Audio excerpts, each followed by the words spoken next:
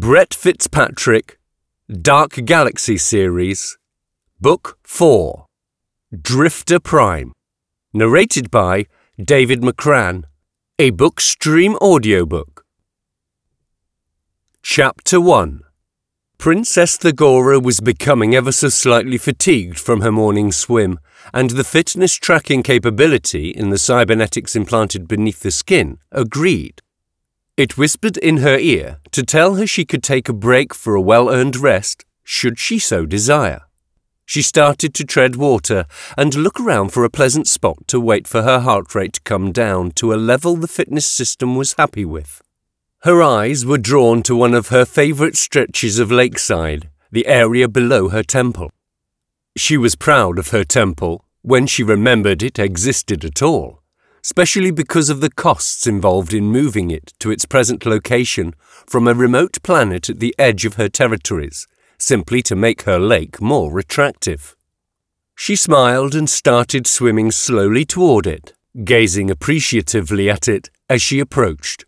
It was the kind of folly that, according to the xenoarchaeologist who sold it to her, symbolized unknown alien virtues that could only be guessed at by human minds.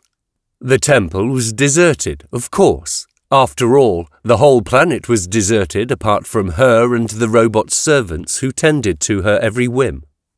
The location she had picked out for it was just perfect. It was part of the lake, but also part of the land, a kind of visual bridge between the two. The fragrances of incense from the surrounding trees was heavy on the air, and the sound of the chimes woven into their branches added to the calming atmosphere. It was, she suddenly and impulsively decided, perhaps her favourite spot on the entire planet. She came to a flight of half-submerged steps where she could stop swimming and plant her feet. The stone steps were almost vertical, leading the eye up to a soaring building on a platform of jade and sandstone. It was a pyramid with six levels, with six towers projecting on upwards from the building's main mass. She got comfortable in a position where she could admire her temple and also look out across the impeccable landscaping of her lake. As she lay on the steps, the lower half of her body immersed in the cooling waters of the lake, while her upper body was warmed by the planet's blue sky, she felt a bead of sweat appear on her forehead. The sun was a little too warm, she decided, frowning slightly as she called over to a glittering robot servant that was standing at the edge of the lake. We need a little more cloud cover, don't you think? she said to the robot. I agree, Highness, the robot said in reply, and I will see to it immediately. The robot nodded submissively, and soon large gravitic barges appeared above her and started seeding long streaks of cloud to shade the lake. Her frown eased as the hot embrace of the sun's rays was replaced by the planet's comfortable ambient warmth. Then the princess suddenly heard a noise, coming from within her folly, from somewhere deep within the temple. It was just the faintest whisper of a noise, hardly audible over the twittering of the small birds in the trees and the humming of the bejeweled insects. The princess propped herself up on an elbow and stared at the temple door, suddenly very slightly unsure of whether transferring an alien temple to the world she used for relaxation was such a good idea after all. She dismissed the thought a second later. After all, the xenoarchaeologist had certified the structure as entirely safe. She raised herself to her feet and climbed the steps that led up to the temple entrance. Tiny fish darted out of the way of her feet with every step until she had emerged from the lake completely. There were still many steps to climb before she would reach the door of the folly, and she paused, unsure if she should carry on. She looked round uncertainly and was pleased to see two robots not far away, both strikingly beautiful creations a pair of sculptures in jade and gold. You, she said, pointing at the nearest of them. Go in there and tell me what you see. Certainly, Highness, the robot said.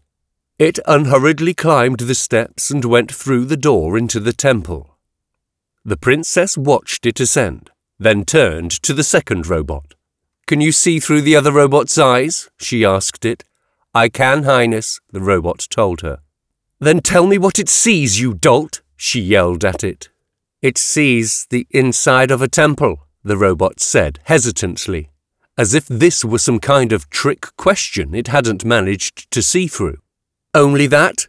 the princess asked, already a little relieved. She had obviously imagined the noise. It was silly to allow such things to give her the heebie-jeebies.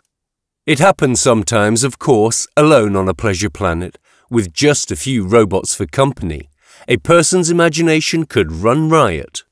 It was silly to allow such things to give her the heebie-jeebies. It was possible to imagine assassins had somehow penetrated the planet's space defences and made it down to the surface, that she was actually at risk of harm. But the royal family would never allow that. She was 17th in line to the provincial throne, and her life would never knowingly be allowed to be put at risk. It's just a silly old ruin, isn't it? she said with a smile. Exactly, Highness, the robot graciously agreed. Well then, the princess said, have your friend come back out, and we can decide how I am next to be entertained. Of course, Highness, the robot said. Though there is one thing. What is it? the princess asked. Well, out with it. What is it you want to say? The interior of the temple seems to have been redesigned since my colleague was provided with its plans, the robot said, its voice a mixture of confusion and disappointment. This is not the order of things. We surface robots should be given up-to-date plans of all surface structures, both their interior and ext. What are you blithering about? the princess said sharply. The whole point of this folly is that it is a long dead lump of alien architecture. Nobody has redesigned the interior. I beg to differ, Highness, the robot said humbly, and raising its hands in a gesture of supplication. When schematics of this structure were provided to me, there were four interior spaces joined together by one circular connecting corridor. Yes, the princess nodded.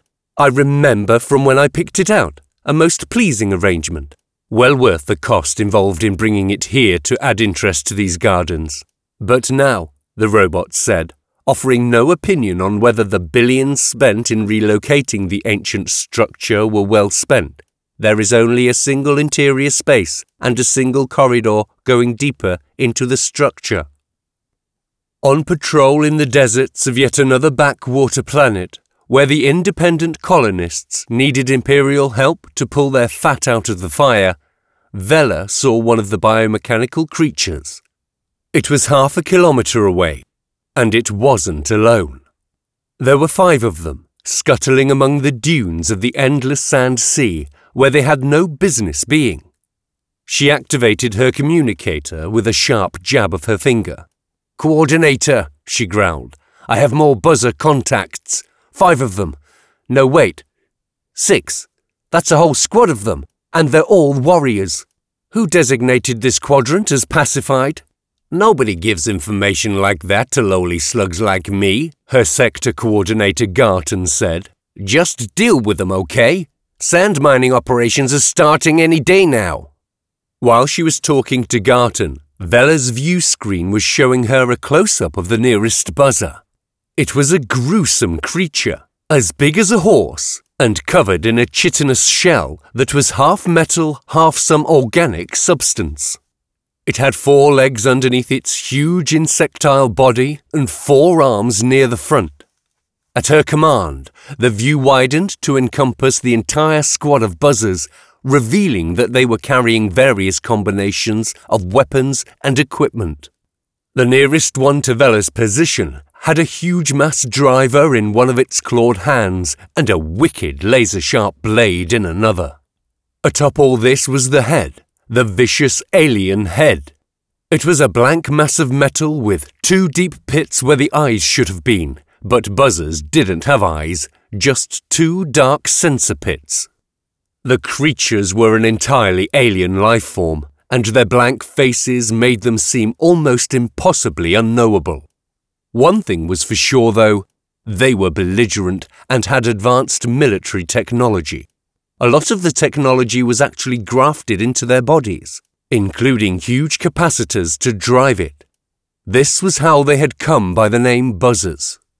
You could hear an electronic whine or buzz in the air if you were ever unlucky enough to be actually standing near one, generated by all the cybernetic systems implanted into their bodies. Vella killed the communicator. Talking to Garton was a waste of energy at the best of times, and with so many buzzers scuttling around, it could be a deadly distraction. She needed to concentrate and get her job done. She had ten drones, and theoretically that should be plenty to deal with even six buzzers. Her drones were Scorpion class, not the best drones ever built. The men and women of the scattered Tarazet colonist assist fleet were never given the best equipment. But the Scorpion class unstable terrain drone wasn't bad either.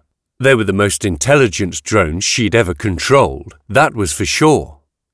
The leader of the pack was designated Scorpion 1, S1 in her tactical displays, and it was already suggesting attack patterns. Most of them were rated by her tactical systems as likely to bring victory, and two of them were predicted to bring victory with no loss of her own units. One predicted an encounter lasting four minutes, while the other predicted an encounter of just two minutes before victory. No brainer, Vella muttered, as she selected the two minute option and battle was joined. Two Scorpions, S4 and S9, charged at one of the buzzers, ganging up on it, and she smiled. Her Scorpions looked magnificent in her viewer, which was showing a video feed provided by S6. Her drones, as the name suggested, were designed to look like scorpions one of the most ubiquitous forms of life in the galaxy after humans and rats. Wherever humans went, scorpions somehow hitched a ride and went with them. Each drone was covered in thick plates of armor, painted in a desert camouflage pattern, and each had a blaster mounted in a flexible tail, along with two claws for physical combat. To add to the beauty of the tableau, the planet's big sun was on the horizon casting long shadows and rimming the mechanical combatants in outlines of gold, leaving only the small secondary sun high in the sky to fill in the details of the scene with its milky ochre. When the main star dipped below the horizon, the temperatures would drop to something a human might find tolerable. But right now, the atmosphere was still shimmering with unbearable heat. The drones, of course, didn't really care what temperature it was. The buzzer being ganged up on opened fire on S4, which was a little closer to it. The rods fired from its mass driver flew at S4 at relativistic speed, accelerated by a magnetic coil before being launched from the muzzle. The Scorpion's shields, generated by compact tangles of machinery in its belly, weren't able to deflect them, just slow them down so ablative armour was sent fountaining into the air from its back. It scuttled forward unperturbed across the sand, ignoring the fearsome wound that had been opened in its back, eager to bring its claws into contact with the buzzer's armour. Its tail-mounted blaster fired as it advanced, the gun eerily steady as the drone scuttled and jumped through the dunes. The blaster projected packets of energy at the buzzer that glowed like fireflies, but the monster had shields too, projected by machinery buried somewhere beneath its carapace, and it deflected them. And then S4 was on the alien biomechanoid, its claws stabbing and clasping at the monster's armor. The buzzer defended itself, slicing off one of the Scorpion-class drone's legs with its wicked blade, but the Scorpions were indomitable, especially in close combat. The other drone, S9, fired off a couple of shots with its blaster when it was sure it wouldn't hit S6, and things were starting to look bad for the buzzer. And then the sand behind S6 moved. Powers! Vella cursed. Two more buzzers were emerging from the sand and launching a surprise attack on S6 from behind. Vella checked her tactical display and the likelihood of victory predicted by her tactical computers was dropping quickly. Sneaky little! Vela's invective died on her lips as she saw that S1 was already suggesting a new attack formation. Scorpion 1, she noticed, was in combat itself. It had one buzzer by the neck, held tight in its claw, while it was forcing another to keep its head down with suppressing fire from its tail blaster. But it still had processing power enough to constantly be suggesting changes that would raise their chance of victory. Vela reluctantly agreed, even more reluctantly because she saw that the new plan required her to get involved in the action. Up until now, she had been sitting back, overseeing the drones as they did their work, but now she was going to have to mix it up with the drones and buzzers like some damn fool infantry slug. She slipped her hands into feedback gauntlets and pressed a button to fold away her command chair as she stood up and took a step. Her body remained in place, held above a circular plate by gravitic forces. But the robot power armor she was inside, gladiator class battle armor, moved a step forward. Giant mechanical knee, hip and ankle joints whined and grumbled as her foot was lifted in the air, then came smashing down. Then she took another step, and another. Theoretically, the robot she was piloting could run, but shifting sands were not the terrain to give that maneuver a try. She walked steady towards where S1 had requested her to be, and she arrived just in time to make the difference. Her robot armor had four blasters mounted in the chest that all targeted one location. She designated her first target a buzzer that was in the process of cutting one of her Scorpion drones in half and started firing. Even suspended above the grav plate, she felt the recoil of the blasters as they summoned huge energies from the armor's capacitors, formed them into packets of destruction, and hurled them at the buzzer. Gratifyingly, its shields were overloaded and it was blasted apart.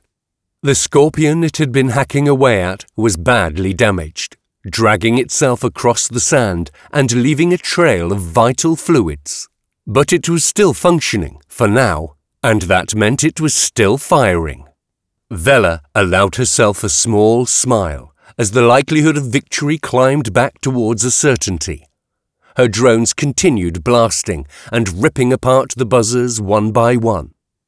Then her tactical computer chimed for her attention momentarily lowering the sound of battle coming through the speakers in the cockpit of her robot armor to make sure she didn't miss the signal. Her robot armor's sensors were telling her that a buzzer was emerging from a sand dune.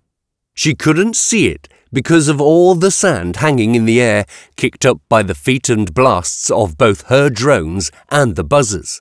But the detection looked good.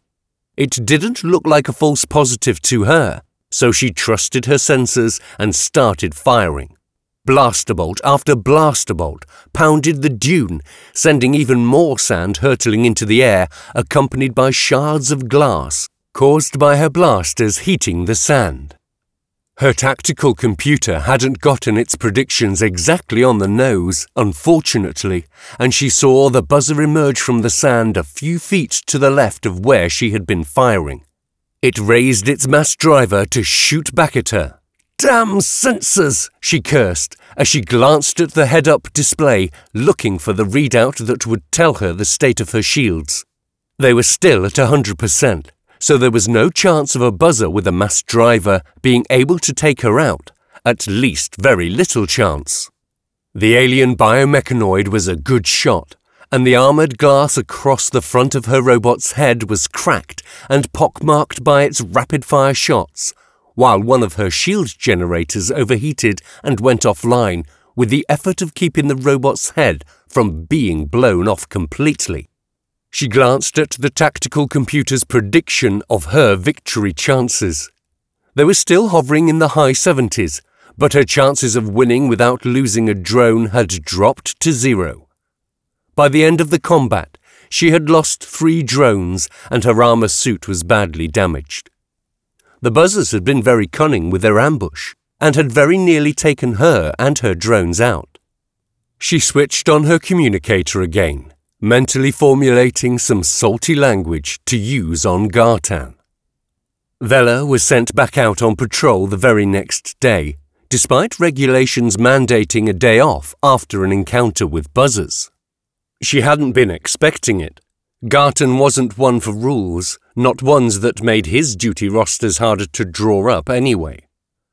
As her giant robot armour took step after step, she realised she started to hate the planet she was currently stationed on. It was a mud ball, but that wasn't the problem.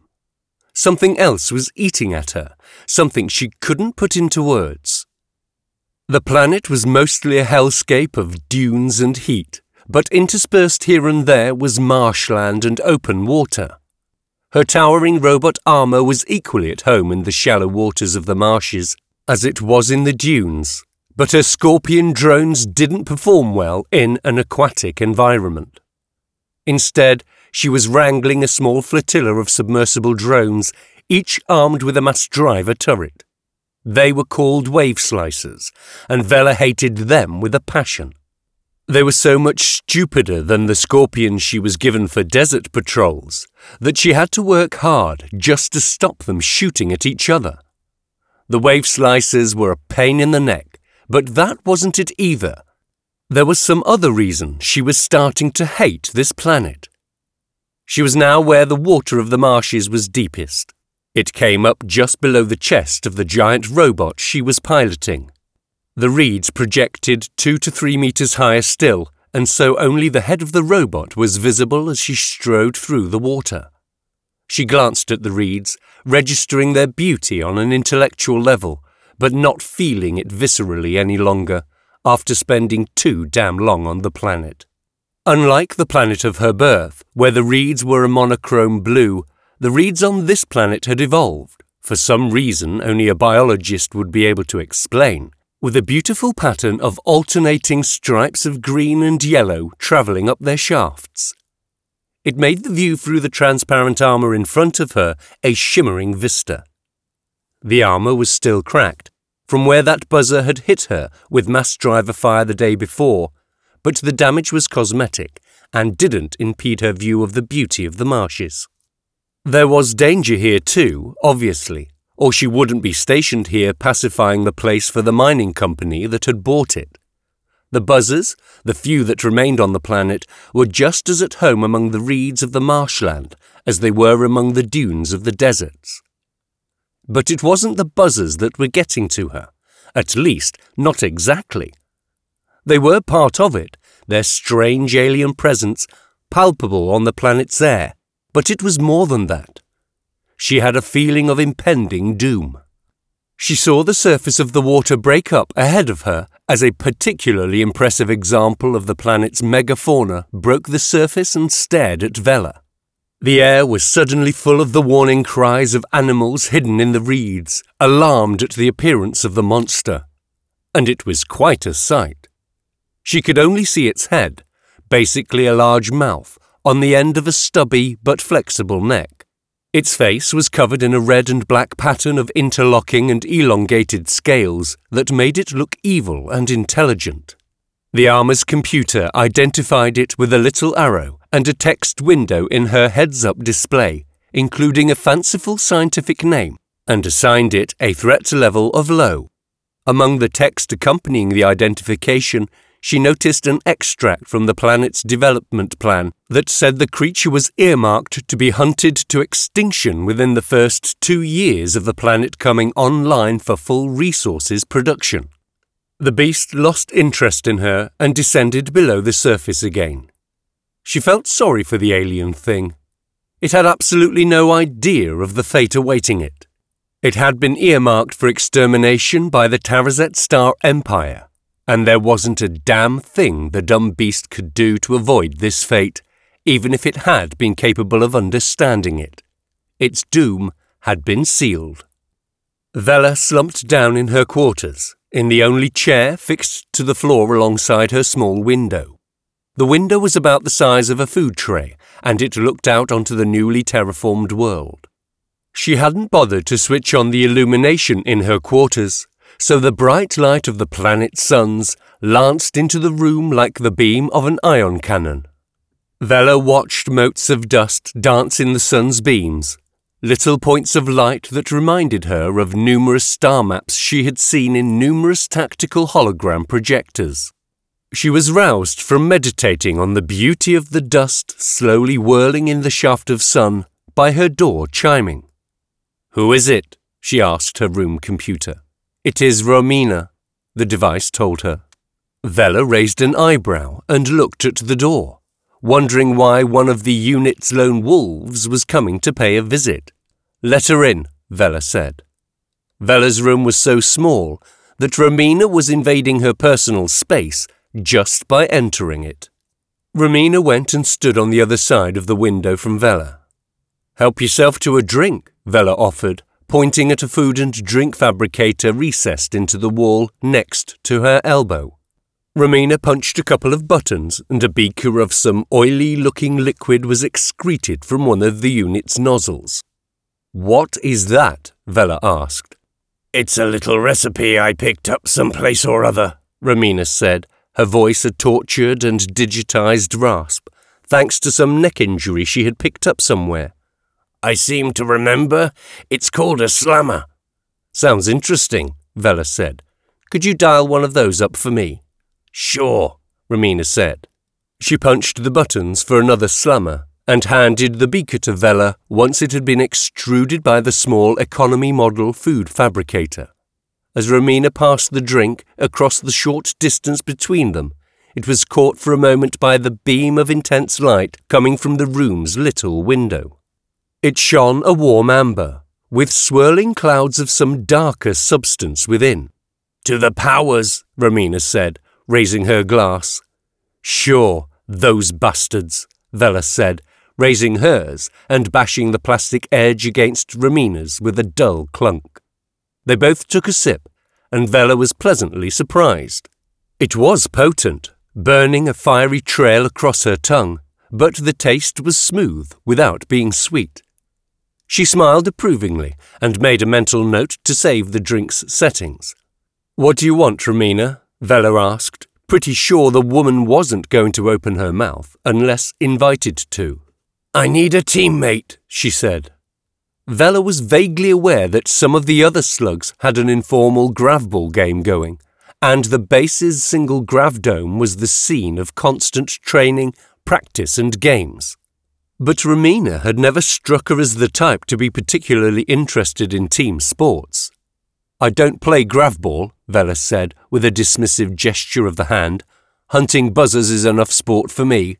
Romina laughed, a short electronic snorting noise that was even more unsettling than her synthesized voice. She took another sip of her drink.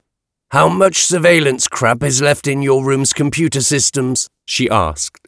One of the first things Vella did whenever she moved into new quarters for anything more than a day or two was thoroughly strip the bloat out of any room's computer preset.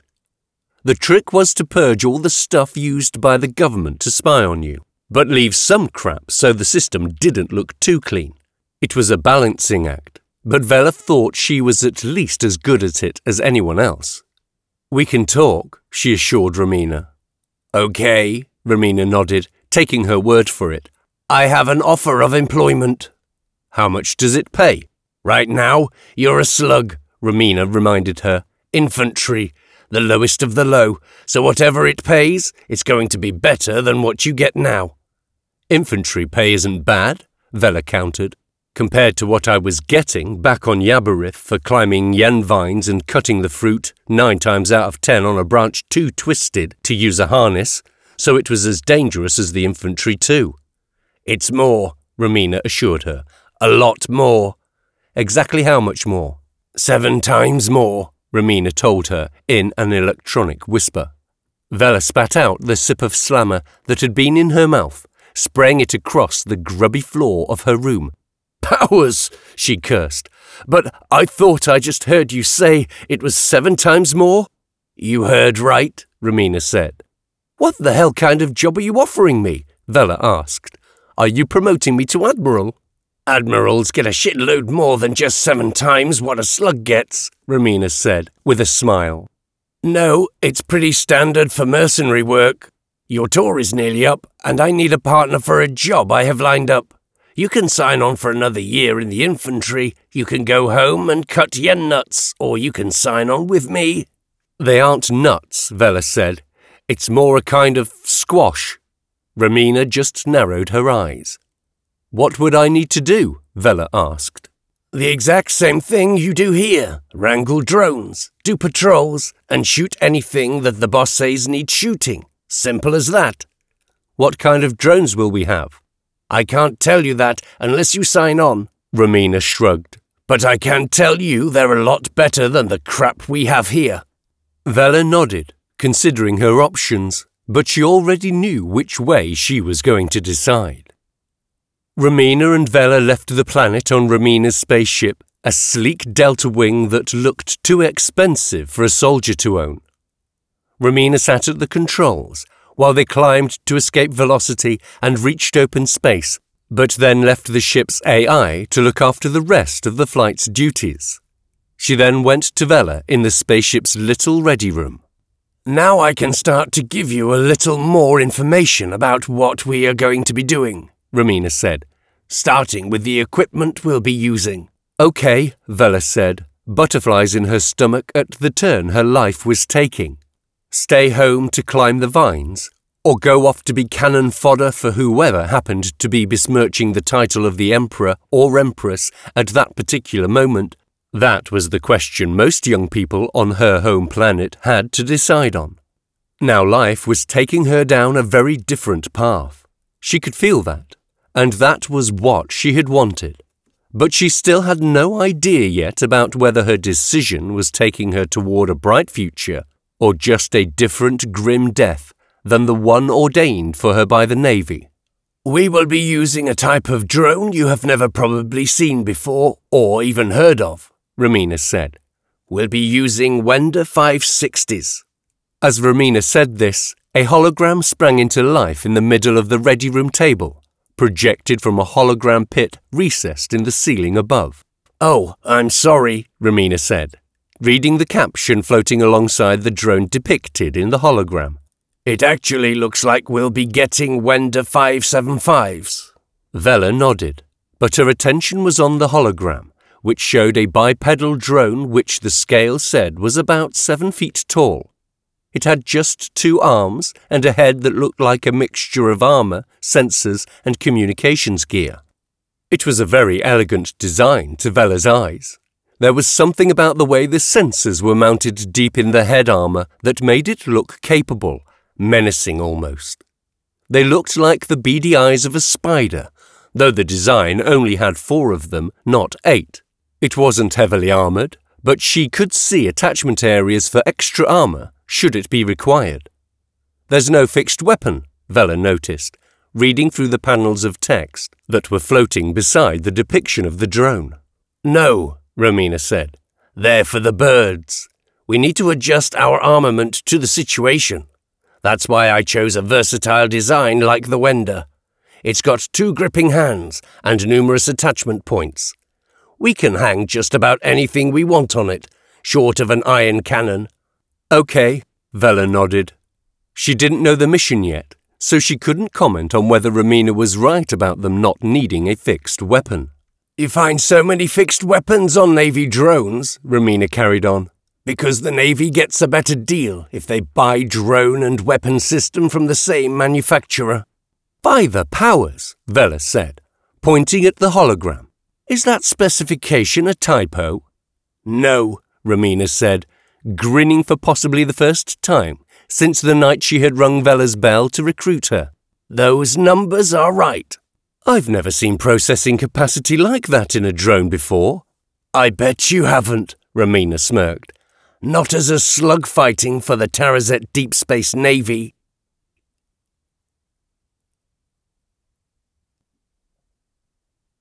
Chapter 2 Shavir stood on the bridge of the Raven, her right-hand woman Fallu at her side. Both were gazing at the spaceport as the ship descended gracefully toward it, the Starcraft's computer doing the work of actually bringing it in for a touchdown. They were coming down on one of the numerous landing pads scattered around the upper slopes of a huge complex of almost perfectly circular buildings, each one the size of a city block. I've always enjoyed visiting this planet, seeing this ancient style of architecture, Shavir said. A little too old-fashioned for my taste, Fellows said. Oh yes, Shavir nodded. Of course, from the viewpoint of aesthetics, it is hideous, but that's not what I was talking about. No. Fallu could tell her boss wanted to talk, to explain something, so she patiently waited for the lecture to begin. This ancient architecture symbolizes something, Shavir continued. At the heart of each of these structures is a shielded chamber where hologram communication is not only forbidden, it is impossible. If you want to be included in the deliberations that take place here, you have to come in person.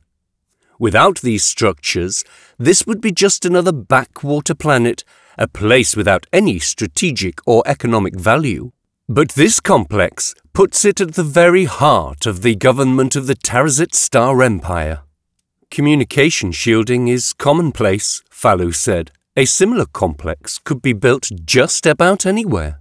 Exactly, Shavir said with a grin, her voice almost triumphant. So why does almost the entire upper echelon of the imperial nobility up sticks and travel here every few years? Fallu simply looked at her boss, she knew the question was rhetorical. Tradition, Shavir said, answering her own question. That's why. Momentous decisions have been made within the halls of these hideous buildings for thousands of years, and that will continue to happen here for thousands of years to come. Inertia is a terribly powerful force, Fallu. Whatever shape the Empire takes, its heart is always located here. And the current crisis is to resolve the imperial succession, Fallu said, distractedly, her eye momentarily caught by a particularly extravagant shuttle design that was coming down on a nearby pad. The new emperor has been crowned and announced here for thousands of years, Shavir said. Some indefinable emotion in her voice. Fallu suspected it might be something akin to pride in imperial tradition. Announced, yes, Fallu said with a smile, but not enthroned.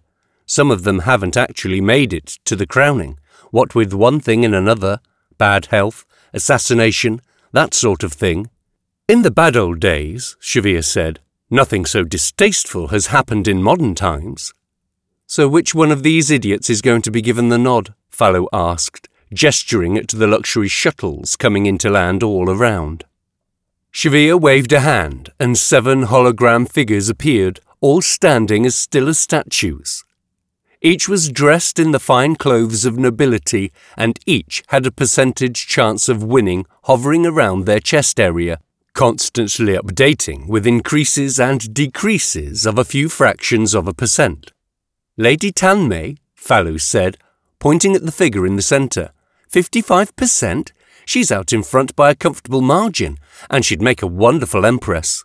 Are you crazy? Shavir gasped in shock and disgust. She is the last person we want on the throne. Too intelligent, too independent, too ruthless. Life with her as an empress would become considerably more complicated. We need a dolt, a freaking moron, somebody who can be easily shown how important the Ministry of Science is and how vital it is that we keep receiving at least the same cut of the tax pie we always have. I see, Fallu said, aware that Shavir was still giving her hostile side-eye, as if considering the possibility she might be an agent of Lady Tanmei's. Who would you prefer to see as our leader? Shavir walked all the way to the end of her holographic mannequins and stopped at Lord Bella given a 4% chance according to the computer that Shavir had tasked with calculating the odds. Look at this beautiful fool, she said. Not an idea in his head, no strength of character, not much in the way of leadership skills or even ordinary people skills. He would be ideal. Is that realistic? Fallu asked. Can you really put an ignoramus like Lord Bella on the throne? Probably not, Shavir said, with a wistful smile and a sigh that almost sounded like she was imagining the prospect and reluctantly letting it go. But a girl can dream, can't she? Fallu didn't see Shavir again for days. Shavir was whisked away into a world of overstuffed divans, tiny portions of food, bejeweled androids, and complex music being played on complex instruments by masters of their craft. The backdrop against which she attempted to use her influence to get her preferred candidate enthroned as emperor, while Fallu stayed aboard the Raven, dealing with day to day business of running the Ministry of Science in her absence. It was Fallu, therefore, who took the call from Brax, an emergency call on the highest priority connection. Fallu, the android said, nodding his head politely. I must speak with Shavir. That is not possible, Brax, Fallu told him. Shavir has a series of meetings within the chambers of the Jade Forest Palace. The chambers are screened to prevent communication. By the powers, Brax cursed. Why? What can there be of any interest there? The election, Fallu told him. The Empire needs a new head to lead it. Ah, yes, of course, of course, Brax said. Is there no way to get a message to her? I can take it into her by hand, Fallu said. But for me to do that, it would have to be a matter of the utmost urgency. What could be more important than the election of a new emperor? Drifter Prime, Brax said. There's been a change. Oh, Fallu said, paused a second, glanced at the day to day business of the Science Ministry, arrayed around her on floating holographic screens, then back at Brax. I'll go get her. I would appreciate that, Brax said, his hologram already fading. Call me when you found her. Finding Shavir proved more difficult than Fallu had thought it was going to be. She had imagined there would be some sort of big negotiating room where all the power players, of whom Shavir was definitely one, would be hammering out some kind of compromise. That proved not to be the case. Instead, there was a maze of small chambers where there was an endless succession of banquets, music, recitals, theatre plays, poetry slams, and other elite entertainments. Fallu could only suppose the deals were being done there, but the problem was there was only a narrow window of time between one event ending and another starting when it was possible to gain entrance.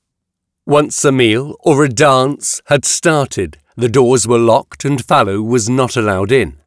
This wouldn't have been so bad if it had been possible to find out who was inside each event without waiting till the end to see who actually emerged. It was a huge waste of time, introducing enormous uncertainty and delay into choosing a new emperor. It could only be by design, Fallu supposed, but she had no idea why. At last, Fallu spotted Shavir coming out of a music performance where a tall, slim man had been playing some device that looked half like a bass drum and half like a trumpet, with controls built into the lapels of his jacket. Fallu! Shavir yelped in surprise. Lady Shavir, the young assistant said. Urgent news. By the powers it better be, Shavir muttered as she came over. Tell me what it is that is so important. A buzzer invasion of the Tarazet homeworld, perhaps? I can't say, Fallu whispered. I'm to take you to the Raven, so you can take the call there. Ah, Fallu, Shavir said, her eyes drawn to a group of people moving into a small, intimate dining room, or the closest thing to one to be found in the complex at any rate. It was still built on a scale that was huge by normal standards. This is not the time. I have a lot of irons in the fire. I'm sorry, Fallu said. Shall I tell them, uh, caller, that you will, um, call back later? Who is the caller? Shavir asked. I hesitate to say, Fallu replied. Even that is sensitive information. Okay, Fallu, damn you, Shavir said. But if this turns out to be nothing, I'll have you shot. The hologram of Brax was brightening into existence in front of Fallu and Shavir. Fallu respectfully at a distance, sitting in one of the plush seats of the Raven Bridge. Shavir was pacing in little circles, but she stopped when Brax had completely coalesced. What is it, Brax? Shavir hissed. And I warn you, this had better be good.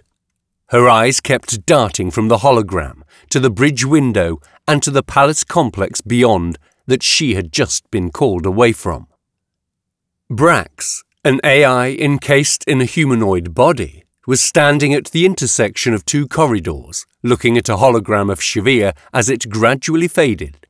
The last glimmerings of light faded from the hologram projector mounted in his chest, and Shavir was gone. She had not been happy to be taken away from her machinations at the gathering to elect a new emperor, but she hadn't fired him or ordered his execution, so he was pretty sure contacting her had been the right thing to do. He had absolute privacy, of course, far below the surface of the artificial alien planet. Nobody would know he had called the boss. He was standing in a cavernous space with a hexagonal floor plan and hexagonal arches supporting the ceiling above. The enormous space could be reached from two directions, through towering corridors with a hexagonal cross section. Brax raised his head and looked from left to right. His android face was less expressive than a human's. He had selected a body to house his intelligence that had a face with fewer face muscles than a human had, but even so, it wasn't difficult to see that he was uneasy. There was nothing to do now but wait. Shavir had given him instructions on how to deal with his current situation, and it would be foolish not to follow her orders to the letter. Many hours later, a taxing amount of time to stay in one place without doing anything useful, even for an android, he heard the whining of a transport grav motor approaching. It was very soft, a long distance away. Brax folded his arms behind his back and waited for it. The utility vehicle came floating through one of the corridors and slowed to halt just a few yards away from him. Two human forms emerged and crossed the short distance from the utility vehicle to Brax. Neither of the new arrivals said a word, and Brax didn't bother to say hello to them. Just like Brax, they too seemed to lack the normal vitality of a human, both standing just as still as the android, a feat even the most disciplined of human would ordinarily find difficult to copy. They were both wearing grey uniforms with no markings of rank or status. They both also wore distinctive black headgear, half helmet, half hat. This corridor is new, Brax said, feeling uncomfortable with the silence. Neither of his companions answered. He hadn't phrased his remark as a question, nor invited them to comment. Neither of them felt the slightest inclination to engage in small talk with the android. Brax pulled out a communicator and contacted Posier, one of the senior scientists on his team. His communicator was glitching and refused to automatically send his coordinates for them to come and find him. He had made sure to sabotage it to achieve this effect before coming to this place, so he had to just tell her where he was. That's impossible, Posier said. There isn't a corridor intersection at those coordinates. You must have them wrong. Just get into a vehicle and come out here. It took Posier 20 minutes to get there, though Brax heard the whine of her vehicle's engines approaching long before that. The little grav car came barrelling up at last, much faster than regulations allowed, and stopped alongside Brax and the two figures in grey. A gull-wing door hissed opened, and Posier climbed out, and she frowned when she saw the two figures in grey. What are those tome mutants doing here? she muttered. Procedure, Brax said. Posier was about to say something else, then thought better of it. It was a very minor detail in comparison to what Brax had claimed over the communicator about changes to the architecture of Drifter Prime. So you're telling me this is a whole new corridor, are you? It is undeniably here, Brax said, as the gull-wing door on the other side of the little car opened. And it absolutely should not be. This is gigantic, the woman getting out of the other side of the car said, as her face appeared above the car's ceiling. Enormous! Unprecedented! It is certainly unprecedented, Yatena, Brax said, As far as we know, this artificial planet has not done anything on this scale for hundreds of years. More likely thousands or even millions. But now it is undeniably starting to perform operations. This is the largest of them so far, but not the most significant.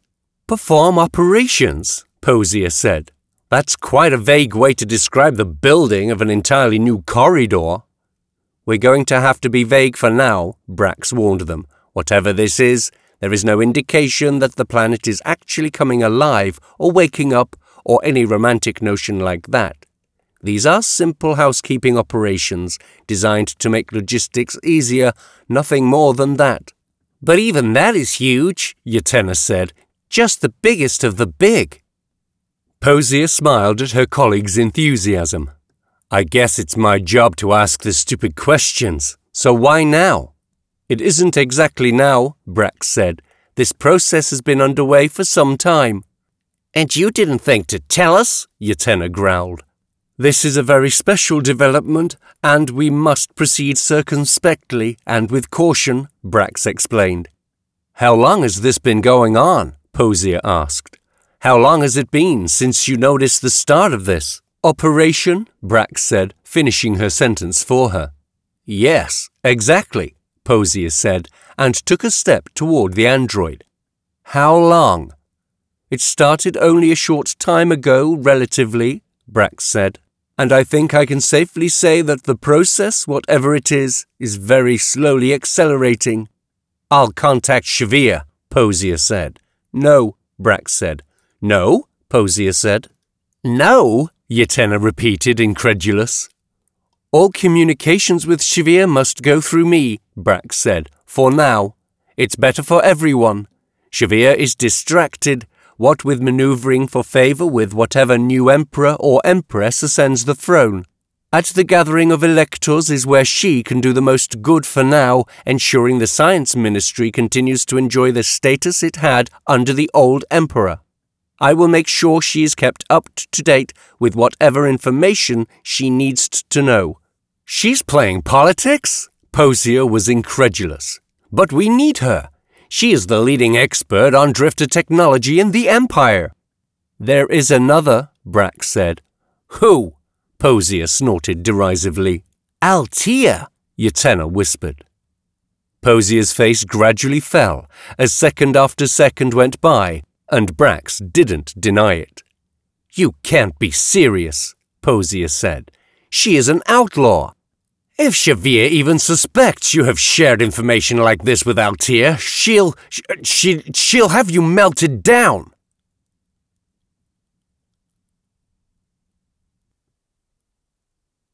Chapter 3 The flagship's planning room was much bigger than the bridge, with large hologram pits constantly showing the tactical computers best guesses about the battlefield they were jumping into, along with holograms generated by the ship's strategic cores, showing the various ways the battle interacted with the rebellion's greater objectives. In the middle of everything, dominating the room, was a timeline. It was like a series of columns, each one showing time passing sweeping from top of each column downwards in a wave of red. The wave of red constantly ate away the remaining green, which represented time to come. There were five columns, like the five fingers of a human hand, and each one showed time passing at a different rate. The one on the extreme right showed just 10 seconds, so the red wave came sweeping down six times a minute. The next column showed one minute, so the red wave moved downward more slowly. The next column showed 10 minutes, meaning you had to look at it a while to notice it was moving at all. The next column showed one hour, so the red wave looked essentially stationary. The last column showed an entire standard day, and Xenia knew it was moving intellectually, but it looked as static as an immovable object. At that precise moment, the red wave was halfway down the slowest column. Looking closer, Xenia could see that halfway between the shore of the red inundation and the base of the column, in the middle of the green area of future time, an event was marked. The event was labelled Arrival in System, and it would be the beginning of a lot of hasty manoeuvring and the start of fighting in earnest for control of the 11th planet. They were only five hours out from what would undoubtedly be the biggest battle the rebels had thus far been involved in. If the Empire hoped to nip their rebellion in the bud, they would have to do it now, and they knew that. Xenia looked away from the giant hologram of the chronograph and noticed that the captain was in a huddle with two robots and a crew member with extensive cybernetic augmentation, who was attached to a huge data bus by cables as thick as forest vines. The cables were bundled together in collars like dreads and held up off the floor by little grav motors, giving the crewman some degree of mobility, but the weight of the cables was still tugging his head back at an unnatural angle. With his face lit from below by a holographic display he was using to explain something to the captain, he looked demonic in the dim light of the planning room. At last, the captain nodded in agreement and came over to where Xenia was standing, by then studying a hologram she had set up to show various predicted battle durations to determine what factors were most likely to lead to a shorter navy battle. Milady Xenia, the captain said as he approached. Admiral Chell, she acknowledged, with a bow of her head. We have finalized our insertion vectors and battle line, he told her. Ah, excellent, she said, with a slight smile of excitement at the coming action, tinged with apprehension at the very obvious and very real danger. Would you like to see them? Xenia nodded. She had been given a classical education as befitting a young lady of quality, which included the strategy and tactics of warfare. Her life had gotten complicated after that, of course, and her status until recently as an outcast from her noble family had meant she had gained little practical experience of fleet actions. She keenly felt this gap in her experience, and she was looking forward to starting to fill this lack in her skill set. Proceed, Admiral, I would be very interested in seeing your preparations for taking the planet. Yes, milady, the Admiral smiled. But remember, when you look at these projections that, up to this point, everything is still theoretical, still nice and clean and logical. It only starts to get messy after contact with the enemy. Xenia smiled. She hadn't been involved in the planning of any naval battles before, but she had been in a lot of combat, assorted other adventures, and close scrapes, enough to instinctively appreciate the truth of what he was saying. The Admiral saved Xenia's hologram and replaced it with one showing the objective planet and the orbital space around it. For some reason, Xenia's eyes were drawn to a data label attached to the planet by a thin, ghostly line. It had the planet's name, Pagarata, and a summary of some geographic and socio-economic features. The label blinked and disappeared as the Admiral switched the data overlay from general to tactical and a new label appeared where, instead of Pagarata, the planet was simply named Objective, accompanied by a listing of intelligence on likely planetary defences. We will decelerate from FTL travel here, the Admiral said, pointing at a zone of orbital space which started to helpfully blink, to allow it to be more easily picked out from among the clutter of the display. Why there? Xenia asked. Well, milady, the Admiral said, his smile fading and his face becoming deadly serious as he got down to explaining his business. I've just endured a lecture from our senior tactical officer, Lieutenant Paramore, where he listed about a thousand good reasons but they all boil down to just one thing. What is that, Admiral Chell? Xenia asked. The zone we've chosen is on the other side of the planet from this space station here.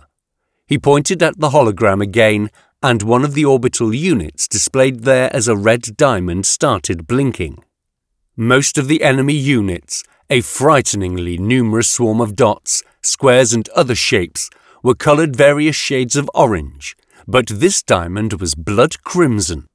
Red means the highest threat level in this kind of tactical display, Xenia said, suddenly remembering this nugget of information from her studies years ago. Exactly, milady, the Admiral said, and she detected a note of respect in his voice. He was obviously pleased that his superior was genuinely interested in what was happening, and even somewhat knowledgeable about the basics. It's the highest threat level of anything that we suspect might be in the system. The Tarazet Deep Space Navy has even more powerful units on its roster, of course, but we don't think any of them are anywhere near this area of space. Xenia nodded. We're confident we know what its position will be, the Admiral said. It costs a lot of money to move it, and the Empire is parsimonious with expenses. So we are coming in on the other side of the planet because the last thing we want to be doing is trying to marshal our ships into battle formation under the guns of that brute. Thank you, Admiral, Xenia said. This is fascinating. If you have time, I would like to hear more. Xenia and Admiral Chell were still on the bridge of the flagship, still discussing tactics, when the communications officer told her a communication request was coming from the spiritual leader of their rebellion, the Roundhead. Xenia simply nodded her head, and the communications officer said the link would be established in a few seconds. I will leave you to talk to the Roundhead in private, the Admiral said. No, stay, Admiral, Xenia told him. This fleet is at your command, Lady Xenia, the Admiral said. Yes, yes, of course, the young woman said distractedly. It is my birthright, but I will likely need your expertise. My birthright. You know, the Navy didn't used to be organised this way, Admiral Chell. What way? he asked. The Navy didn't used to be cobbled together from different squadrons and flights of ships, all under the command of different nobles like my father, all vying for favour with the Emperor. It used to be one cohesive professional force, with officers who applied for the honour of serving chosen on merit. That must have been a long time ago, milady, the Admiral said. The galaxy was different back then. The Star Empire itself was different. The Navy was stronger, Xenia said. We are strong now, milady, the Admiral replied. Or at least, the Tarazet Deep Space Navy was strong until it was pulled apart by rebellion. At last, a hologram of the Roundhead started to brighten into existence.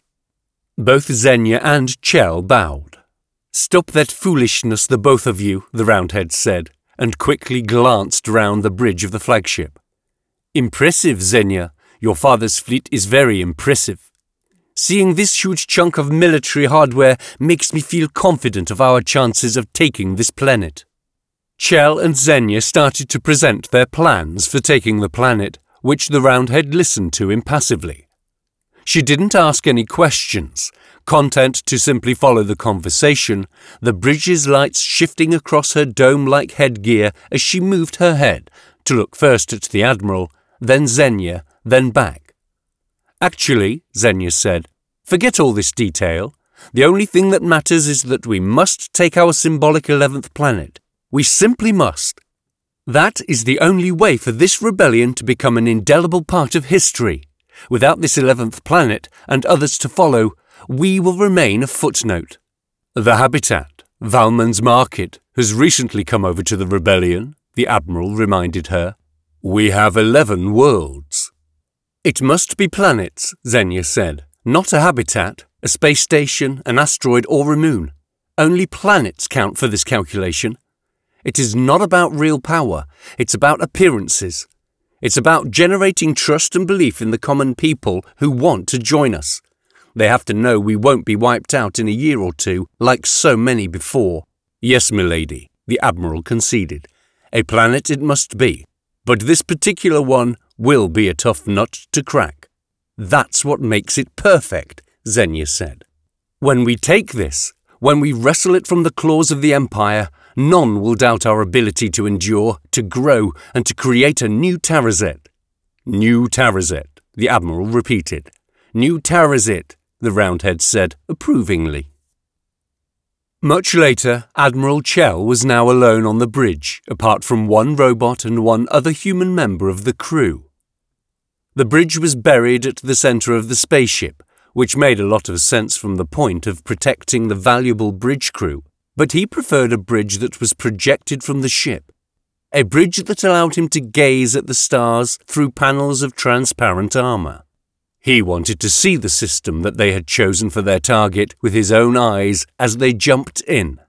Instead, he was gazing at a hologram projection of the planet with important strategic points highlighted and guesses sketched in about the possible strength of its defending forces, and they were prodigious.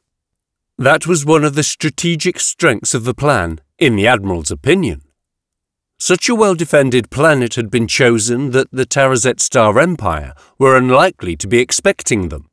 It was just at the edge of what their strategic simulations said they could take, and more importantly, hold.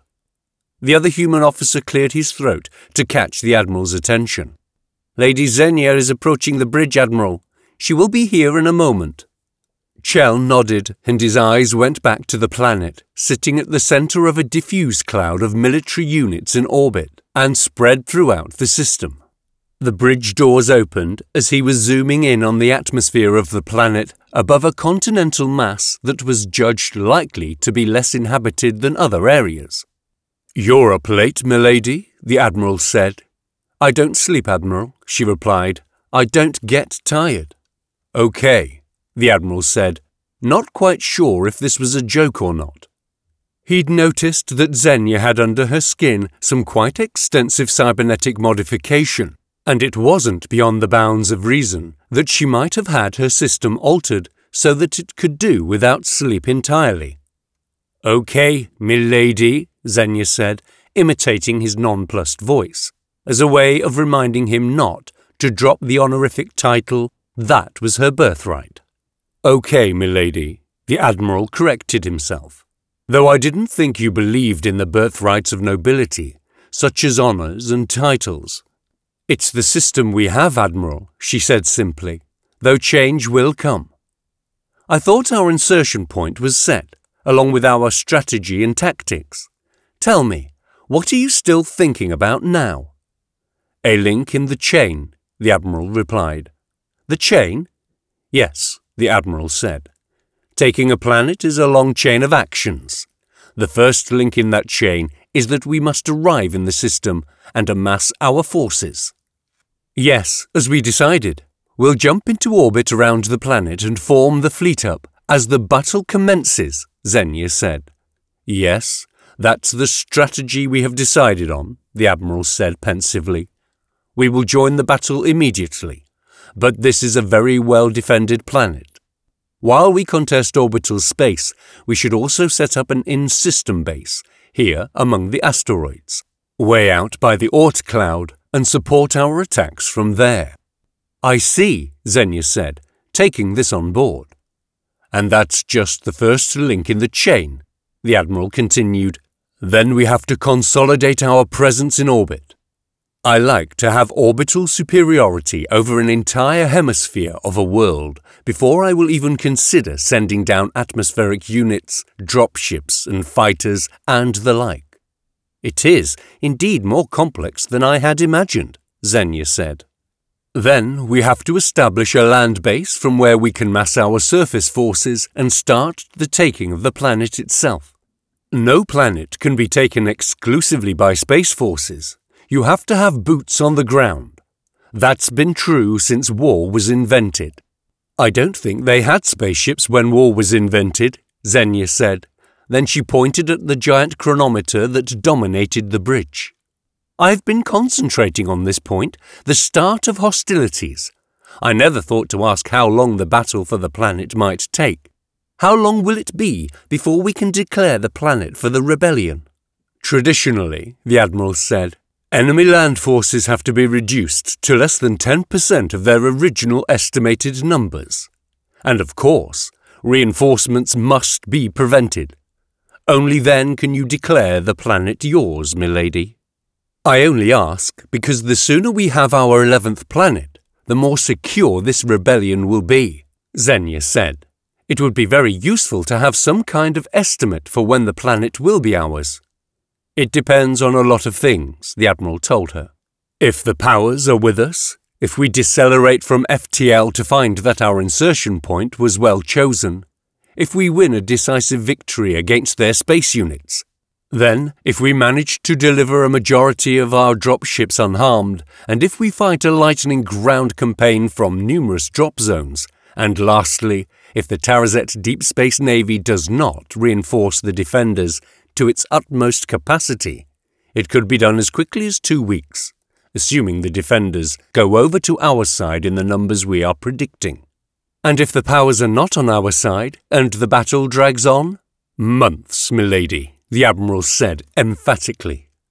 That's not acceptable, Xenia said. We need to take the planet as quickly as we can. We have to do our utmost. As you command, milady. The Admiral bowed, though there was nothing he could really do to make sure of the short campaign his lady desired.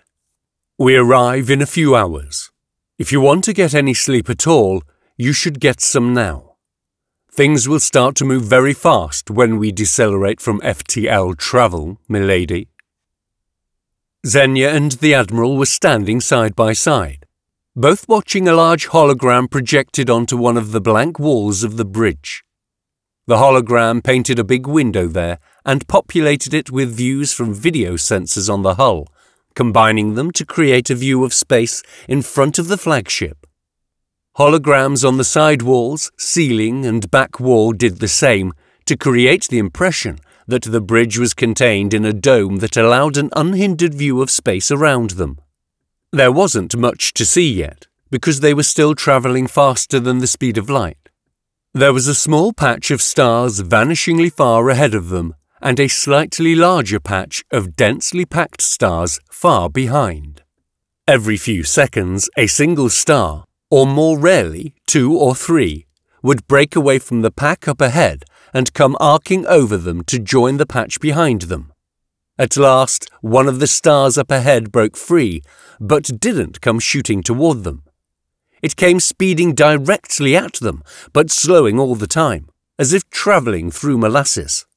It grew ever so slightly, then seemed to spit out a dark orb which now came hurtling at them until it filled the forward viewing hologram, then finally ground to a halt. They had arrived at Pagarata. Incoming fire! somebody yelled from the other side of the bridge.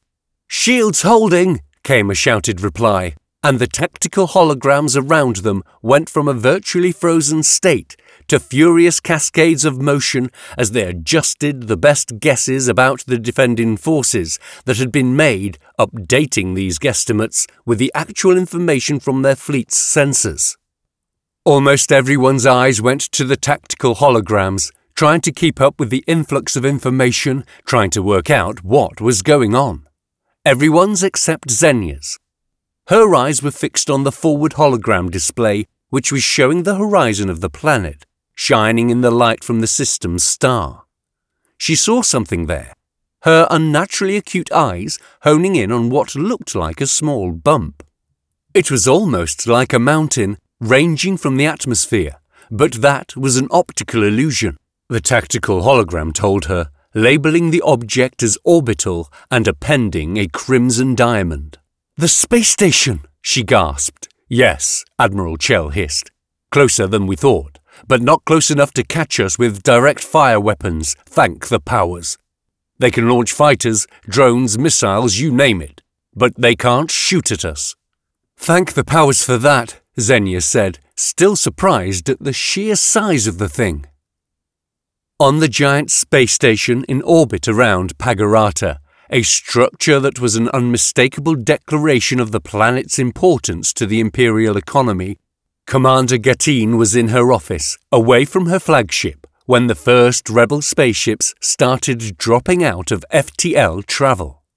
One moment, she had been at her desk, attending to the day to day paperwork of being in charge of the defense of a planet, and the next, she was surrounded by sound and light.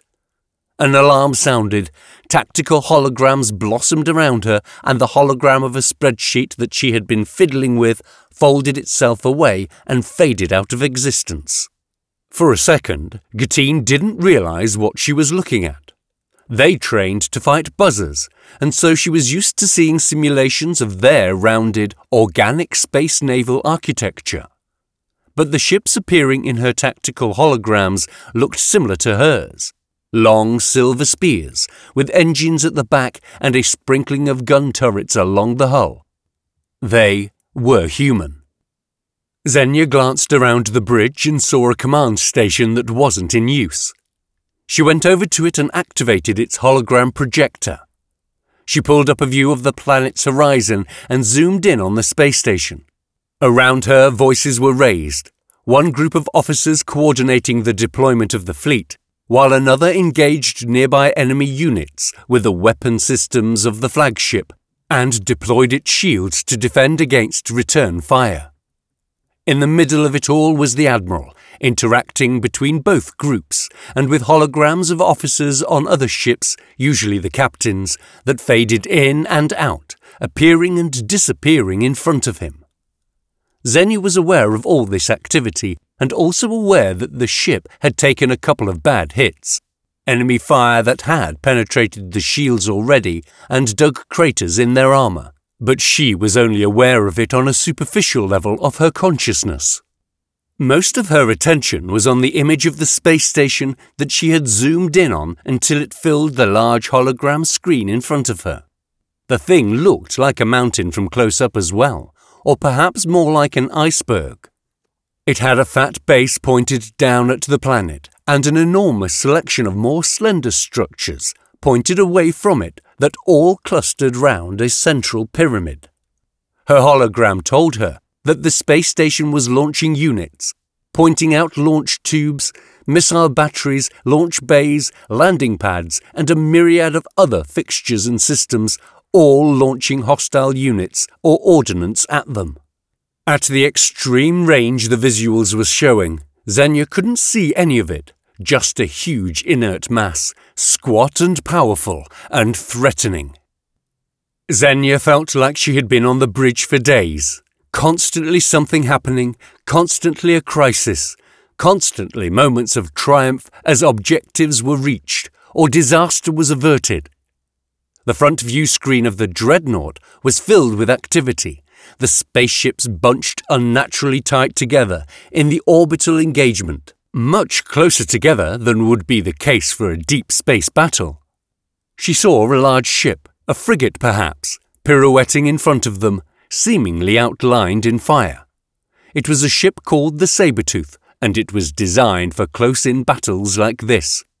The reason it was right in front of them, the reason it was bathed in fire, was that it was taking incoming mass driver rounds from a nearby enemy battleship that were intended for the flagship.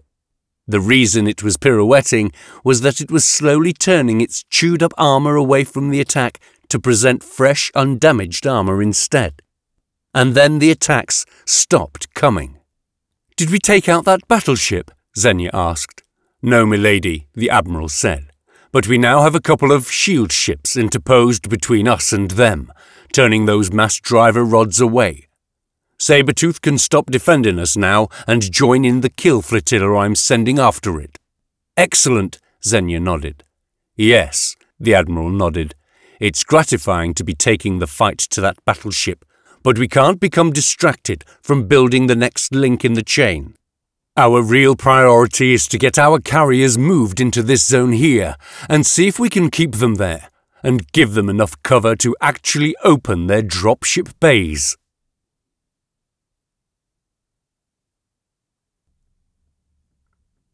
Chapter 4 The planet was above the galaxy dog, giving them a wonderful vista in their main hexagonal screen. It was filled with a view of the megastorm at the planet's south pole. The bridge was darkened, and the light of the view screens conjured long shadows from the two figures standing in the centre of the bridge, considering the planet before them.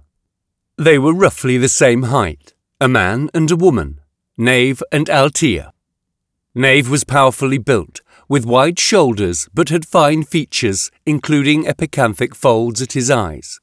Altea was also athletic, but slimmer, more regal, with her aristocratic features framed by a luxuriant afro.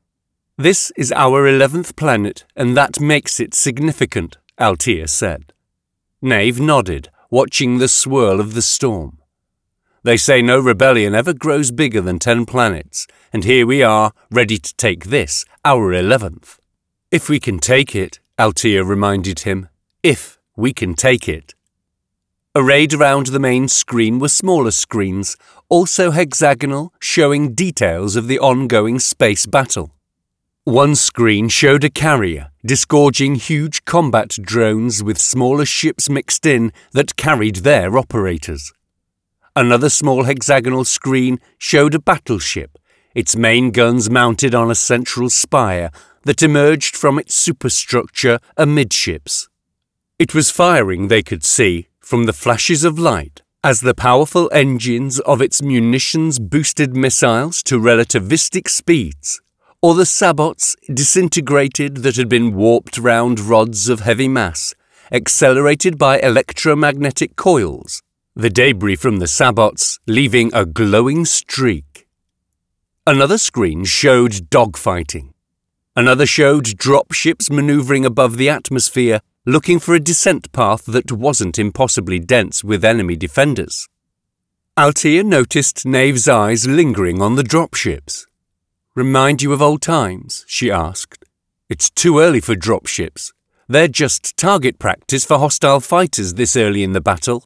I remember all too well what it's like, he said. Waiting, suited up in power armour, surrounded by your drones, in the belly of one of those things, not knowing if the captain will find a way down to the surface to join the assault before a stray missile takes you out.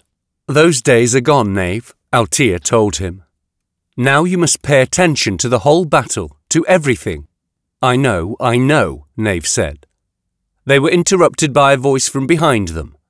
There were three command consoles there, each with an acceleration couch and a bank of readouts and controls.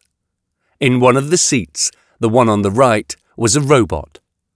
It looked ordinary, a standard humanoid design, intended to do some light manual work, except the materials it was made of were too expensive. Such a robot would normally be a mix of hard plastics and cheap metals that soon started to accumulate dents and scratches.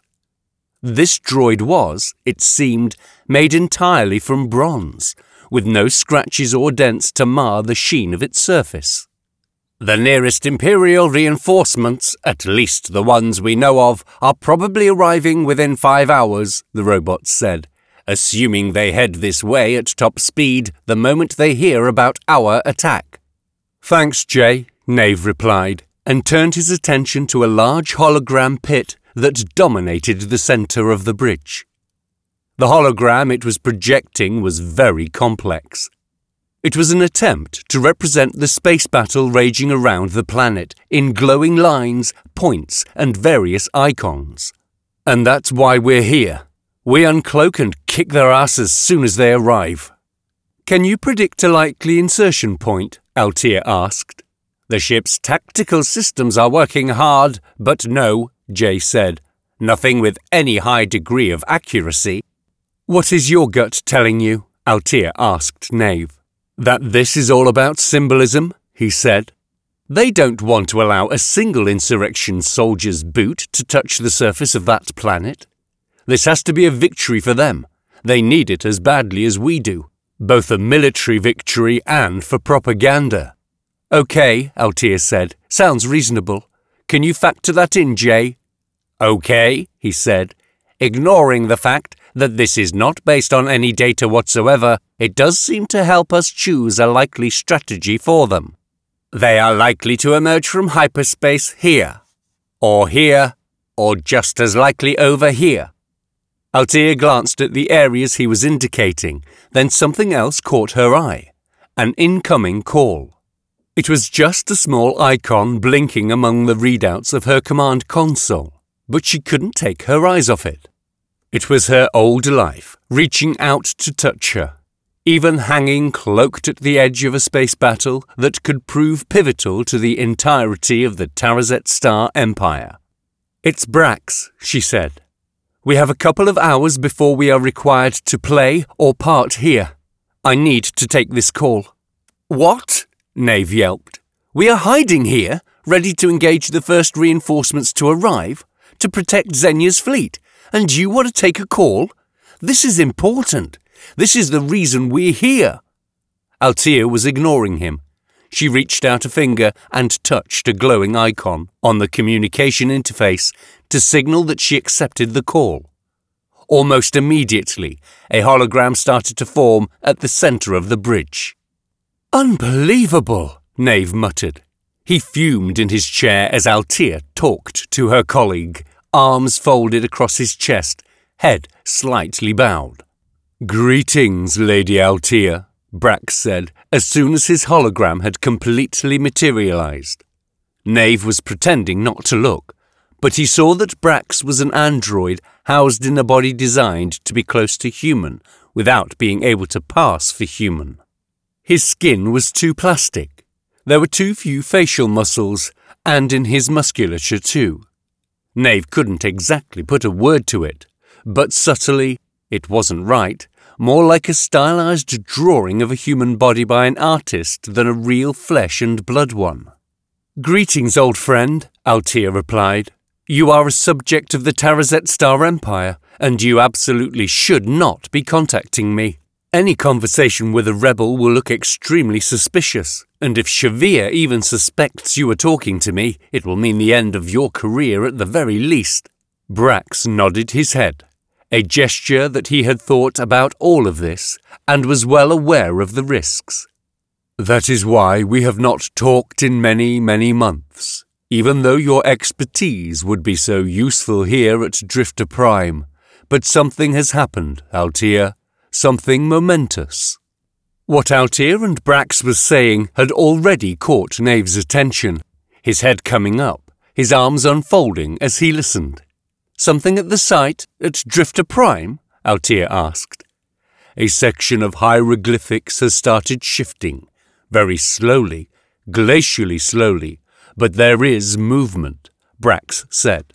We are talking about carvings in inert metal here, and there are a few ways I can think of for the surface topography to be manipulated, but I have never seen anything like it.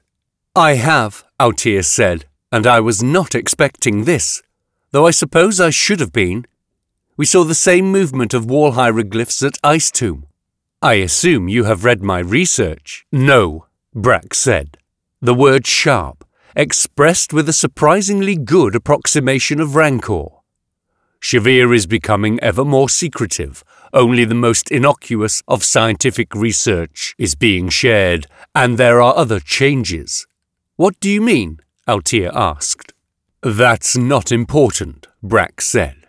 Well, it is important, but what is happening at Drifter Prime is far more important. The moving hieroglyphics are amazing enough, but the subject of the text that the hieroglyphics are part of is perhaps just as important. Yes, that would follow, Altea nodded. Depending on what section of text, the section of text you were translating when you were called away to Ice Tomb, Brax said, interrupting her. I was working on numerous different. The section of text talking about the eye, Brax interrupted again. The changes are subtle, and my ability to translate it is not perfect. It is far from perfect. Have you made progress with decrypting hieroglyphs of the various drifter languages? That would be an extreme understatement, Altea said, without a hint of braggadocio. Did you say the text was connected to the eye? That's right, Brax said. The eye, without a shadow of a doubt. That much I am confident I have translated correctly. Have you told Shavir? Altea asked. Does she know about this? I report to the Supreme Functionary of the Science Ministry, Shavir herself, on a regular basis, Brax said, and you know I do not like to lie. I know you are very comfortable with lies of omission, Altea prompted.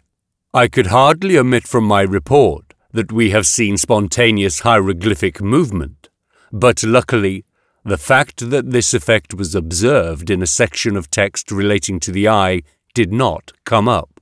And Shavir is distracted by the election, thankfully, Altea said. On Brig, the endless desert sands were moving. It wasn't a sandstorm, it was a combination of thousands of dust devils. The planet was prone to the formation of powerful little whirlwinds, ranging from 10 to 50 feet in diameter. They were usually harmless, but they could, on rare occasions, grow large enough to pose a threat to people and vehicles. The dust devils picked up sand from the dunes and sent it twirling into the air, later to rain down again as the winds started to subside. The sand rained down on the local plant life, hardly desert succulents, and the insect-like creatures that called the planet home, ranging from tiny pests to huge herbivores and the apex predators that thinned their herds. Atop a high cliff that rose from this desert landscape like a wall was the alien structure the rebels called their base. It was a maze of architecture covering about a square mile, which looked like it had been carved from metal or perhaps assembled from unaccountable hexagonal metal components. At the centre of this base stood the lab of the Roundhead, the woman who was rapidly becoming the rebels' spiritual leader.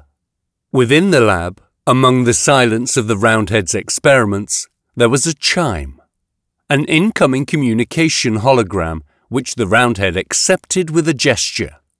Two figures suddenly appeared, insubstantial and fluttering with the distance the information was travelling over the FTL communication system.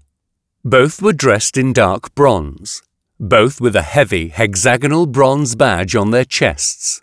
Roundhead, the one on the right called out, a muscular man with epicanthic folds to his eyes. Yes, Nave, the Roundhead said, turning from her experiments to regard him. Nave knew the Roundhead well, but he still felt a certain thrill of awe at being in her presence. She was wearing robes spun from the same super advanced bronze fabric that he was wearing, but hers seemed more impressive somehow. The hexagon motif that covered the fabric was more intricate. He could even swear the pattern was shifting and rearranging subtly. As always, she was also wearing her strange headgear, a semi-transparent dome of technology that covered her face down to her upper lip like a mask. It was this that gave her her name. Roundhead, the other figure, a regal woman with her hair in an afro, said, I have received an important message. Who from, Altea? the woman asked. From a former colleague of mine, Altea replied. His name is Brax, a fellow researcher into the secrets of the Drifters. And how is this important? I have talked with Xenia and her admiral. They tell me that the battle has been joined and you will be instrumental in winning it. Surely that is more important than any message from an old scientist friend could be. That's just the thing, Nave said. She's changed her mind. This Brax guy rings and suddenly she wants to leave Xenia and her fleet in the lurch. He's not just an old scientist friend, Altea said. He is the leader of research at Drifter Prime which is the largest trove of drifter technology in the galaxy that we know of. He told me something that makes me suspect the eye is opening. I guess that sounds kind of ominous, Nave said, and sure, we need to look into it. But we can't go now. We need to handle the first wave of reinforcements for Xenia. She and Admiral Chell are counting on us. What is the eye? Roundhead asked, ignoring Nave. The eye is a mechanism at the very heart of Drifter Prime. Altea said. Its purpose can only be guessed at, of course. But the texts that relate to it say that it is used to bring order to a galaxy, allowing it to be governed. The eye opening could be interpreted as this device, which, according to one translation at least, can be used to rule a galaxy, is coming online. The Empire cannot be allowed to control such a device, Roundhead said. But, Nave said, the rebellion is building momentum. We're about to try and take our 11th planet. How can we leave chasing vague prophecies right now? It isn't a prophecy, Altea said. Enough. You want to know if the rebellion needs you, Altea, Roundhead said. You want to know if we will survive without you. When you go to this Brex to see what the opening of the eye presages. Exactly, Altea nodded. We have not been able to decide what to do for ourselves. There have been differences of opinion. I say go. We have to survive without you, Roundhead said, as if stating a simple fact. But our spaceship, Galaxy Dog, Nave started to say. Roundhead interrupted, finishing his sentence for him. Is the most powerful artifact in this quadrant of space, perhaps the entire galaxy. Nave nodded, glad that Roundhead understood. It is a battle winner, and is all that has kept this rebellion from being snuffed out already on numerous occasions. It is needed in this battle. It is a battle winner. And who built the Galaxy Dog? Roundhead asked. The Drifters, Nave answered. It's more complicated than that, Altea said. I suspect it was spun from a design in the Drifter databanks by machines built by Drifters but it's new, dating from a time after the devolution of the drifters. The design is ancient, however, so it was designed by the drifters rather than built by them. I suspect the design predates the founding of the first Tarazet Star Empire by something approaching half a million years. Wild, huh? Nave said with a grin. And if Brex has found anything on Drifter Prime of comparable power, or if there is even a chance he might have, we cannot allow it to fall into the Empire's hands, Roundhead said, half turning back to her work, a subtle signal that the audience was coming to a close.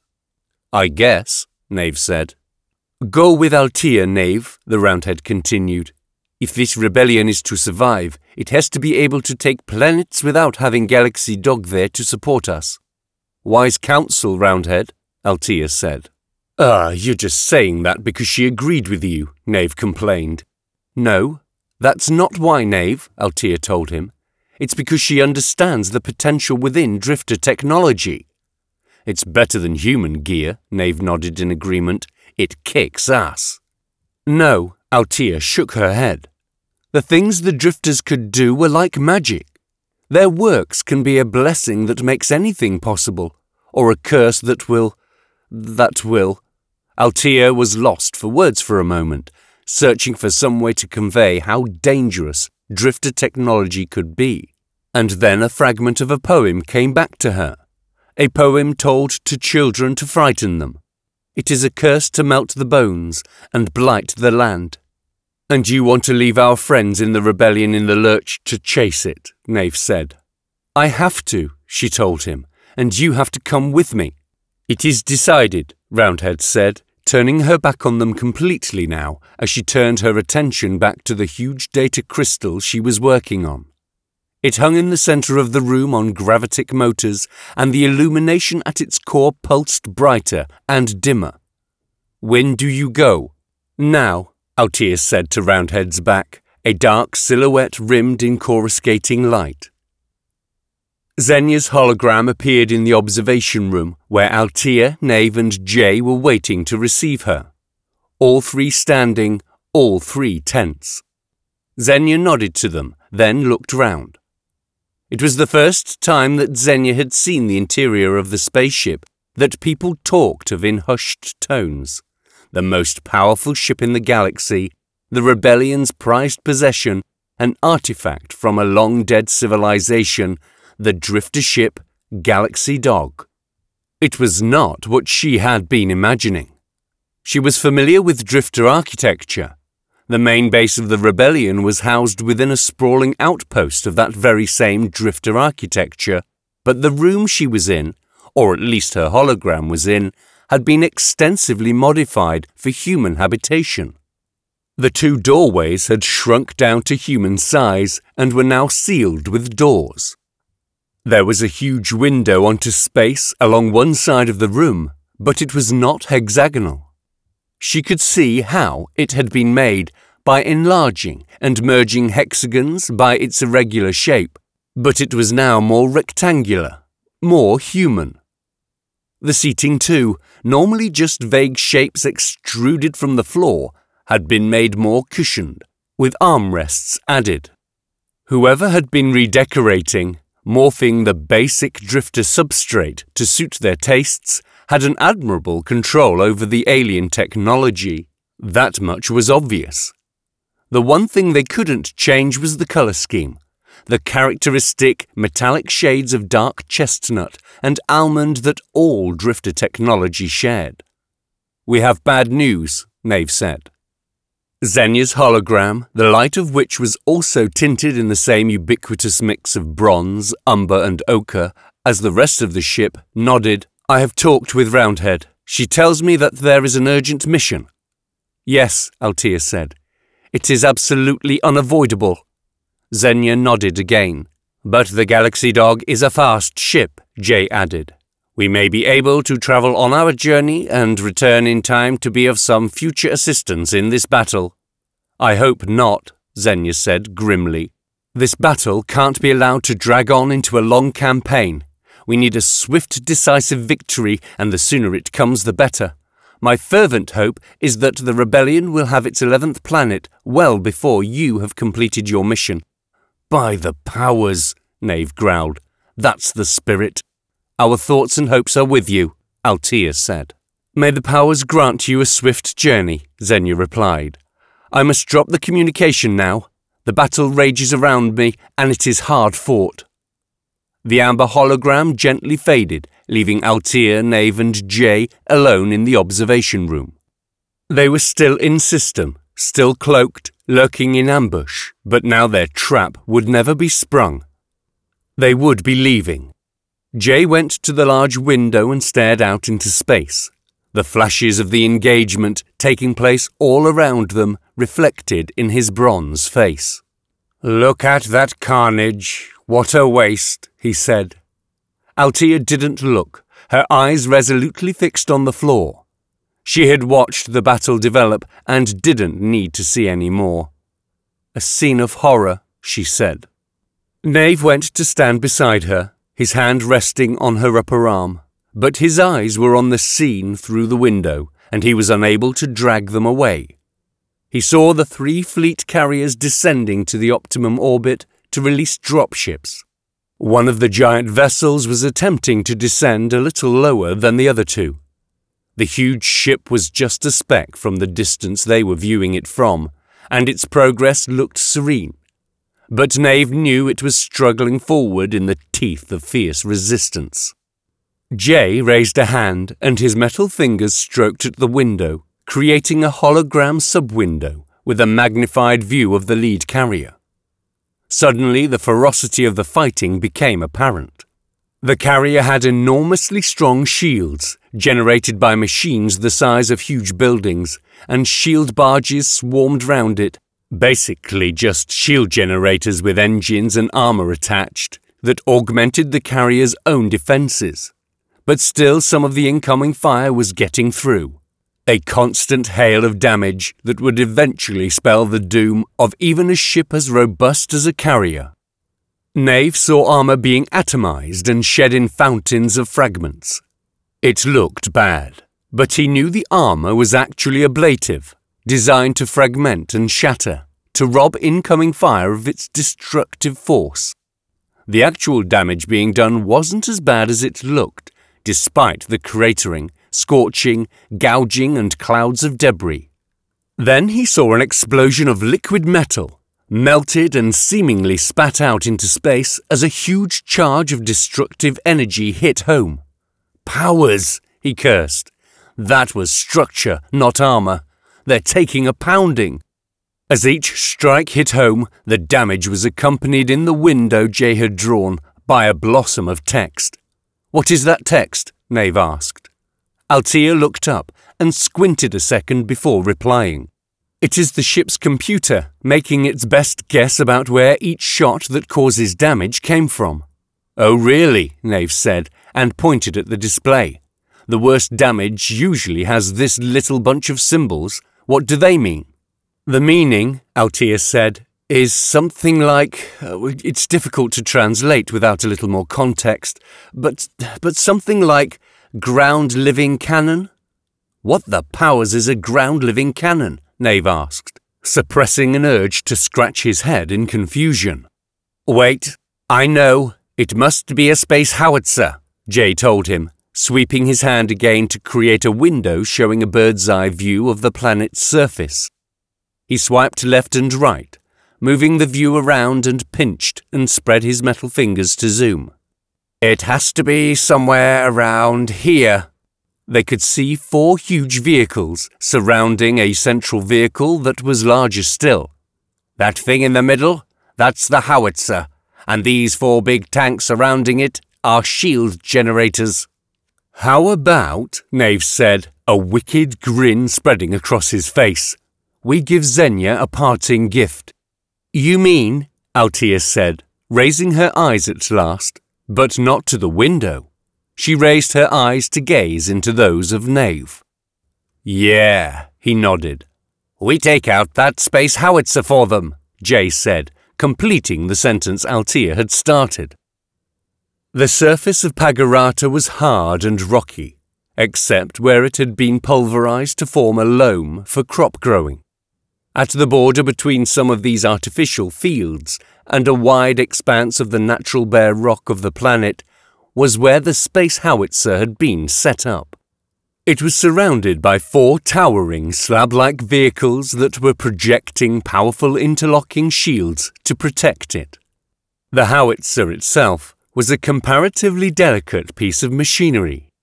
It was mounted in a grav chassis, with the gravitic switched off, leaving the structure resting in the bedrock below, as were the four shield projectors. In fact, the vehicles weren't just resting on the ground. The space howitzer was dug securely into the rock to give a very firm firing base, and it needed it. The central component of the central structure was the gun barrel, pointing directly up and supported by gargantuan struts and buttresses. Rounds were loaded in the bottom by a crew of very crude robots, drones with intelligences far below the threshold for AI, spread out into a daisy chain and commanded by a human operator sitting in a command jeep nearby. The drone furthest from the howitzer, a giant beast with mighty actuators, picked up a massive round, the size of a public transport maglev carriage, and passed it on to the next drone in line. The round was then passed from hand to hand, and the drone positioned at the base of the barrel slid it into place. The gun then fired, a huge chemical explosion that sent billowing clouds of gas and flame scooting out of vents arrayed at the base of the barrel. The round exploded upward and was caught by the magnetic coils of a Gauss gun accelerating the round to even faster speed. The round then left the barrel, with the sound like a sledgehammer being pounded against a sheet of steel. A huge laser mounted alongside the barrel then fired upwards, kicking even more energy into the round, boosting it upward at even faster speeds, until it exploded out of the atmosphere like an asteroid in reverse. The whole procedure took 20 seconds from start to finish and was a hypnotic display of raw destructive power. As the rounds were being fired upwards, the orbiting spaceships that were under attack were replying with flechettes dropped directly from space. The Earth round the space howitzer was scorched by the hot gases it belched out, but it was also covered in flechettes, sticking out of the ground like a forest of javelins, right up to the edge of the shields. And then the drifter ship appeared out of nowhere, already on a strafing run toward the howitzer. The ship just shimmered into existence, the shadow below it appearing a few seconds later. It came speeding through the air, as architectural as a spire, combined with the arch of a bridge, bronze and malevolent. Its main armament was a pair of energy cannon mounted in its chin, and they unleashed bolts of such force it almost seemed they ripped the atmosphere apart. Sheets of discharge were created, along with lightning balls and jagged spikes of ionized air and electricity, like a lightning storm unleashed from the nozzle of a fire hose. The four shields withstood the onslaught for a while, glowing with each hit. First, the shields glowed, But then one of the shield's generators started to glow, its heat sinks coloured an intense cherry red as it tried to deal with a load of damaging energy it was being asked to absorb and dissipate.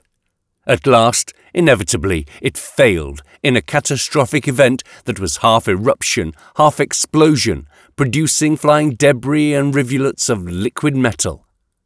Down to only three generators, inevitably, the other shields failed, and the massive, streaking bolts of energy tore into the delicate machinery of the unarmoured and now unshielded howitzer.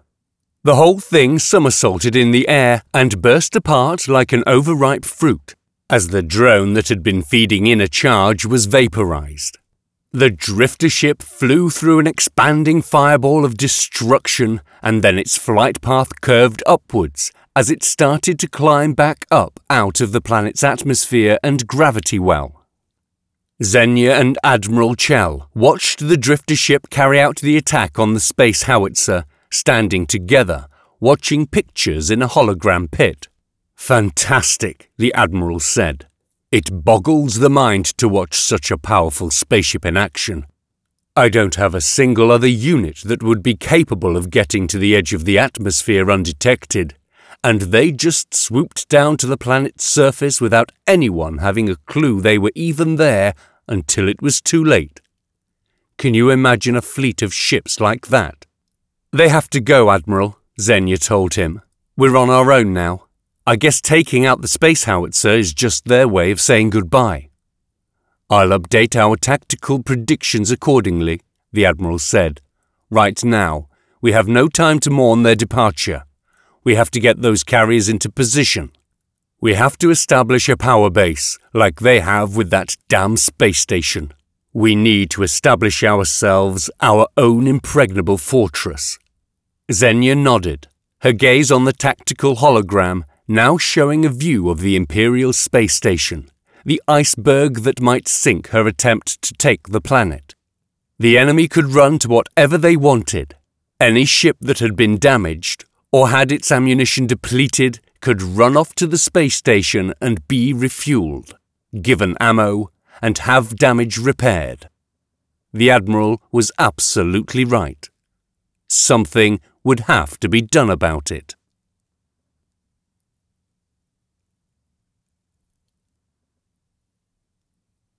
Chapter 5 Galaxy Dog was arriving in the Drifter system, and it never failed to take Altea's breath away. The most obvious feature, of course, was the light sail.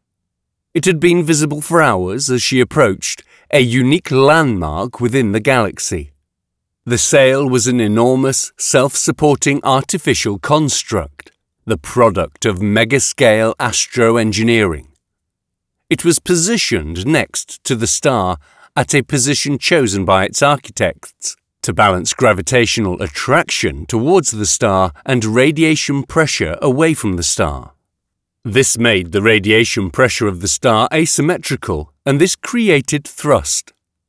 The star was essentially tethered to the sail, being pulled along on its own solar wind. The thrust and acceleration was very slight, but the star's fuel was enough for billions of years. Drifter Prime had been travelling for a very long time indeed. That wasn't all, though. There was an entirely artificial planet in orbit, which had been dragged along by its parent star, constructed to be carried through the galaxy forever, or even journey between galaxies. The entire artificial planet could be thought of as a kind of passenger compartment in a galactic scale vehicle, the Drifter system, but a passenger compartment that could carry billions of passengers. The planet filled the main view screen at the front of the darkened bridge, but her eyes were drawn from the view screen to her instruments. Nave was no scientist, so he just stared at the screen. He could see that the planet wasn't artificial in the sense of having a terraformed environment, which would be something that the Tarazet Star Empire was capable of. No, it was a medium-sized planet that was entirely made of metal, something the Empire definitely was not capable of. That thing is... Nave paused, struggling to find a word that adequately encompassed what he was seeing. Big. He looked over at Altea for confirmation, and she looked up from her instruments and raised a disapproving eyebrow. What have I told you about stating the obvious? She chided. Nave smiled disarmingly at her, his eyes wrinkling in just that way he knew always worked. The problem is, he said, it isn't always obvious what is obvious and what isn't obvious, at least not to me.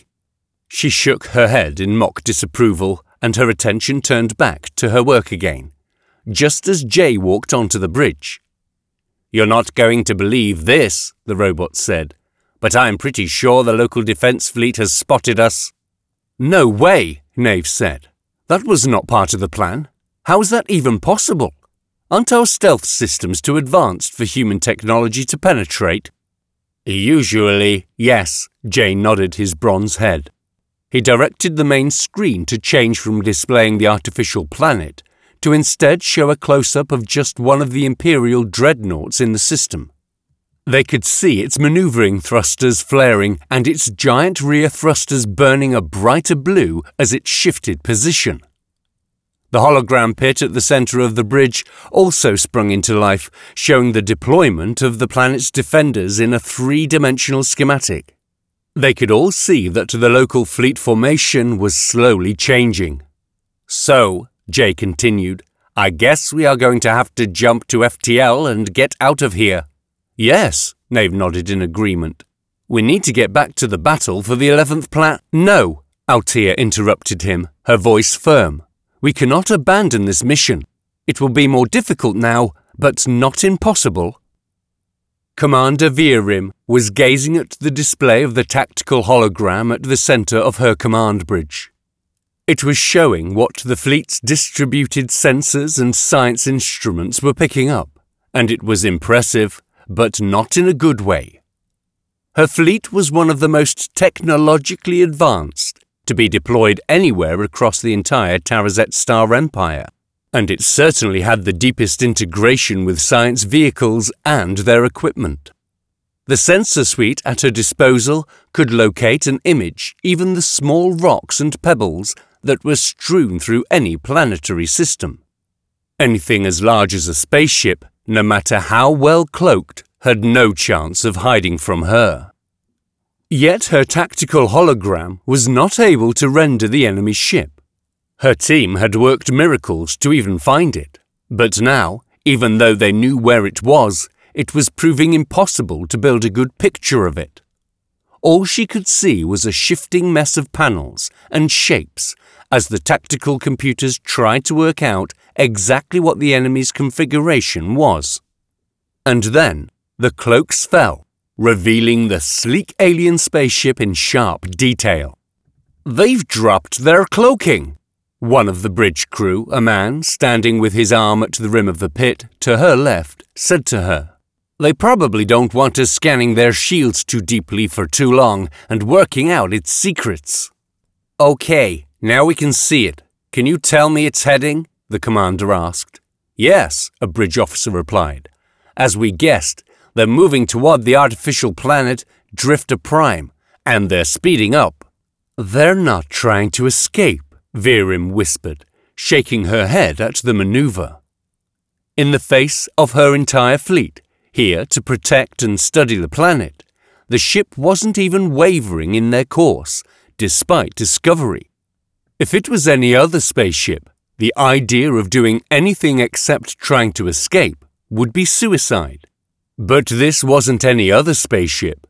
It was the Drifter ship, a hideously powerful artifact that had been unearthed by the Tarazet star system's most gifted scientist before she went rogue. It is magnificent and fearsome, her second in command said, echoing her own thoughts. There are precious few ships that can stand against it. Both human and buzzer fleets have tried to capture it, tried and failed. We are no ordinary system defense fleet, Virim reminded the woman. We have studied the drifter ship. We can take it. Imagine what a prize that would be for the new emperor or empress. Position the capture ships and open up with the big guns, Virim bellowed, then added more softly, What I wouldn't give for a swift destroyer or two. Jay groaned in annoyance, laced with fear.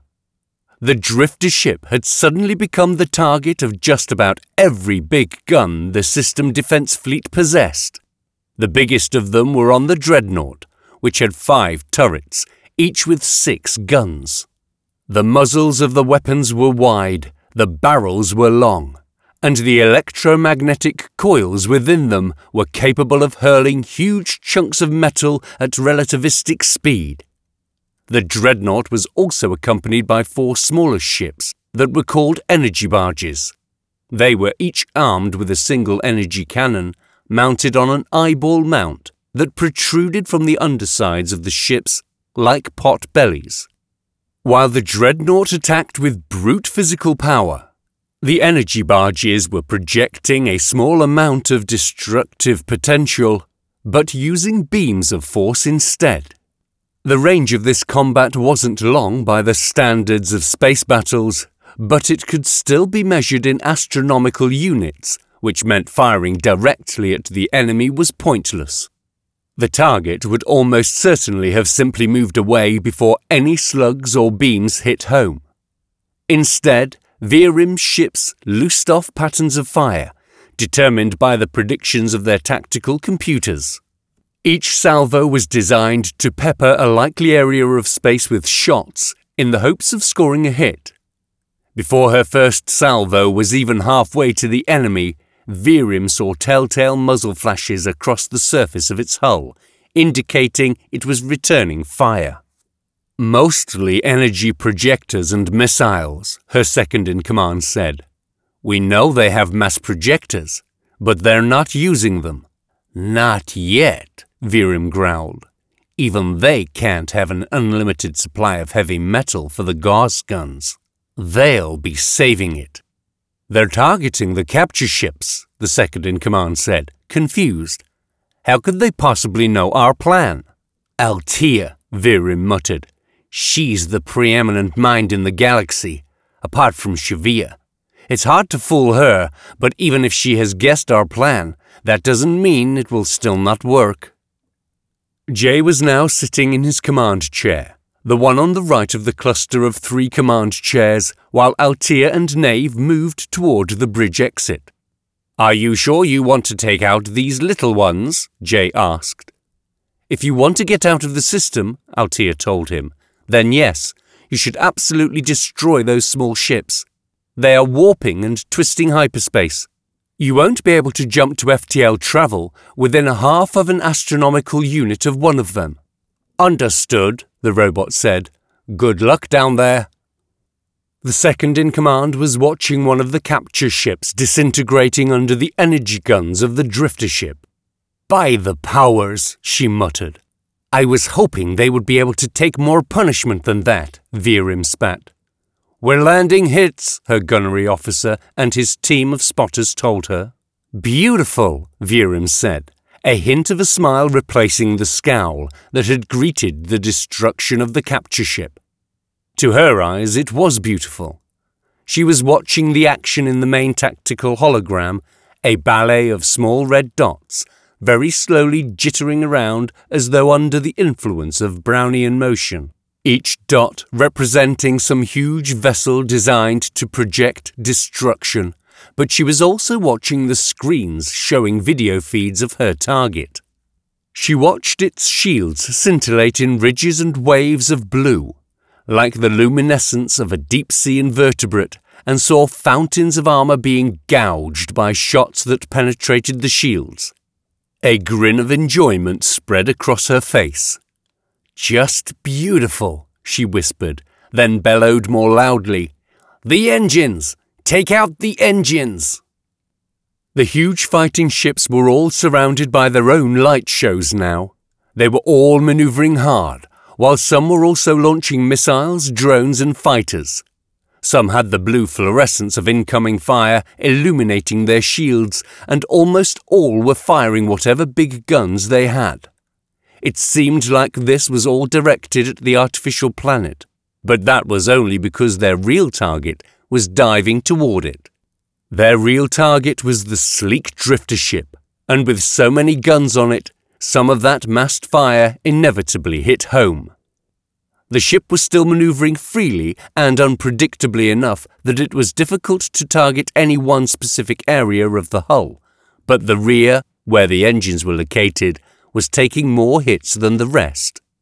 Redenta, the captain of the nearest warship to the drifter ship, a frigate named Eternal, had an excellent view of the incoming fire and the damage being caused to the alien spaceship racing in front of him.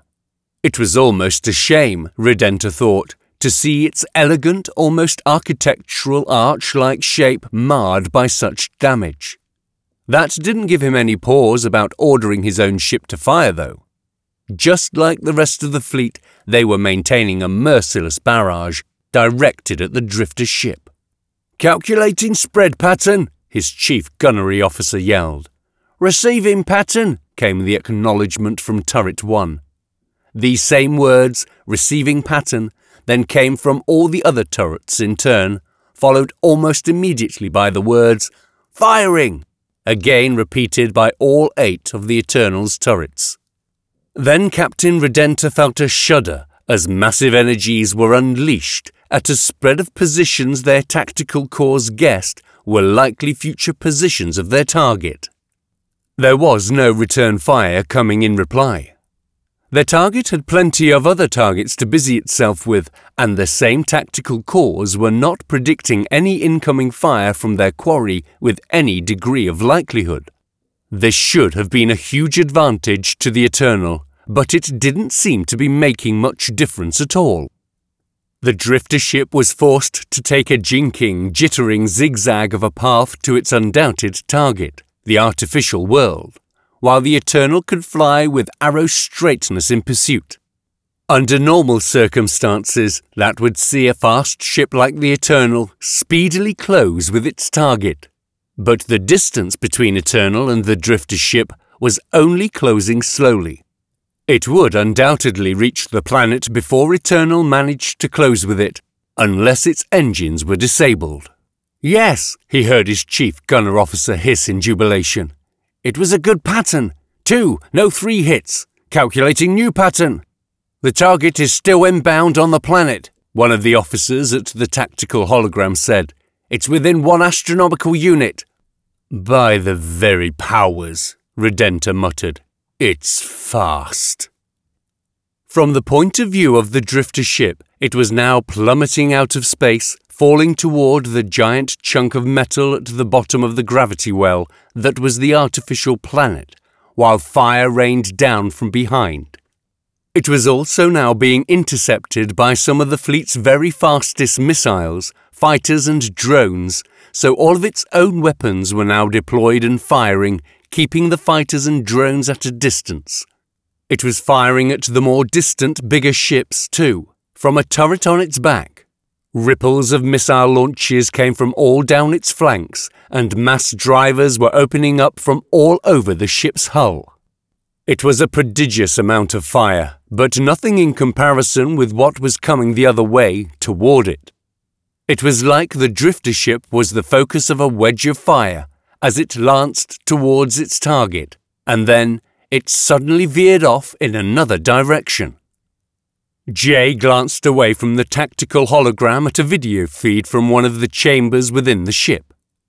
It was the chamber that held one of the pieces of technology, just one of them, that set the drifter ship apart from every other ship currently operational across the whole of human space. It was the teleportation chamber, a technology no one else had. Jay saw that both Nave and Altea had ascended the teleportation platform. He saw that Altea was reaching out and touching Nave's chest just where he wore his armor badge, a little ritual they had just before teleportation. And then they were gone, the room suddenly empty. Good luck, Jay hissed. We're all going to need it. Captain Redenta gripped the arms of his command chair and stared at the sudden change in the tactical hologram. What's it doing? he yelled. It's abandoned its run on the planet, his tactical analyst said as she squinted into the depths of the giant hologram that displayed the position of every unit in the fleet, along with their single solitary prey. They must have decided to disengage. Chase them, Redenta barked. Changing course now, the helm officer yelled in confirmation. Admiral Veerim watched the drifter ship cut and run from the bridge of her flagship, and she muttered a curse under her breath. While the drifter ship had been heading for the planet, they had had precious time to degrade its shields and armour, and then hopefully take out its engines. If they were running, there wouldn't be much time left at all. Can we block their path? Veerim asked. Negative, her second-in-command said, with an emphatic shake of the head. They're heading for the patch of sky with the least density of our units. We won't be able to generate a field sufficient to prevent their jump to light speed, they will be gone in seconds. Let's make those seconds count, the Admiral said. They'll have to fly straighter to build momentum for a faster than light jump. Our guns will have less trouble hitting them. Jay felt the difference in the incoming fire as soon as he had laid in a relatively straight course to build up speed for the jump. He felt the bridge start to buck and heave below him as he glanced at a hologram of the drifter ship to his left that showed the damage being done to them. He could see it rapidly deteriorating as shot after shot penetrated the shields and cratered the hull. He was taking a terrible pounding, and there was a brace of missiles on his tail, closing on him. He knew they would just disappear as soon as they had made the jump. Missiles with FTL engines were extremely rare, though not unheard of, and these were definitely not of that type. All he had to do was make the jump, and suddenly the sky would be clear. It would be a little rearranged by the relativistic speeds they would be travelling, but it would be clear. He said a silent prayer that the drifter ship would hold together long enough. Veerim watched a magnified view of the space around the drifter ship, and things were getting busy. The drifter ship now had to cross the lines of her fleet, allowing her ships, despite being slower than the drifter ship, a chance to intercept. The drifter ship still had its nose ahead, but it was rapidly being surrounded by spaceships coming to intercept from all angles. Many of them were small, fast designs, unlikely on their own to be able to trouble the drifter ship, but one was bigger, with more powerful guns, the Eternal. The Eternal's rear thrusters were shining like stars and were surrounded by cherry red heat vanes, trying to dump huge amounts of heat into the unfeeling fabrica's space. There were more heat vanes mounted on the gun turrets, and they too were glowing, so brightly that they were dimly reflected in the scuffed armour of the Eternal. Its guns were firing constantly, zeroing in on the drifter ship as missiles started to strike home through the defences of the shields and the fire of the small mass drivers shooting them down. The Eternal's main turret was now scoring hit after hit, all concentrated on the drifter ship's aft, near the engines. Yes, yes, Veerim hissed. Then the drifter ship was gone. The missiles that had been about to impact were left without a target, and the energy beams from Eternal's main guns streaked into the dark. Veerim recoiled from the tactical hologram as if it had burned her and took a step back. She'd almost believed that they had a chance to stop the drifter ship, to capture it. Should we pursue? one of her deck officers asked. Yes, but just one ship, the Admiral answered. This system is not an area that can be left undefended. Send the Eternal.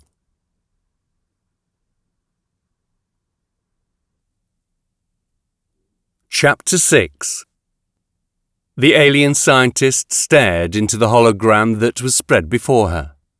Her face was a blank mask of metal with two deep sensor pits for eyes.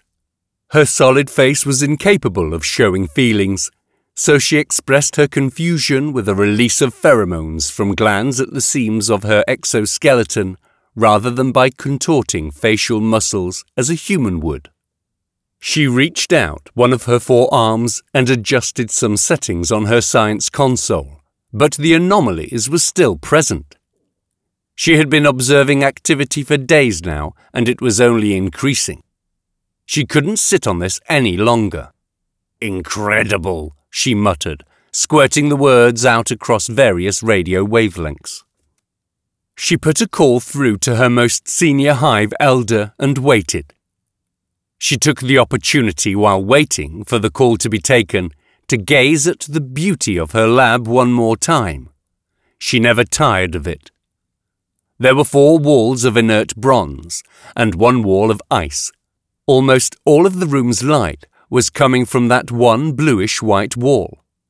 It was very dim light, but she had adjusted her optical sensors to compensate. Anything above complete darkness was all she needed. At last, the call she had placed was taken, and she was joined in her chamber by another creature just like her, except it was smaller and there were data input and output nodes studded across its hide. It was a hologram, and so it glowed slightly in the darkness of the room, and there was no shadow on the ground below it, where it stood on its four chitinous legs. Project Leader, the hologram said. The High Elder cannot take this call at the mo. Tell him the eye is opening, the scientist interrupted. Tell him that what I have been predicting is starting to happen. What is the eye? Again, the scientist didn't allow the other of her kind to finish its sentence. Tell him what I have said. He will know what it means. She dismissed the connection. She had no time to waste swapping pleasantries with holographic communication technicians. The ground beneath her shook slightly, and a couple of pebble sized fragments came away from the ice wall. Intolerable, the scientist muttered to herself. She opened another communication link, and this time she was gratified to see it answered immediately by the creature she wanted to talk to.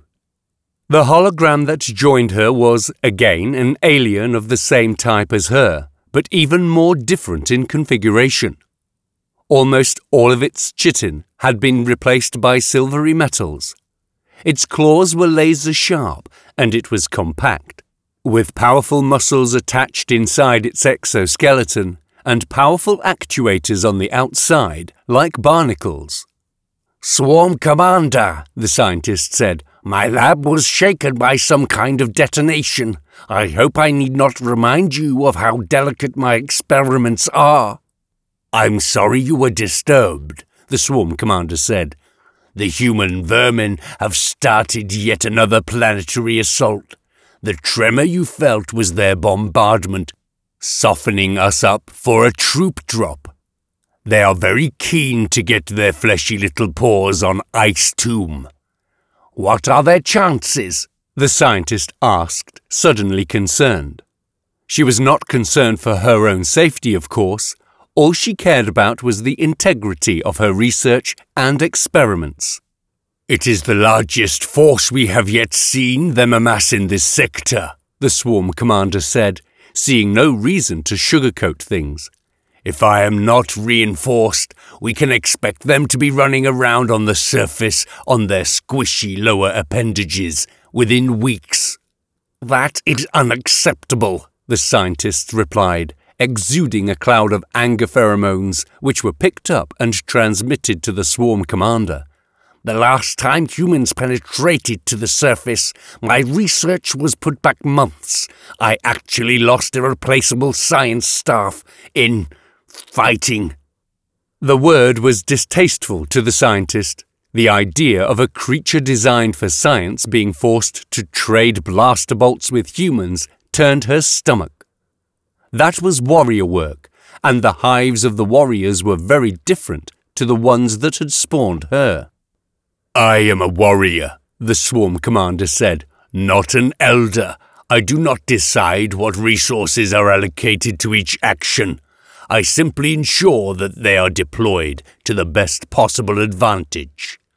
I can only bring victory if I'm given sufficient units. I understand, the scientist said. The swarm commander was right.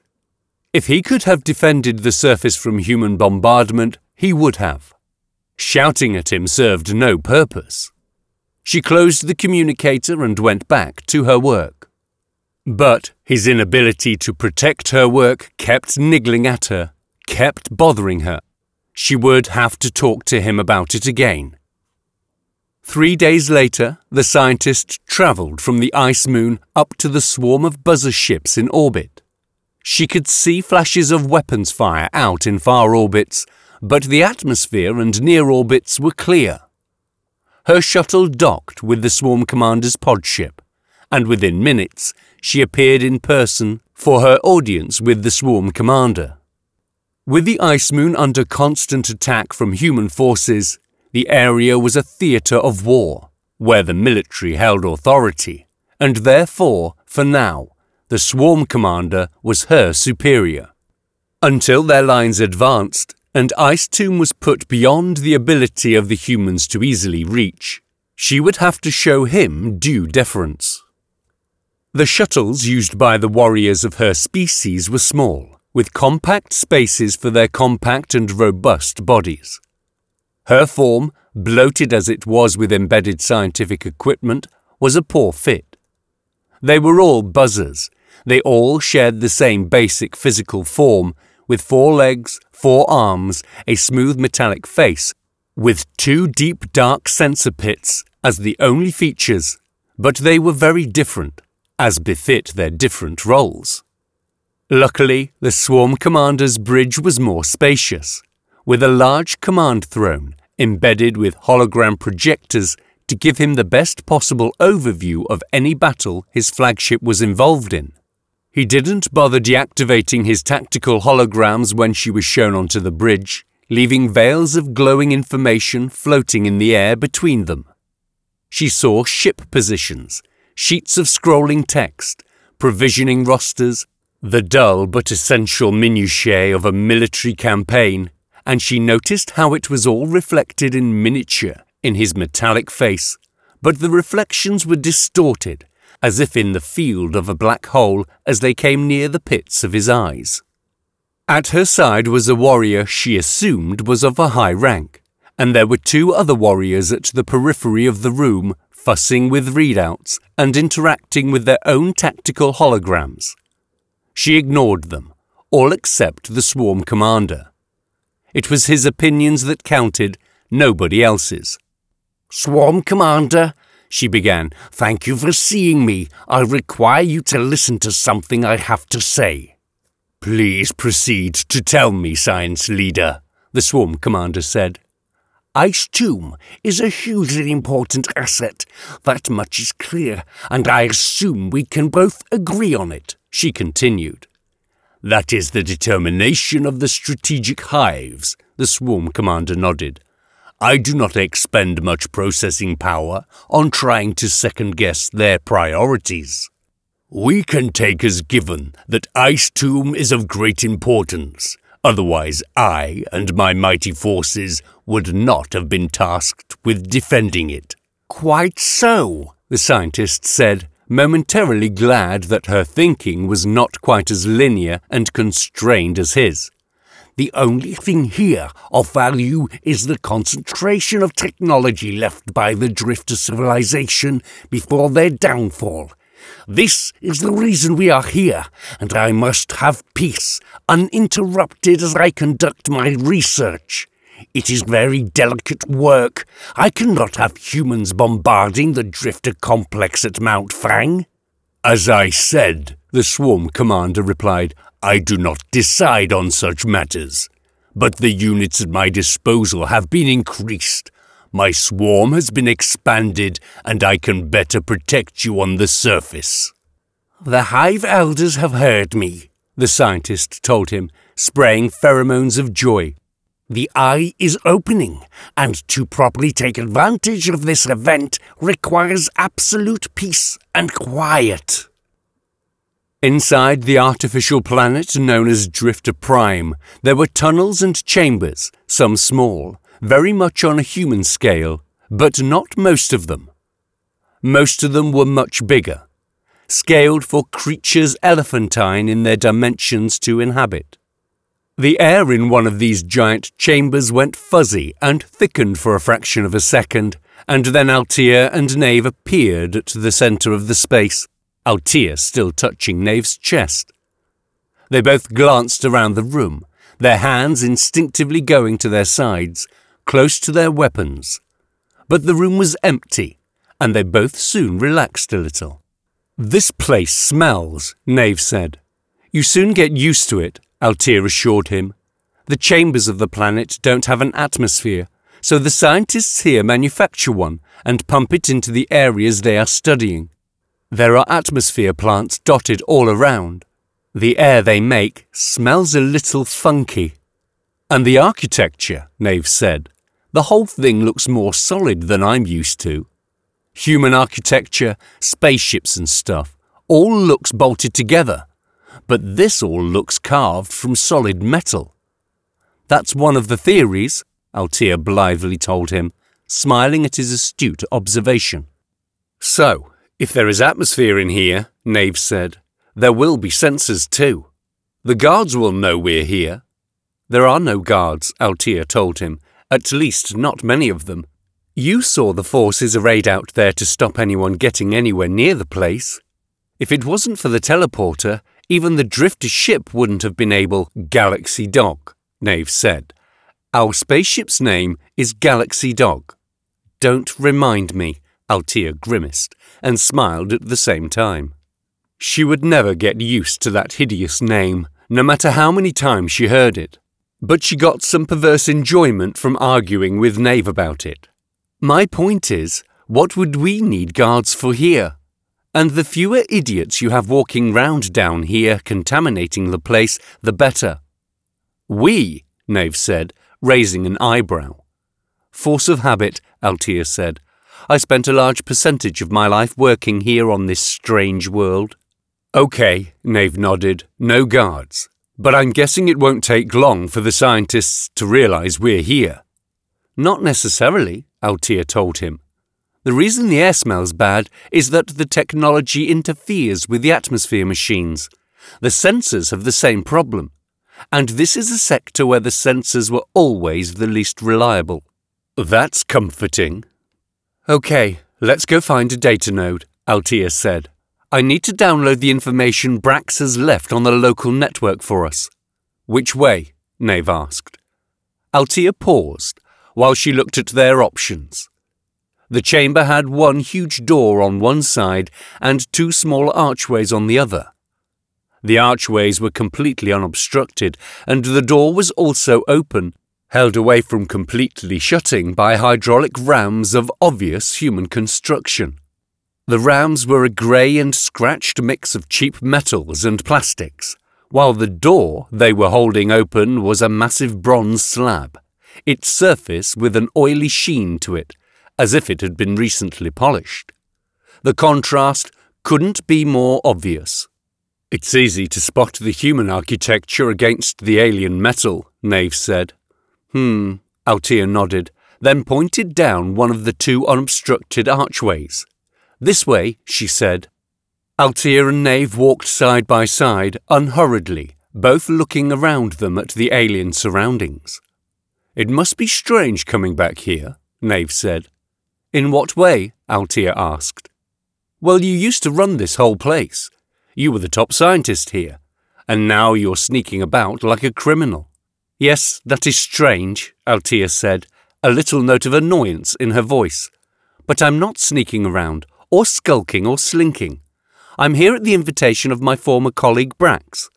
Brax is a first class mind, but he is not the authority on drifter technology that I am.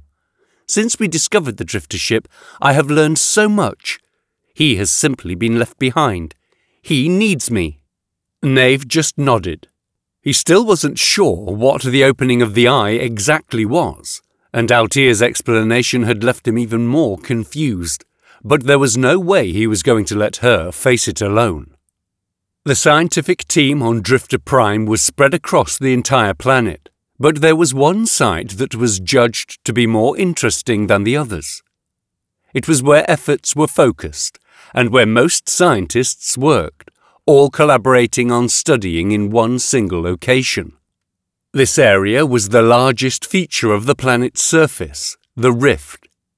It was a kind of canyon that was cut two kilometers deep into the planet's mechanical crust. Attached to one side was a complex of buildings, the grey of the human architecture standing out against the bronze of the drifter architecture. From a distance, the human buildings looked like nothing more than grey fungus on the face of a bronze sculpture. Altea had made sure they teleported to a nearby location, and she knew that they were now about to emerge into the rift, close enough to the encrustation of human structures to be able to see it from a distance. She was looking forward to seeing that structure again, where she had spent so much time. But then she suddenly stopped walking forward, a confused expression on her face. Did you see that? she asked, Nave walked a few steps before noticing she was no longer beside him. Then he too stopped, and he looked round. Did I see what? The shadows, Altea said. They shifted. Nave pulled a block of metal from his pocket that immediately transformed into a pistol shape and sank snugly into his palm. He glanced apprehensively all around. He wasn't sure what she meant by shifting shadows, but he knew he didn't like the sound of it. He saw shadows, plenty of them. The corridor they were walking along was as big as the arched interior of a cathedral, and the walls were an intricate interplay of supports with hexagonal buttresses reaching up into the darkness above. Even the floor wasn't entirely regular, with columns of machinery protruding from it sometimes tall enough to join the ceiling. Most of the light was coming from some small fittings of obviously human design that were attached here and there to wall and ceiling, but some was coming from a diffuse mist of very slightly luminous gas. It was a confused and fractured environment where Nave saw a lot of shadow and where the weak illumination didn't reach very far, but none of the shadows he could see were shifting. Where? he asked. Over there, Altea said, pointing to a column that protruded from the floor just a little way behind them. Nave took a couple of steps until he was standing beside Altea, and he stared at the column she had indicated. It gave him the vague impression of a tree or a cactus. Metallic roots spread out from its base in a fan, and long thin panels extended up from its sloped upper surfaces a few yards into the air above Nave's head. What is that thing? Nave asked. A scratching post for big alien monsters. Altea laughed a couple of snorts at the idea, then fell silent and stared at the object. In our research, we call them freestanding integrated units of type Y54. Altea said, pensively. We have no idea what their purpose is, beyond some wild conjecture. To be honest, your idea of a monster scratching post is no less likely than any of the ideas we scientists have come up with. I guess I was just being, what did you call it? Facetious, Altea told him. But that's not my point. Your offhand joke has as much merit as any hypothesis that a team of the best scientists of the Tarazet Star Empire developed. We know so little about this object. Nave nodded, but he didn't take his eye off the cactus column, and he still had his gun in his hand. I didn't see any shifting shadows, Nave said. I still don't. No, and there's no way I could have either, Altea told him, a little perplexed. This whole damn planet is dead. It's an inert mass. But you saw something. A trick of the light, Altea said. Nothing more. What about the opening of the eye? Nave asked. That may be causing small-scale realignments of subsystems, yes, Altea nodded. OK, Nave said, finally returning his gun to a pocket at his side, where it transformed back to a small block of metal.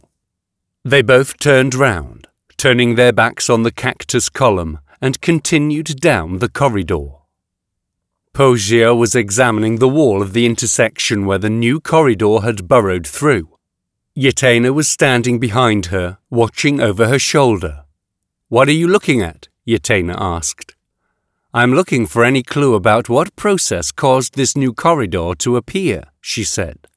I mean, it obviously wasn't created at the same time as the planet itself. I don't know, Yatena said. How do you even build a planet anyway?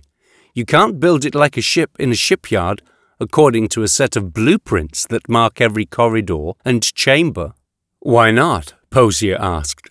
I know it's far more likely that this planet has grown somehow. The different layers of its structure seem to point to that, but it's not impossible that it was simply assembled from prefabricated parts in a really big shipyard. That's nuts, Yatena snorted. This is a planet. How big would that make the shipyard? The size of a sun would be my guess, Posier replied, not looking round from her observations. We don't know a lot about the drifters, but I doubt even they had the technology to create a structure the size of a sun. It would collapse under its own weight. There are some limits to what can be done, you know. Like the speed of light, Posier said, finally turning, just so that Yatena could see her mocking grin. Of course, the speed of light had been surpassed using FTL engines many millennia ago, but it was still the famous example scientists used to mock a superstitious fear of progress. Anyway, Posier said, turning back to her work, however this structure came about, it would be very interesting to understand how and why it has altered itself to create this new corridor. I want to know what process was used, and why we didn't detect it, Yatena added. Exactly, Posier nodded. I think we're going to need more measuring equipment. I'll go back to base and get us a deep scanner and a proper holographic display, Yatena offered. Great. And a surface scraper, Posier said, distracted again. Oh, and an analysis console. Yatena went over to the small transport, and it was only as she was getting in that she saw the two figures in grey uniforms and distinctive headgear simply standing there, watching. You can come with me, she yelled over to the man. You can help me carry the stuff. Nave and Altea were now out in the rift, approaching a structure that had obviously been created by humans and grafted to the underlying drifter structure. A science subbase, Altea told Nave. A glorified storage area and a place to spend the night if you can't make it back to your home science station. It's probable that there are no staff present. OK, Nave nodded, absorbing the information as he took a good look at the building. Do they have soup? I could really go for soup right now. Have you been listening to what I've been saying, Nave? Altea turned her head to glare at him. Sure, of course I have, Nave replied, with what he hoped was a disarming smile. But, specifically, what exactly is it you're talking about? I'm talking about why we're here. Yeah, I know that. Your old friend Brax needs help. It's not just that, Altea growled. It is what he said when he contacted us. He said the eye was opening, a structure the size of a continent, and it is starting to initiate its operations. I swear you didn't tell me that part, Nave said, a little hurt. You didn't tell me how big it was. I would have remembered that if you told me. I told you, Altea hissed. Nave, whatever is happening here, the stakes are impossibly high. This planet is made of the same stuff as Galaxy Dog. Hey, you said its name. Nave couldn't help grinning. Galaxy Dog. It's the same stuff as the drifter ship, Altea corrected herself, and the only reason the drifter ship is a weapon that can shift the balance of power across the galaxy while this entire planet is just an archaeological site is that the metal of Galaxy Dog, gah, the drifter ship, is alive while the metal of this place is dead. I get that, Nave nodded, starting to see the enormity of the situation. If the Eye, an enormous area of super advanced alien technology, comes alive, Altea carried on, and the Emperor or Empress learns how to control it, then all bets are off. We may as well shut down the rebellion and pay our own tickets to go to work in the iridium mines, because that will be it. Over. Done. The two stared at each other for a second, and Altea took a step toward Nave. Now, she said, after I have once again explained all that, do you still want to delay our mission and break into the first human structure we come across just so you can look for soup? Nave didn't answer straight away. He stared intently at Altea, trying to work out just exactly how angry she was with him. I really do fancy some soup, he said. I'll make it, if we find some. It didn't take Altea long to break into the building, which was surprisingly large, with various rooms, a garage for small vehicles, and a storage area for samples and science equipment. Nave went straight to the kitchen, guided by some unerring instinct, and found a supply of food. Bingo, he declared, as he pulled out a couple of cups of self-heating soup. They both sat at the kitchen table and stared poking at their soup with plastic spoons until all the dry bits had softened up and everything was liquid enough to eat. Looks delicious, Altea said, obvious sarcasm in her voice as she gave the soup, which had been a freeze-dried block until moments before, a suspicious look. It is, Nave told her, choosing to ignore the sarcasm as he ate. He chewed pensively at the croutons for a moment, then said, I'm surprised we haven't met anyone yet. It's not surprising, really, Altea told him. Like I told you, there are only a few thousand scientists down here on the planet. You rarely run into anyone by accident. Okay, Nave said, blowing on another scalding spoonful of the broth. So if it's so difficult to run into people down here on the planet, how are you planning to find Brax? He will be at the eye, she said, which is located at the bottom of this rift. She hesitated a moment, tried some of the soup, and grimaced. But I must hack into the local system now and find any data Brax has left for me. That will contain his exact position, and hopefully a lot more besides. So finish your soup, Nave. Sounds like a good idea, Nave said. But can you do that without giving us away? Don't worry, Altea told him. I know the security systems on this planet like the back of my hand.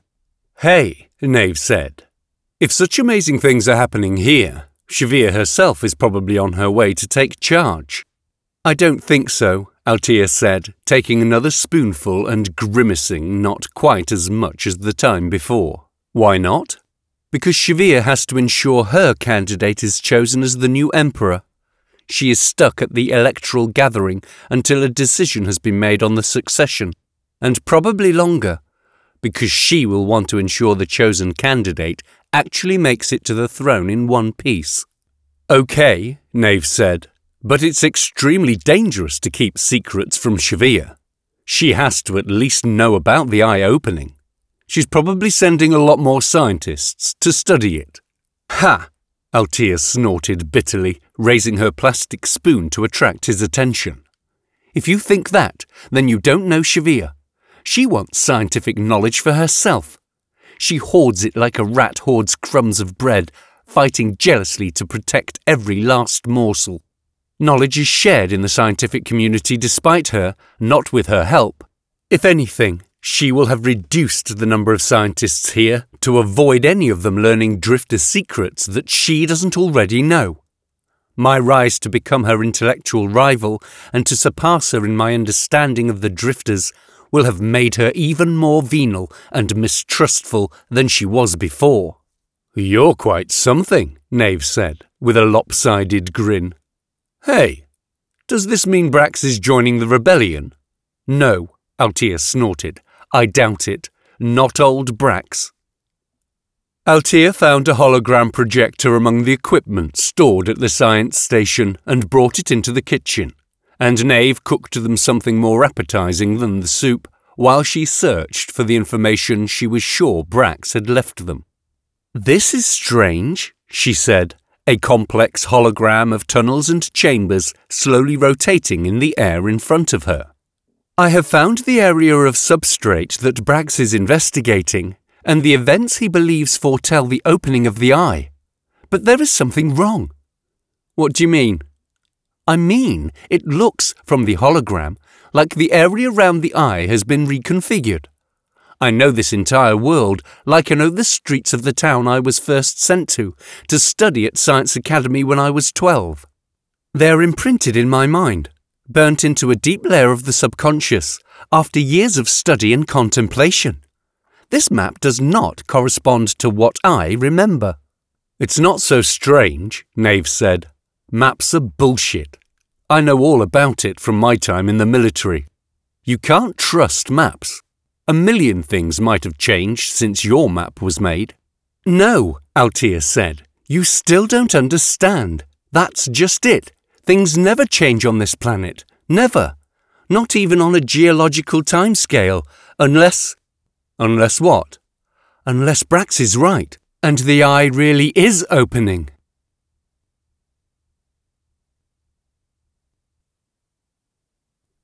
Chapter 7 Posier lifted the communicator to her lips and yelled into it, her eyes wide, her voice high and terrified.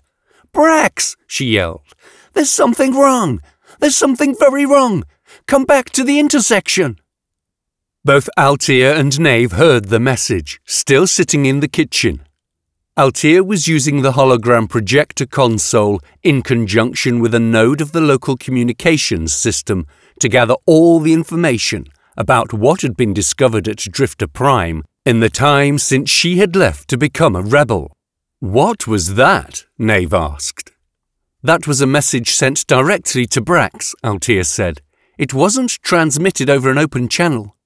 Only Brax will have heard it, apart from any skilled hackers who have infiltrated this site and are listening in. You mean us, Nave said. We heard it too. Exactly but only because I happened to be hacked into the system. Otherwise, we wouldn't have heard it either. That woman sounded terrified, Nave said. Yes, Altea nodded, like some experiment had gone badly wrong. No, Nave said grimly. It was worse than that. I've only ever heard people screaming like that during combat. Nobody's in combat on this planet, Altea said dismissively, and scientists can become very involved in their work.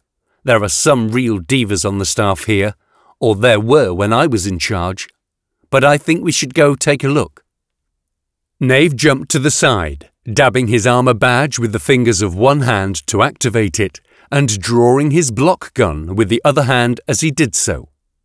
In response to his touch of the badge, armor panels spread instantaneously to cover his body. There were other effects, too. The armour was an item of drifter manufacture with many properties that seemed magical from the primitive perspective of the Tarazet Star Empire. It could fold out to produce a giant suit of power armour or fold up to be no bigger than a badge worn on the chest.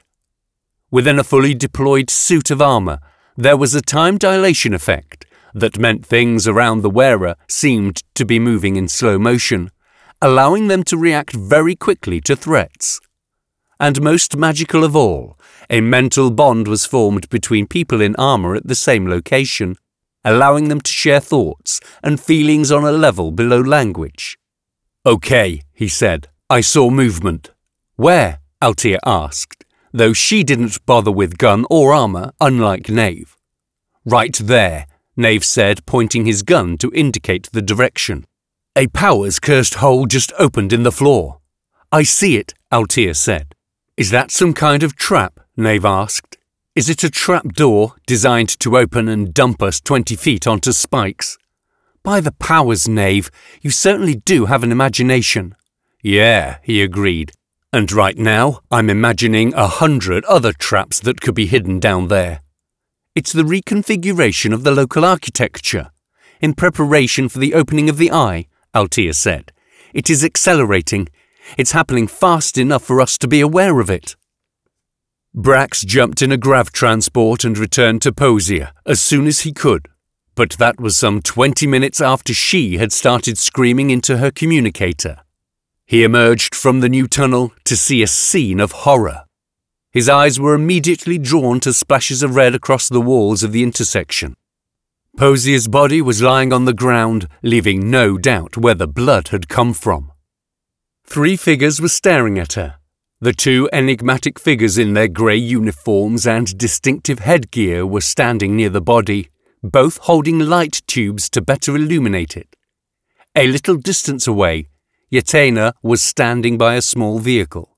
Yatena, Brax called, making her scream and drop the communicator. It's you, Brax, she said when she recognized him in the dim light. Thank the powers you're here. What happened here? Brax asked, coming to stand beside Yatena. I don't know, she said, voice distraught. Posier is dead. How did it happen? Brax asked. Neither of the two figures in grey had bothered to look round at the sound of his voice, not the man nor the woman. I was away, Yatena said, getting some equipment.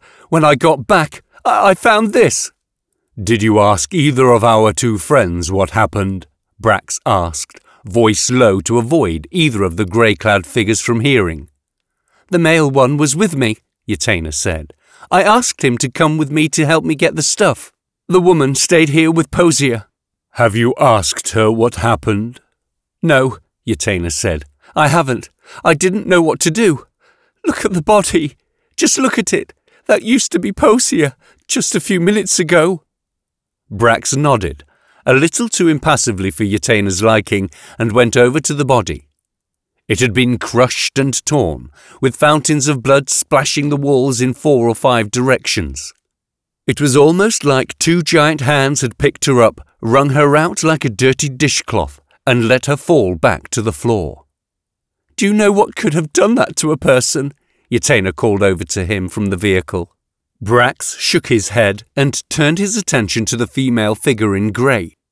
She was illuminated by a light stick she was holding, and her attention was on Posier. Posier's blood was splashed across her grey uniform. It was hard to see the crimson blood against her charcoal grey uniform in the dark, but the few drops that had spattered the woman's face were impossible not to see. Hey, Brax said, attracting the woman's attention.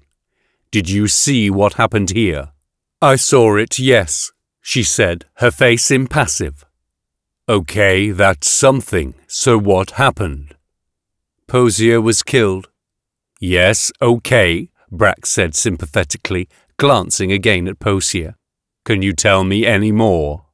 No, the emotionless woman in grey said. I do not understand what I saw, or the reasons for it. It is a mystery to me. The alien scientist looked up from her work, the two dark sensor pits in her smooth, skull-like face pointing in the direction she had detected a disturbance. It was right on the edge of the threshold that her senses were able to detect. She was tempted to ignore it as a false positive, very tempted. She had her visual senses turned up to maximum, and artifacts emerging from nowhere were not uncommon. It was simple feedback from sensor systems pushed to the limits and could usually be safely ignored. Ordinarily, the scientist would have paid it no heed, but today was different. Something very localized was happening among the systems of the Drifter architecture on Ice Tomb. The systems were long dead, of course, completely inert, and yet she saw, or thought she saw, realignments. She stared in the direction she thought she had seen something.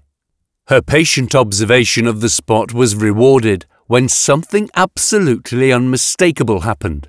Something that could not be attributed to a sensor overreacting to a little feedback. A hole was opening in the wall in front of her. There had been no doorway, just blank wall, but now an aperture a few inches across had opened, and it continued to enlarge. The scientist switched on all the sensing and recording systems installed within her enlarged and extended exoskeleton. She also exuded a scream of pheromones, an inchoate wail of silent excitement transmitted through the sense of smell. Communication systems embedded within the room's scientific apparatus picked up the chemicals and transmitted them around the base. They were so intense that they were assigned a high importance and also transmitted up to the swarm commander in orbit. In response, three of her most senior fellow scientists came skittering into the room, in time to see that the aperture now filled the entire wall. It was large enough for two of her kind to walk along side by side. What is this? asked the scientist who was immediately her junior. He was a gifted and insightful researcher, but his mentality was lesser than hers. It's a corridor, the scientist told him. It is new, her junior said. Yes, the alien scientist said. I told you the eye was opening, and here is the first sign of it. It is a momentous occasion. We must investigate, the youngest and most junior of them said. We must venture down this new corridor and find the meaning of this translation. We need to know what it means when the eye opens. Not we, the scientist said to her underlings. I. I will investigate this corridor. The glory of the discoveries to be found within shall forever be associated with my hive. The others nodded in agreement. It was how things were done. There is an incoming message, said the most junior of them, a good scientist, but not one touched by her genius. Put it through, she instructed and suddenly they were joined by the glowing hologram of another alien of their type. Swarm Commander, the scientist said, a new area has been discovered within this complex. It must be explored, and I will require a large and capable escort of warriors to ensure my safety. Of course, the Swarm Commander told her. How many warriors will you need? The scientist looked to the new opening and the corridor leading down into the bowels of the planet, then back at the swarm commander. I will require ten of your finest warriors, she said, for a start. Altea and Nave emerged into an open space, the location Altea had determined the message to have come from, to be greeted by the same scene of horror that had greeted Brax. Four figures were standing around the mutilated corpse of one of their colleagues. Brax, Altea called, causing all four to spin round. Oh, Altea, both Brax and Yatena called back in surprise. Then Nave saw Yatena reach for something in her jacket. On instinct, he went for his own pocket and pulled out his block gun, the block of inert looking metal, transforming into a gun as he raised it to cover Yatena.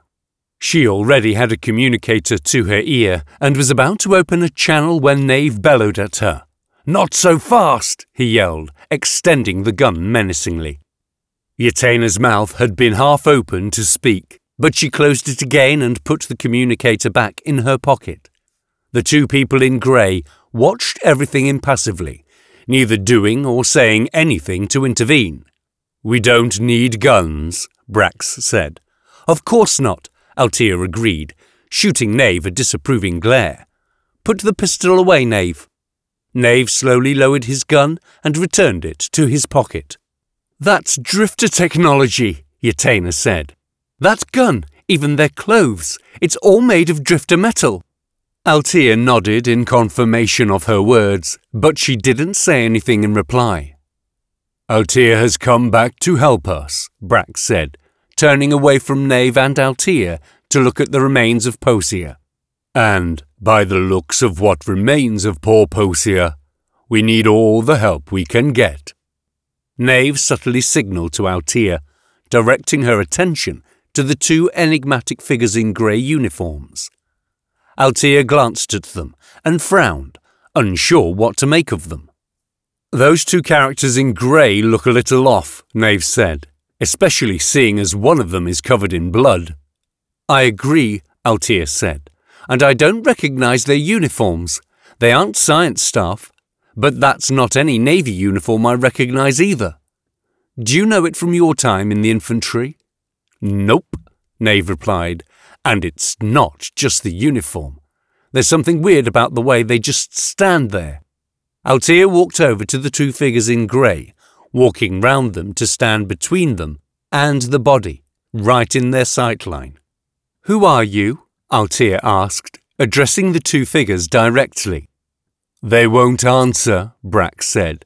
Not unless we add you to their approved operator list. Their what? Altea said. Are they androids? Nave asked. No, Brax replied. They are most definitely not androids. I am an android. They're monsters, is what they are, Yatena said. The living dead, creatures of nightmare. Now, Yatena, Brax remonstrated, we are scientists after all.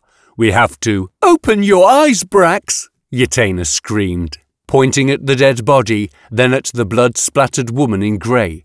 Look at this, and look at her! She ripped Posier limb from, powers be cursed, limb. We don't know that, Brax said. Ask her, Yatena said. Just ask her. I have. You heard me. She doesn't remember. Brax started to say, but Yatena had already turned her attention away from him again. She took a step toward the female in grey, her eyes intense. Look at me, she barked. What happened here? Tell me! I do not have the words to describe the occurrence definitively. I am unsure. What killed her? Yatena asked, voice harsh, threatening. You know! Tell us! I don't know. That's bullshit! Yatena screamed. Maybe you're asking the wrong questions, Nave said.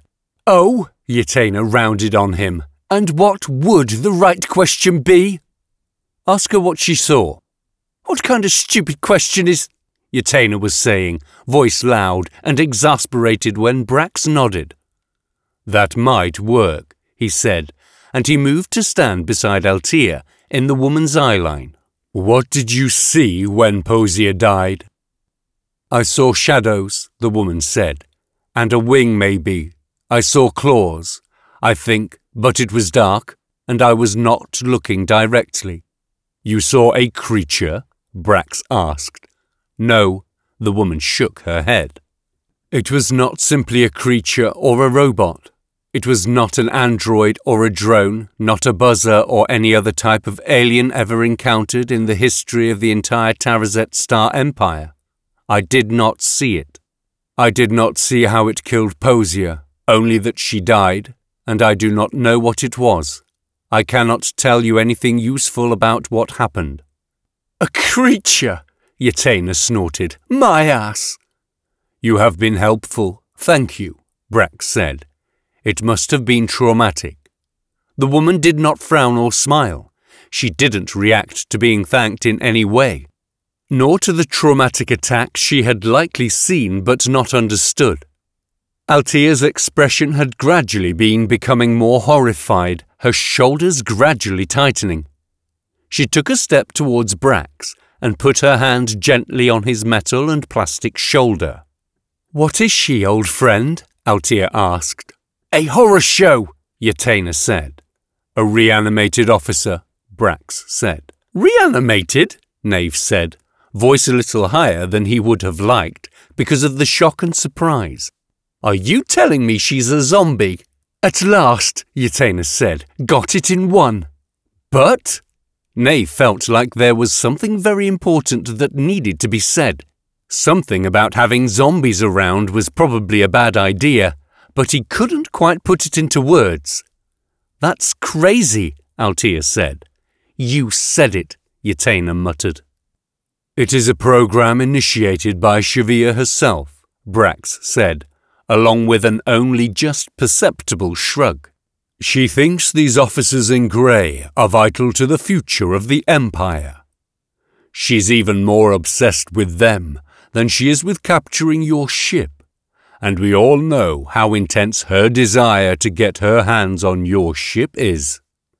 Reanimated, Altea whispered, staring at the two officers in grey. She's finally lost her mind. What technology is used to re- That's not important now, Brax interrupted her. If there is a creature, if, Yatena snorted. Then that, Brax continued, the plastic muscles around his eyes narrowing in annoyance, is our most pressing issue. No way, Yatena said. There is no monster. There is only a psychotic corpse in a grey uniform that doesn't know when to lie down and just be dead. And what about Posier? Are we just going to leave her there, or are we going to reanimate her too? The male officer in grey opened his mouth for the first time. The process requires remains in considerably better condition. No! Yatena almost screamed at him. Just no! That was not a serious question. I will task some automated units with retrieving her remains, Brax said, voice respectfully low. What the hell is going on here? Yatena growled. Posier is dead, killed by a malfunctioning Z officer, and now here you are, palling about with revolutionaries, including Altea herself, the number one traitor to the Tarazet Star Empire. This all has to be reported. I have to tell your superiors. I do not have any superiors, Brax said. His normally quiet and humble voice was suddenly imperious and commanding. He took a step toward Yatena, who was forced to take an involuntary step back, that or stare the android directly in the face, eye to eye. She chose the former. In the hierarchy of the Science Ministry, only one person occupies a position more senior than mine. That person is Arch Science Advisor Shavir herself. In matters to do with Drifter Prime, I have absolute authority. If you mention reporting this one more time, or if you share information about what has occurred here with any other member of staff on this planet or elsewhere, there will be terrible consequences for you. Do you understand? Yatena just stared back at him without saying a word for a long second. She was visibly suffering the effects of shock, thrown out of mental equilibrium after looking at the mangled remains of her co-worker. At last she gathered herself, but there was still a manic gleam in her eye. I understand, she said. Oh, I understand all right. What now? Nave asked. He'd had enough of all the bickering and uncertainty. Brax turned to look at Nave appraisingly, then nodded, deciding it was a good idea to move on from the tableau of horror they were standing before. I suggest we investigate that corridor, Brax said. The answer to whatever happened here is down there, with the eye. How? Yatena asked, obviously unready to just move on. How does the answer lie down there? The answer is right here, spattered from head to toe in blood. The answer is that Shavir is sending us lobotomized psychopaths to watch us and report back to her. This is nothing to do with the eye, and frankly, I'm not interested in doing any science until we find out what is going on. Lobotomized? Altea shot a look at Brax. If I thought for one moment that this Z officer was responsible for this, I would, Brax started to say, before cutting himself off. But I don't. I believe there is a creature, despite the fact that we haven't seen any evidence of creatures inhabiting drifter sites before. Exactly, Yatena said. We haven't. Perhaps you haven't, Altea said quietly. But we have. Nave nodded. You have? Brax's voice was suddenly less sombre, suddenly suffused with surprise and delight. In a drifter structure on a similar scale to this one, Altea told him. A drifter complex hidden within the core of a gas giant. A drifter complex within a gas giant. It sounded from Brax's tone of voice like he was hearing about this for the very first time. Imperial ships saw us descend into the gas giant, followed us even, Nave said. Didn't Shavir tell you about this? No, Brax said, but that doesn't matter now. Tell me, Altea, what are these creatures? What is their physicality? And why would one of them do something like this? I don't know, Altea said, approaching the remains of Posier. Nave half expected her to turn away, but she was experienced with combat and she had a scientific curiosity. She didn't avert her eyes even an inch. She stared at the damage the creature had done. Nave decided he wouldn't go stand beside her. He could see enough of the carnage, plenty, from where he was. You must make a recording of this, Altea said to Brax. When your robots come to take away the remains, you absolutely have to record all of this. This is the work of the creature we saw, isn't it, Nave? Altea looked over her shoulder at Nave, seeking his confirmation, but he wasn't so sure. Anything big could have done that, he told her. I've seen drones step on people and leave a mess like that. He demonstrated by stamping on the floor and twisting his ankle as if he was treading on an insect. It could be our creature, he added, but it could just as easily be a wolfhound drone. One of them stepping on you will mess you up. They have big feet for loosely packed asteroid surfaces, deserts, snow, and that's so. Okay, Altea said, losing interest in what he had to say, as she turned again to stare at the forlorn sight of Posier's remains. And another thing, Brax, Nave said, turning to address the android. I wouldn't be in such a hurry to go running off down that corridor.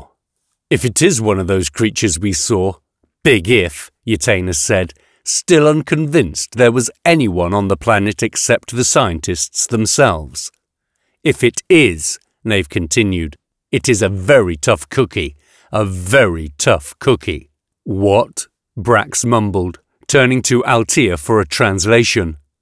He means, she said, inclining her head towards Brax, but not taking her eyes off the dead body, that the creature is robust and capable of causing great damage.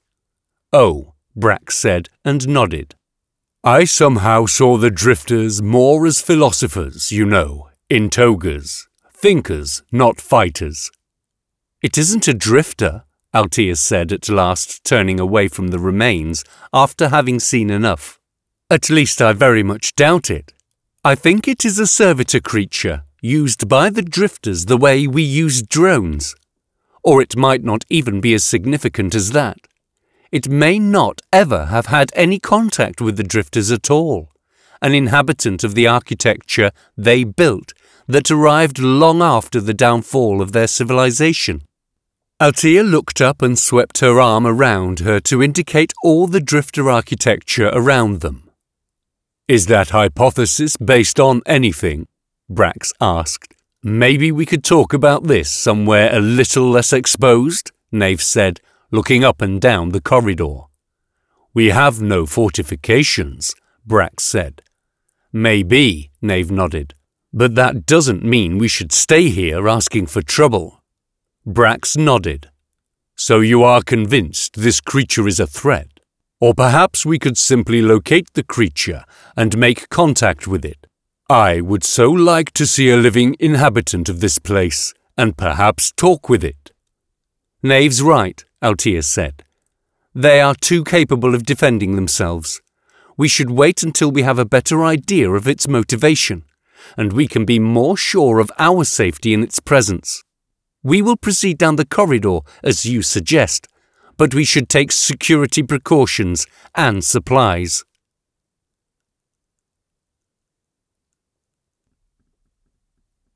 Chapter 8 Romina's ship rendezvoused with another two ships a week later.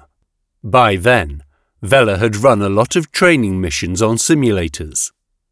She was starting to feel very confident about piloting the armour that had been chosen for the mission and about wrangling the drones. She went to the bridge to get a good look at the other two ships, and she was surprised by how modern they were. A small science vessel and a large dropship. See that dropship? Romina said. All the goodies inside are ours. Our client is here too. Her name is Farron. We'll all three be going down to the temple immediately. Temple? Vela said. Vela looked at the temple in the distance. It wasn't big by the standards of the architecture of the Tarazet Star Empire, but there was something about it, some presence. Vela could feel it.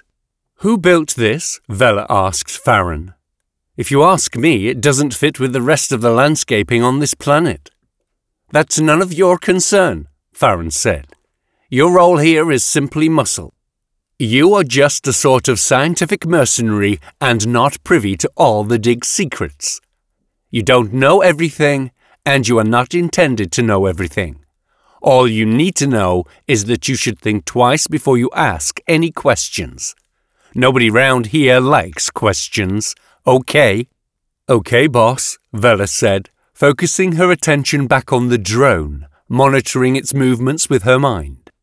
Ignoring the real world around her, though calling the ridiculous excess of a specially terraformed and sculpted planet the real world was a stretch. Farron stood at the top of the dropship ramp, looking down it at the planet's surface below. Vela was already at the bottom of the ramp waiting for her, but she hesitated to follow. She was finding it hard even to set foot on the ramp never mind descend it and walk on the surface of the planet again. Romina came to stand beside her, the footfalls of her massive suit of armour echoing round the inside of the hold of the spaceship. The two stood there in silence for a moment. Romina took a moment to marvel at the greenness of the grass the ramp door led out onto and the mellifluous sound of birdsong on the air. Problem? Romina asked. Farron was also encased in one of the suits of armour, and the massive head of Farron's suit turned slowly to regard Romina. The suits had an opaque faceplate, which meant Romina could peek through the faceplate to see Farron's face. But the fear was easy enough to see in her behaviour, and hear in her voice once she started speaking. It's the first time I've been back here since the incident, Farron said. It was bad, was it? Romina probed, never missing an opportunity to try and winkle out more information about the events that had sent Farron scuttling away from the planet to seek bodyguards. No, Farron said, slowly but surely regaining her resolve and composure. It was a simple accident. We encountered a life form, and we were not equipped to protect ourselves. Something like a Gentan roach? Romina asked. As I told you, Farron replied, we don't have any recordings or measurements of the incident. The creature was dangerous enough to be able to kill three scientists, but many life forms are. All this armor, all these weapons, they're undoubtedly overkill, but until we know more, we must try to ensure the staff on the planet are exposed to as little risk as possible. Understood, Romina said. So, Farron continued, now that we are tooled up with all our war gear, let us investigate the site and flush out whatever creature this ancient temple has been harboring. Farron took one hesitant step, then strode down the ramp to join Vela at the bottom. Once she was on the grass, she could see that the dropship was ringed by drones, each one looking outwards, scanning the surrounding woodland for any sign of threat. Whatever it is, Vela said, it isn't going to be coming from the forest, is it? No, Romina said, following Farron down the ramp. Most likely we'll have to go into the temple and find its lair. Okay, Vela nodded. I guess you can leave a drone here, Romina said to make sure nothing tries to go aboard while we're not here. No problem, Vela said, picking a drone at random to assign to guard duty on the dropship. The drone suggested various patrol patterns, but Vela just overrode them and tasked the drone to stay in one place, standing at the bottom of the ramp. Nothing fancy, Vela told it. Just stand there and shoot any local life forms that you don't like the look of. The drone beeped to confirmation and froze, as immobile as a statue. Vela didn't bother setting a time limit on the drone's new behaviour, and she was suddenly struck by the notion that if none of them ever came back, the drone would just stand there till the end of time, or until its power source ran dry a few centuries hence. That was ridiculous, of course, she decided, and followed Romina. It only took them half an hour to walk to the temple, the giant strides of their armoured legs eating up the distance between the landing site they had selected and the temple site by the side of the lake. There is only one entrance, and the staircase that descends from it ends in the lake, Vela observed. We rigged up a ramp, Farron told her, so we wouldn't get our feet wet.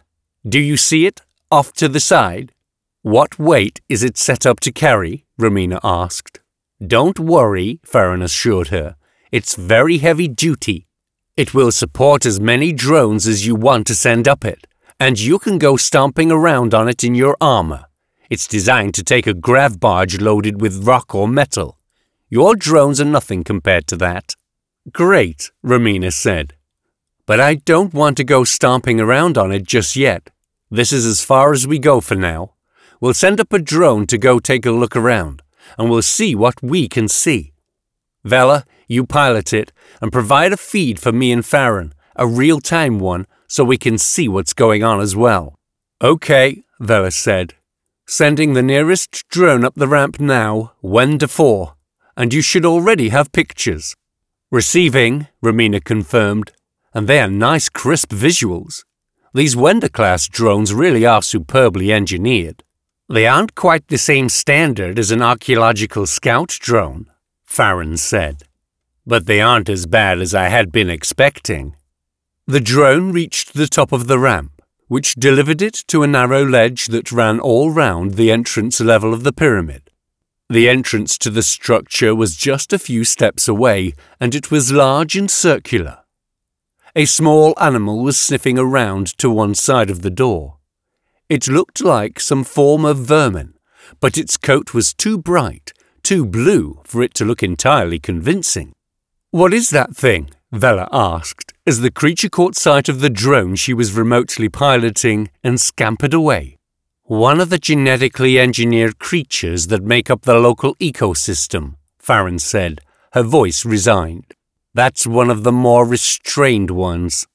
Are you telling me this planet is designed right down to the rats? Vella asked, voice incredulous. How much would that even cost? How is that even possible? Put it this way, Romina said. You'd have to go into the vines and cut down a lot of nuts to pay for it. They're not really nuts, Vella said. They're more like a kind of squash. Okay, enough of this chit-chat, Romina said. The levity that had been detectable in her gravely digitized voice was gone as quickly as it had come. Send in the drone. The drone sensors adjusted instantly to the dim light inside the temple, and a red crosshairs danced across the video feed it was sending back as it detected more of the vermin inside the temple. The creatures scuttled off into deeper shadow, each one followed by a red crosshairs. You can take the rats off the target list, Romina said. Whatever we're looking for in here, it isn't them. Okay, Vella said, swiftly making the adjustments to the drone's programming, which resulted in the red crosshairs disappearing, leaving the view of the inside of the temple clear. There was one large space and a corridor leading away on the other side. Nothing in here, Vella said. That's not strictly true, Farron said. There are several interesting architectural features associated with this space, but we were able to catalogue them very thoroughly. You can safely proceed to the corridor without paying this space much heed. You heard her, Romina said. Let's take a few steps into that corridor, shall we? Entering corridor, Vella confirmed, and sent the appropriate commands to the drone through the drone control system built into the helmet of her armor. She could feel it clasping her head like a complex glove, and it was a cutting-edge system, requiring just a whisper of a thought to send the drone marching confidently into the corridor. There were no lights inside, and the drone's image feed was starting to degrade. Sensors or floodlights? Vella asked Romina. Light the place up, Romina told her. I don't like sensors. I prefer to see real colours not the ghosts and 3D renders you get from sensor readings. Lights on, Vella said. The Wender had two giant lamps mounted, one at each shoulder, and another smaller one in the center of its forehead. The three beams lanced through the dark, banishing all but the darkest shadows out to a range of a few hundred yards, and providing some dim idea of what was beyond out to another couple hundred yards beyond that. Nothing here, Vella said. While the rest of the group sat at a round table, studded with hologram projectors, Altea stood by the window, looking out. They had returned to the science centre where Nave had found the soup. The window looked out onto the rift, the chasm of drifter technology located directly above the eye. But all that was on the other side of a thick window of armoured, transparent metal. The room was silent, and she had descended into her own thoughts, contemplating the rift and the eye, remembering old times. It's good to be back, she said. Really? Brax looked up from a page of data he had been studying, intrigued. You know, I wasn't expecting you to answer my call. I thought, with a whole spaceship of living drifter technology to play with, you wouldn't be coming back to visit me in this mausoleum of dead technology. Dead and rotten, Yatena muttered, glaring out through the window at the opposite wall of the chasm at the drifter technology that filled the view. It was dead, Altea said, but not any longer, at least not down there below us, around the eye. Don't you feel it? The eye is opening. You think so? Yatena asked apprehensively. Really? That's excellent news, Brax said.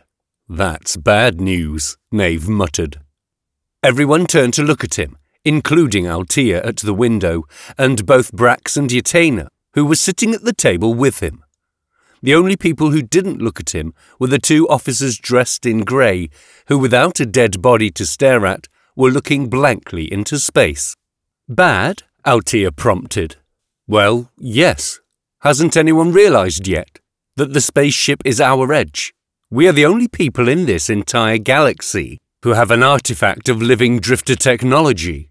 It allows us to go toe to toe with the heaviest and most advanced spaceships of the Tarazet Deep Space Navy.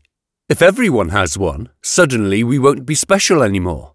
Before you know it, it'll all be over for us and our spaceship, and we'll be thrown into jail or worse. Altea nodded.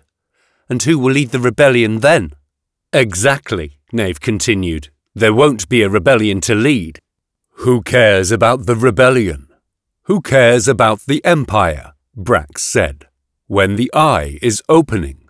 It's the biggest thing to happen in this galaxy's recent history. All our little political squabbles pale into insignificance in comparison to that. To the powers with the rebellion. What does that even mean? Nave asked. The eye opening? Nobody has been able to explain it to me yet. The answer is there, Altea said, pointing through the glass. Their eyes followed where she pointed, and they could all see it. An instant of light, winking on and then fading away again just as quickly. Whoa, Nave said. Stuff moving around. Lights flashing. Something is sure happening here. A portal is my guess, Brax said softly. It's just a gut feeling, nothing scientific, but something called the eye. It has to be a portal, right? Sounds nice. Like your toga-wearing philosopher drifters, Nave said derisively. You aren't going to be able to keep all of this from Shavir forever, Yatena said. I haven't seen you report any of this to her yet, when was the last time you even reported to her? All this will not remain secret long, Brax agreed. We must hurry. He turned away from staring out the window and returned his attention to Nave. Nave, if this creature is like the one you saw before, what equipment will we need to take in order to be able to repel it if it attacks? The one we saw, Nave said, stood its ground against numerous heavy drones. It was a very impressive display of power, Altea agreed. The creature was injured, malnourished and exhausted. It had no armour or weapons, and yet it fought with our war machines on an even footing. It isn't invulnerable. It wouldn't have survived or escaped if we hadn't helped it, Nave said. I think we need 20 drones. That should be enough to make it think twice about messing with us. Twenty? Brax spat the word in shock. That's a tall order. This is a scientific mission. There are drones, but retasking 20 is going to be difficult to hide. Yatena smiled smugly at him, seeming to enjoy his unease.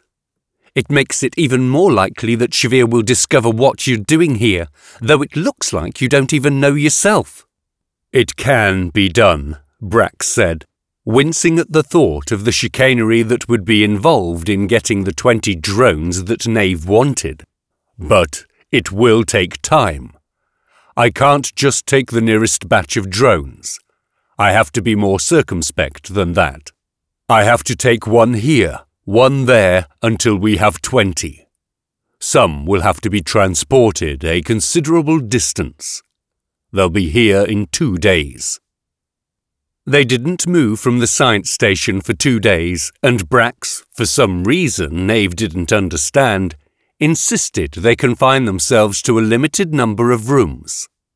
It was an uneasy time for Nave, while Altea and Brax spent a lot of time in conversation about things that simply went over his head, and the two enigmatic figures in grey weren't much into conversation at all. That left Yatena as the only other person he could pass the time with. It was a time punctuated by many long silences. I'm basically a prisoner, Yatena said, at one particularly low ebb. You pointed a gun at me. You were going to shoot me if I used my radio. Brax won't let me contact Shavir. I don't know if I was really going to shoot you, Nave said, attempting a disarming smile. You looked pretty convincing, she muttered. You've shot people before, right? He nodded his head slowly. For the rebellion? Yeah, for the rebellion, Nave nodded. It makes it sound so noble, doesn't it? To say it's for the rebellion. Yatena stared at him for a second before slowly shaking her head.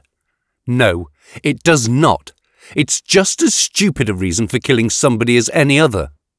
Then it was Nave's turn to fall silent for a while.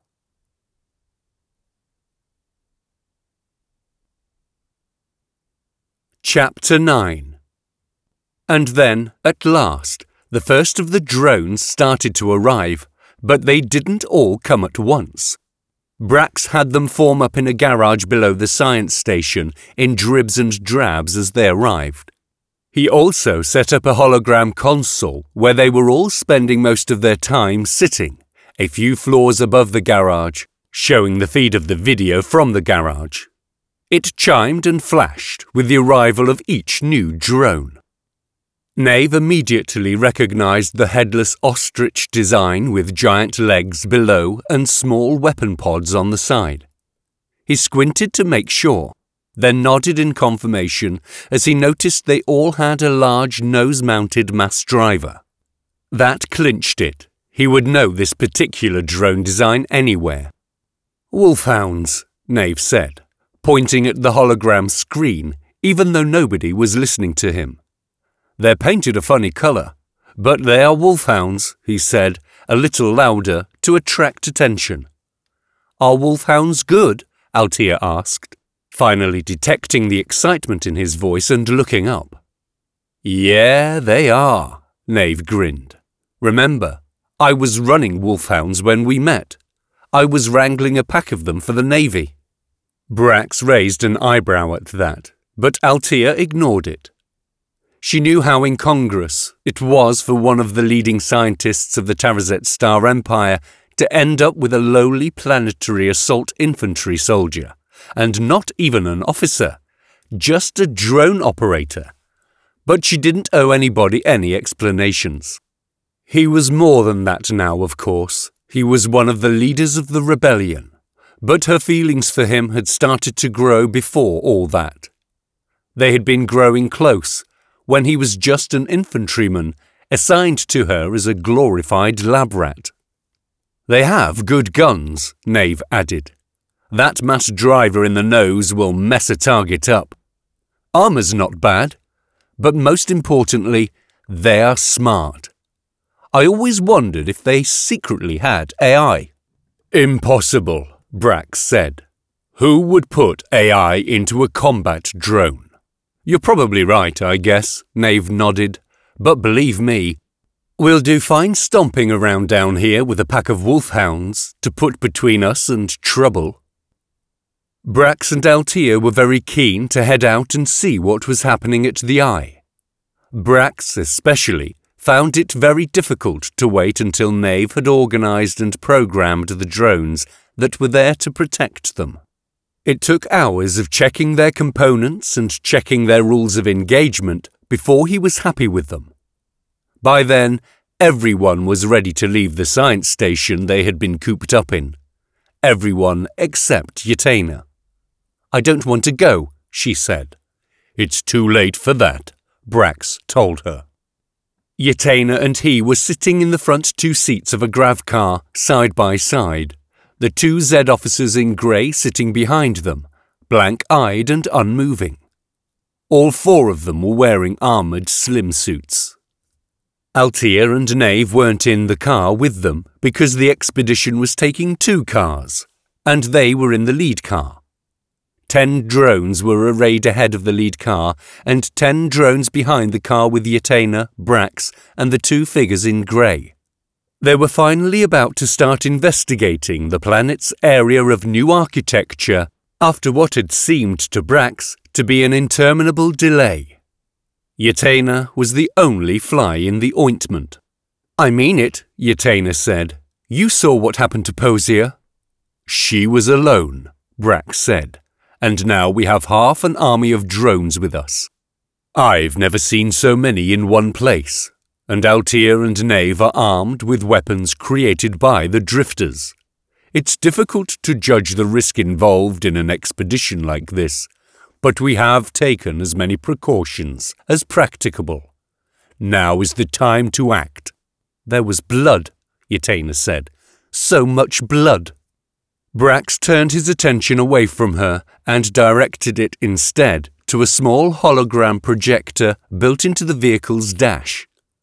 He pushed a virtual button in the display and the car was shaken by a small tremor. Scout 1 launched. Brax said over the open channel so that Altea and Nave could hear. Excellent, Altea's voice came in return, transmitted from the lead car. We are already receiving pictures, audio, and a range of other sensor data. The scout drone that Brax had just launched was quite sophisticated by drone standards, but that didn't mean it was much to look at. It was a small ball with miniaturized gravitic drives in the lower half and rudimentary intelligence and sensors in the upper half. It was painted a bright and cheerful orange, and its upper surface was scattered with sensor ports and lenses. I'm sending Scout 1 down the corridor now, Brax said, touching another virtual button in his display as he did so. Rather it than me, Yatena grumbled to herself. She could hardly bear to look at the display, where the corridor could be seen through the drone's eyes as it floated bravely onward. There wasn't enough light for it to passively see where it was going very well, so it projected a small cone of light from a lamp built into its front. At the same time, lasers were sweeping from ports on its side, building a detailed 3D map of the architecture surrounding it. Do you see anything unusual in the architecture? Brax asked over the communications link. A few novelties, Altea replied, but nothing substantially different to what we have seen before. Does it look safe? Shall we begin to follow? Brax asked. Whoa! Nave's voice came over the communicator. That's a negatory. What's the point of sending a scout drone if we are just going to follow right on its ass? Nice, Yatena muttered. Nice language. This guy's professionalism is making me feel a lot safer. He's right, Altea said. We don't move until we start to encounter signal degradation. We'll have to move then, to keep the feed from going down, okay? Okay, Brax agreed, reluctantly. How far can those things broadcast anyway? Yatena asked. Depends how much architecture there is intervening between us, Brax said. That little drone isn't good at punching a signal through these massive walls. But if the corridor continues on straight, We're talking miles of unhindered reception. Yatena nodded, then grimaced at the next thing she heard. We have a corner, Nave said. The drone didn't hesitate or slow down.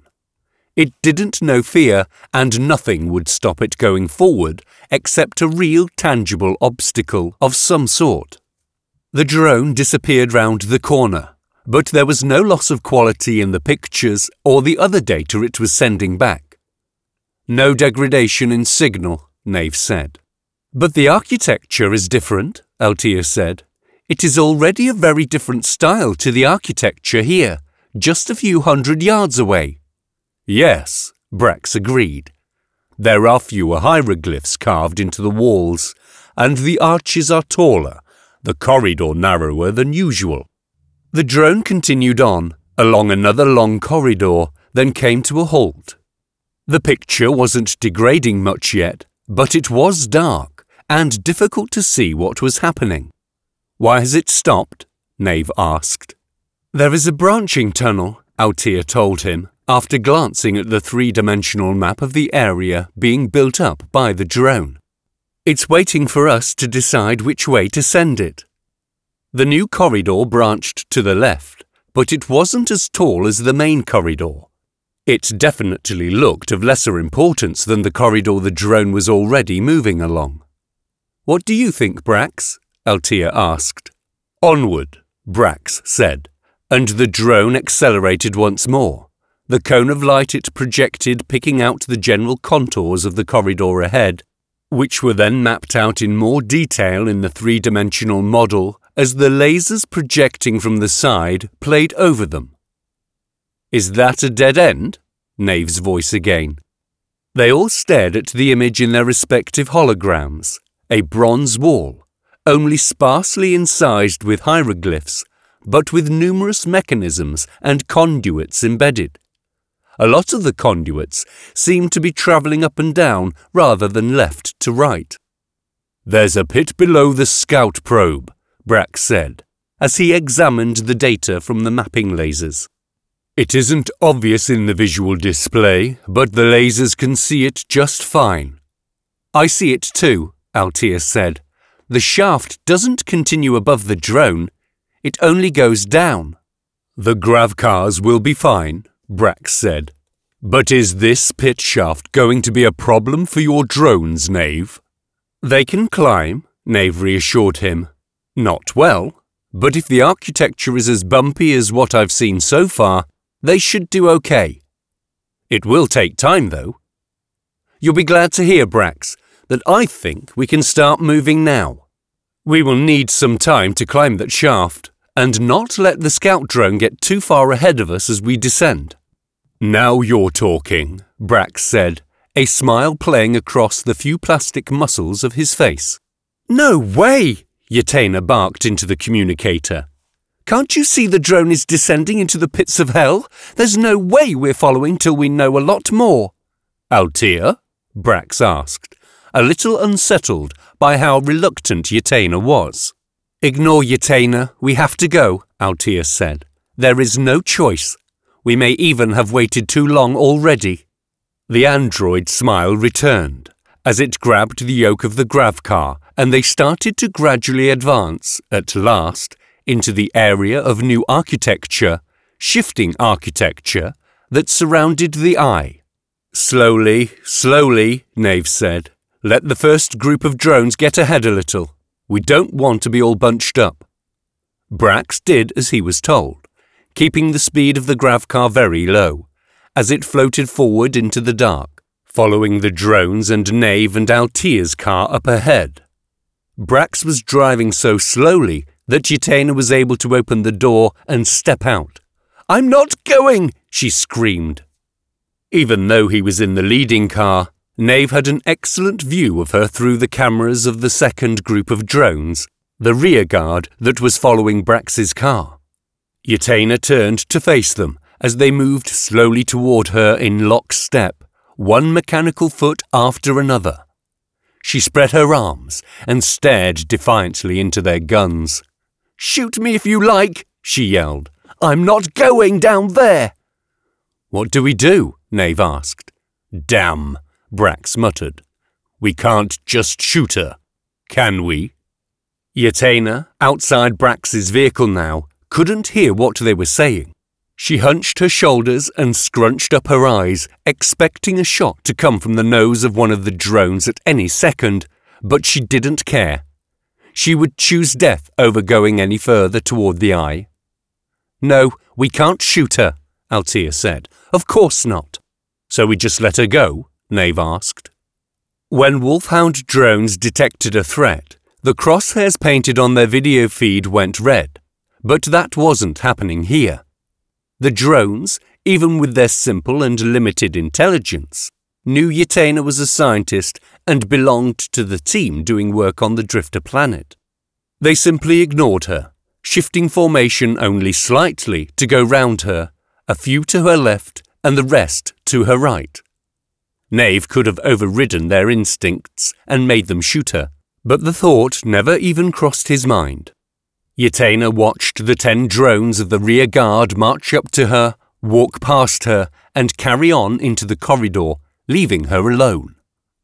It was dark, and she didn't have a flashlight or a communicator. She had a small hologram projector strapped to her wrist, however, and she was able to use this to create a small pool of light ahead of her so she could see where she was going. She quickly turned and hurried back the way they had come. It wasn't far to the science station they had been holed up in. She would be able to walk to it in just a little over an hour, she calculated. She could still hear the drones moving along the corridor behind her, marching away from her. They were surprisingly silent, but she could make out the muffled clangs of metal on metal and capacitors charging with a whine just at the edge of hearing. She shook her head at the stupidity of it.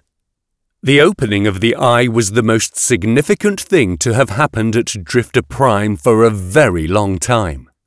It was sheer idiocy for Brax to want to keep it for himself.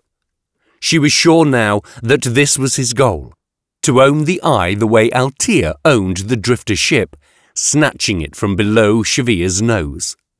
They were marching around with drones, ready to go to war after Posier's death. Brax was showing extraordinarily poor judgment in trying to be the star of this show, and on top of that, he had invited his buddies from the rebellion along. It was unconscionable. Shavir would have to be told. Yatena was suddenly distracted from thoughts of the fate that had befallen Posier and the punishments awaiting Brax by a clang of metal on metal. It was loud, like it had come from just behind her. But that couldn't be right. There was nothing behind her, was there? She didn't want to, but she forced herself to look. She slowly turned, sweeping the beam from her pitiful small lamp around. And there was nothing there. It must just have been a particularly loud clang from the marching drones. Whatever their strengths, they didn't seem to have a stealth mode. She turned away from the dim light and muffled sounds of the drones, the sounds becoming ever more silent, the illumination from their lamps slowly dimming, and she kept moving, heading for the nearest science station. Nave saw the oncoming pit through the eyes of the lead drone in the vanguard, while Altea, sitting beside him, stared at what was coming from the lasers and the sensors aboard the scout drone. We are starting to get some signal degradation, she said, which is only to be expected, I suppose, with such a deep shaft. Wait, I see the bottom. The bottom of the shaft has appeared. That's good, Nave grinned. I was starting to think it was bottomless. OK, deploying secondary arms, and our first drone is... Careful now, yes, yes, it's climbing. Wow, Will you look at that? Altea said. I didn't think they'd be able to support themselves, not with those big ostrich legs. They're more nimble than they look, Nave said. This is nothing. I've had them climbing the smooth cliffs of Ice Tomb. The cliffs below the drifter structure? Altea said, interested, despite needing to concentrate on what the scout drone was seeing. Yes, Nave said, giving her a toothy grin. Mount Fang itself. Then his attention was snatched away as the first drone into the pit nearly lost its grip. Shit, he muttered. I'm going to need to slow them down, give them more time to calculate their movements. Do what you have to do, Altea said to him. This is science. If we're going to do this properly, taking observations as we go, then it is something that can't be rushed. Sounds good, Nave muttered, watching the drone's antics disapprovingly in a hologram screen. Oh shit, what makes that drone think that hold will support his weight? Altea tuned him out, along with his cursing of the drones in his charge. Instead, she watched the feeds coming in from the scout drone Brax had sent out ahead. The metal of the walls was becoming darker, as if it was tarnished or burnt. The hieroglyphs had become even scarcer, but they were carved bigger. They looked like tracks of fresh, shining metal among the burnt and tarnished mass of the architecture. The walls are an unusually dark shade of bronze, Brax, Altea said. Should we stop the drone? See if we can get a sample? The drone doesn't have any cutting equipment or tools. I could get it to scrape at the wall with its manipulator arm, see if that dark colour is a coating that can be scratched off. I would be interested in the results of such a test, Altea told him. The headlong rush of the corridor in the feed coming from the drone slowed and then stopped, as Brax brought it to a halt. The picture pivoted and the drone moved to the wall on its left. Altea couldn't see where the drone deployed a manipulator arm from, but she guessed it was low on the machine's body because the claw appeared in the camera's view from below. It reached out for the wall with a three-clawed silver hand on the end of its snake-like arm. The tips of the claws hesitated before actually making contact, in an almost human gesture of trepidation. I'm thinking start softly, Brax said over the communicator. Just lightly brush it. I concur, Altea said, momentarily distracted by Nave's muttering that had gone up in volume as the second wolfhound climbed clumsily into the pit. That's it, he said encouragingly his hand holding the sensor hat that he used to control the drones snugly against his scalp. You saw your friend do this. It's easy. Take your time. Altea tuned him out again and turned her attention back to her holographic display. The claw of the robot lightly caressed the wall, with barely enough pressure to register on the touch sensors in its claw tips. Powers! Altea cursed. Stop! Stop! Brax, stop! It's leaving a mark! But that's what you wanted, Brax started to say before realizing what he was looking at. Oh, wait. That claw isn't removing surface contamination. The metal itself is being incised by the powers. That much force shouldn't even scratch plastic. How is it cutting the metal? I don't know, Altea said. We haven't seen this type of dark surface ever before here on Drifter Prime, or on the Drifter ship either. What should we do now? Brax asked. I'm torn, Altea said. I want to stay and investigate this effect. I mean, what happens if we carve instructions? Will they be read? Will they be acted on? But I want to see where our exploration drone's journey will take it. I assume we will arrive at the Eye, and there may be even more significant discoveries to be made there. We have three Seeker drones in total, Brax said. I can deploy a second one. It can continue investigating the new wall surface while this drone travels further. Agreed, Altea said reluctantly. It would be some time before the second drone arrived at the wall and they could continue their investigation. In the meantime, the first drone retreated back to the centre of the corridor, its arm folding away and accelerated into the unknown again. Altea watched the alien forms revealed in the small beam of light as it swept from left to right and back again across the corridor. There are so many buttresses. It's ribbed here along this stretch of corridor, Altea said. Almost organic, like an esophagus. Except the ribbing is still hexagonal in cross-section, Brax mused. Any hypothesis on the purpose? No, none, Altea said. I almost have all the first group of my wolfhounds in the shaft now, Nave said. We'll soon be able to follow them down without the danger one will lose its grip and fall on us. Then once the two grav cars are down, we can bring down the second group of drones. Fine, fine, Altea said, disinterestedly, then thought again, and on a whim decided to include Nave in what she had been discussing with Brax. Hey, Nave? Yeah? You see this ribbing? Yeah. Any idea what the purpose might be? Sure, he said confidently, which made Altea smile at his self-assurance. The spacing looks like the coils of a mass driver. It's probably for accelerating something through here, like a driver rod out of a gauss gun. Hmm, she nodded, considering this idea. Maybe. It certainly seems to be something purposeful. The second drone is in position, Brax told them via the radio. Excellent, Altea said. I want to scratch a simple line of operator text into the wall to see what happens. I'd like to see that, Brax said, raw enthusiasm leaking into his voice. It sounds magical. Like so much of the technology of the drifters, Altea agreed. Operator text is magical. At least it is tantamount to magic. Yes, like the telepathic effects you report, Brax said. I would very much like to experience that too.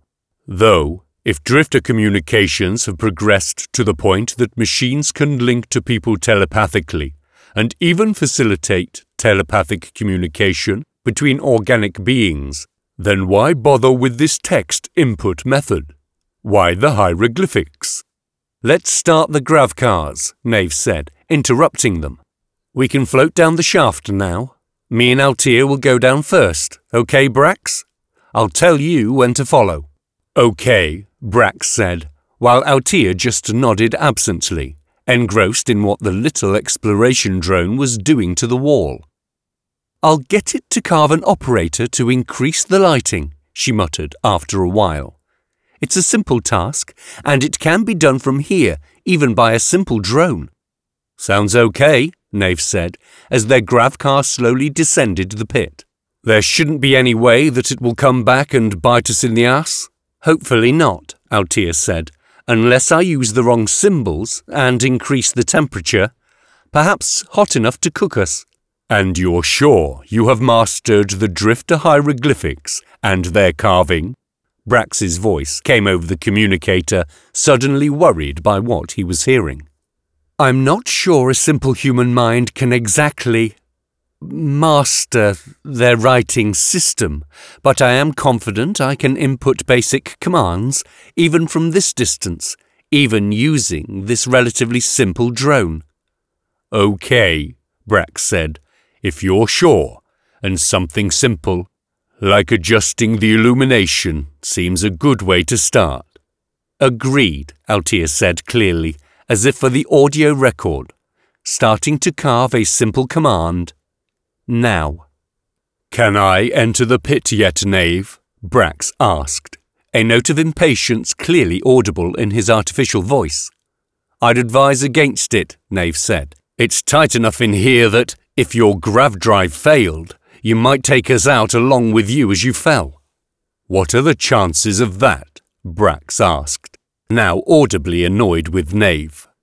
I don't know about the scientific chances, but there is an ancient law, Nave said, which says that just when you don't want something to happen is exactly the moment it will. That's superstitious nonsense, Brax said. An unnecessary delay. Just stay put for another few minutes, okay, Brax? While the two of them were arguing the point, Altea was gasping at how easy it was to carve hieroglyphs into this section of wall. She'd previously been forced to use a laser tool, and it had been slow and difficult work. Inscribing even a simple sentence had taken tens of minutes. But on this particular section of wall, using only the drone's claw, she was able to scratch the hieroglyphs necessary to alter illumination levels in just a minute or two. The only problem was that it didn't work. Damn, she muttered. Nothing. It should be noticeably lighter in here. Try another command, Brax suggested. OK, Altea said, and the drone's claw started moving again, leaving trails of deeply carved hieroglyphics in the wall. Altea was intent on carving, and Brax was following her every move via the drone sensors.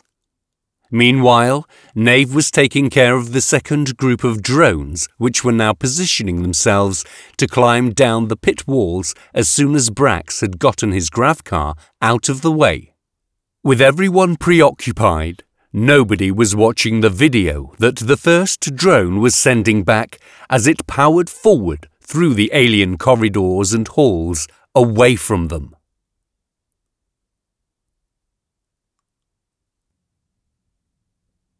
Chapter 10 Romina and Vella were wearing slim suits of form-fitting armour now, back in the storage area of their dropship. There were two of the Wender-class drones lurking in the darkness nearby, and a small table set up in the huge space too. Their new boss was sitting at the table, waiting for Princess Thagora. She turned to Romina and Vella. Remember, you two, she said. Not a word out of either of your mouths, not unless you are directly asked for an opinion. Got it?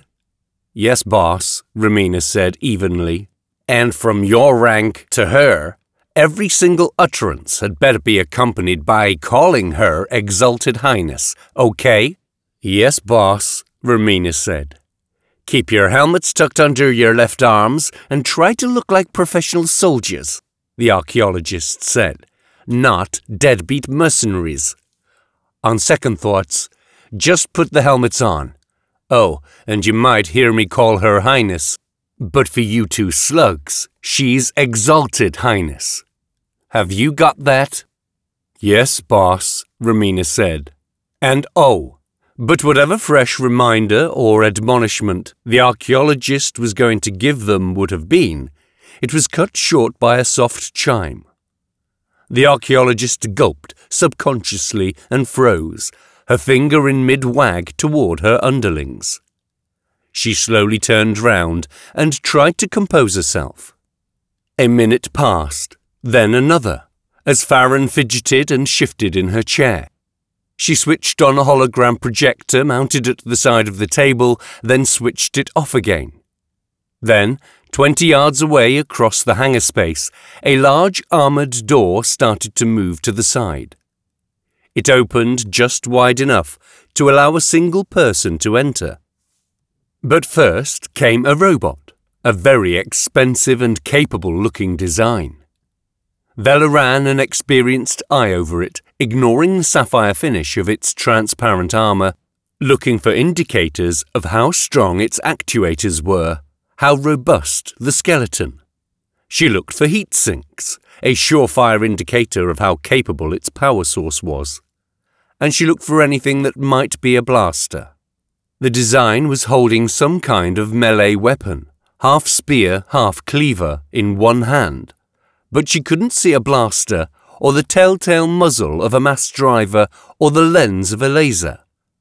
Then she spotted it, in the centre of its chest, a laser lens disguised among the royal crest of Thagora's family that was embossed on the mechanoid's chest. It looked like a very capable bodyguard indeed, but she was also confident her drones could crush it if need be. It was followed by a second, identical mechanoid, and then the princess herself. It was impossible to know how old the woman was. She had had so many beauty treatments, interventions, and operations that she had become just a bland echo of the characteristics considered beautiful in this quadrant of space. Vella was glad she had her helmet on, and the princess would be unable to see the look of contempt that flashed across her face. Two more of the robots followed the princess as she strode among them her movements aping the strutting of a model on a catwalk. She went directly to the small table and flounced into the chair opposite Vella's new boss. The movement, a sudden drop, accompanied by the fluttering of her robes as she crossed her arms across her lap, her eyes narrowed, suspicious. Your Highness, Farron said, welcome. Would you like something to drink? The princess simply nodded, and the archaeologist looked off into the shadows at the extremities of the huge hangar space. She raised her arm high in the air and pointed to the table. A simple robot rated below artificial intelligence, came speeding over on four caster wheels. It placed a tall glass of something pink in front of both the archaeologist and the princess. Well, Your Highness, Farron said, but she was interrupted by the princess, her voice petulant and whiny. Is my temple finally ready? she asked. I'm sorry, Your Highness, the archaeologist said, but I'm afraid it isn't. The Guardian robot standing to the right of the princess shifted its grip on the ceremonial but still deadly halberd it was carrying, as if getting ready for a swing at the archaeologist's neck if its mistress should order it. Vela had heard stories of nobles ordering such summary executions, but only in incidents from history, as far as she knew. The robot must be from an earlier time, she realized, an ancient machine, probably with full artificial intelligence, willing to kill at a gesture from its owner. It was disgusting, a thinking being forced into such a subservient role. She shuddered, once again glad that the faceplate of her armour was hiding her expression. Why not? the princess asked. The incident has meant that I have had to arrange for new specialists and equipment to join my team, the archaeologist said, gesturing to Romina and Vela, with the drones towering seven feet tall behind them. An incident? This was the first Vela was hearing of an incident. It made sense, of course. Nobody paid top dollar for a dropship full of cutting edge drones, just to help with the digging. She would have been happier if somebody had seen fit to tell her about it beforehand, obviously. But she was also experienced enough to know this wasn't how things worked. For a slug like her, everything was on a need to know basis. There could be no more spending, the princess said. Do you understand? The money you have spent is already at a level where it might come to my father's attention. Vela's mind was again boggled.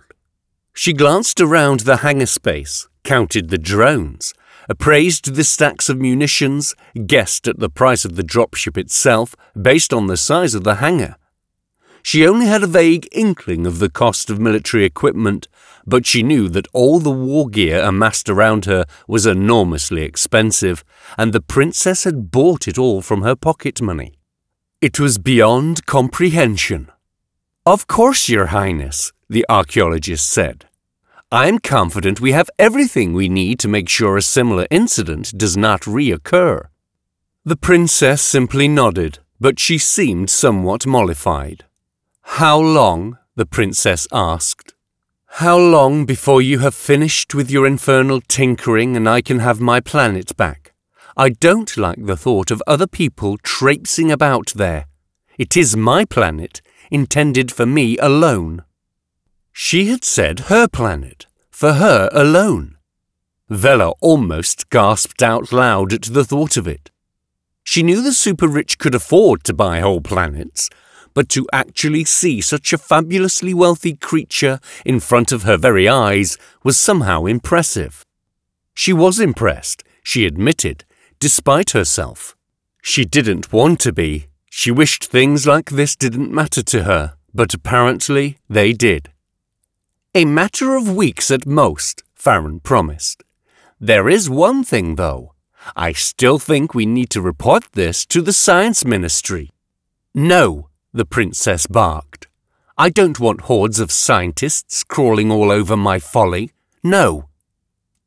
They were back at work investigating the temple the next day with one drone inside while they waited outside in a grav truck. Vela moved the Wender-class drone as near as she dared to the mess and bathed it in light. It was very obviously a pile of human remains. By the powers, Romina softly swore, her electronic rasp of a voice making the oath sound even more blasphemous than it already was. What is this? Vela asked. It is the remains of my former colleagues, Farron said. Three people lie here dead and decaying who were among the greatest independent xenoarchaeologists in this sector. It's obscene that a wild animal should be allowed to take them from us. Obscene. The view in front of them became even sharper as the drone relaying the pictures focused more of its attention, more of the processing power of its sensor suite, onto the mess. The three bodies were very decayed, and the attack on them looked like it had been frenzied, making it hard to tell where one body ended and another began. It looks like they were huddled together in terror, Vela said, at the end. There was something that made it even more difficult to make out recognizable features in the mess. There were clouds of the planet's insects, attracted by the putrefaction. Like all the life forms on the planet, they had been designed to be beautiful, with colourful wings and jewel-like bodies. But their beauty didn't make them any less interested in sinking their proboscises into the putrid flesh to feed. I can't look, Farron said, symbolically turning her back, though this had no effect on the images, which continued to be transmitted to her head-up display anyway. Sure, Romina said, surprising sympathy in her voice.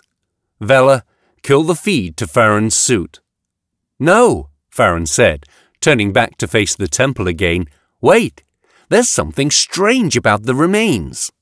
Yes, they're a mess, Romina agreed. No, that's just the thing, Farron whispered. They aren't. What? Vela said.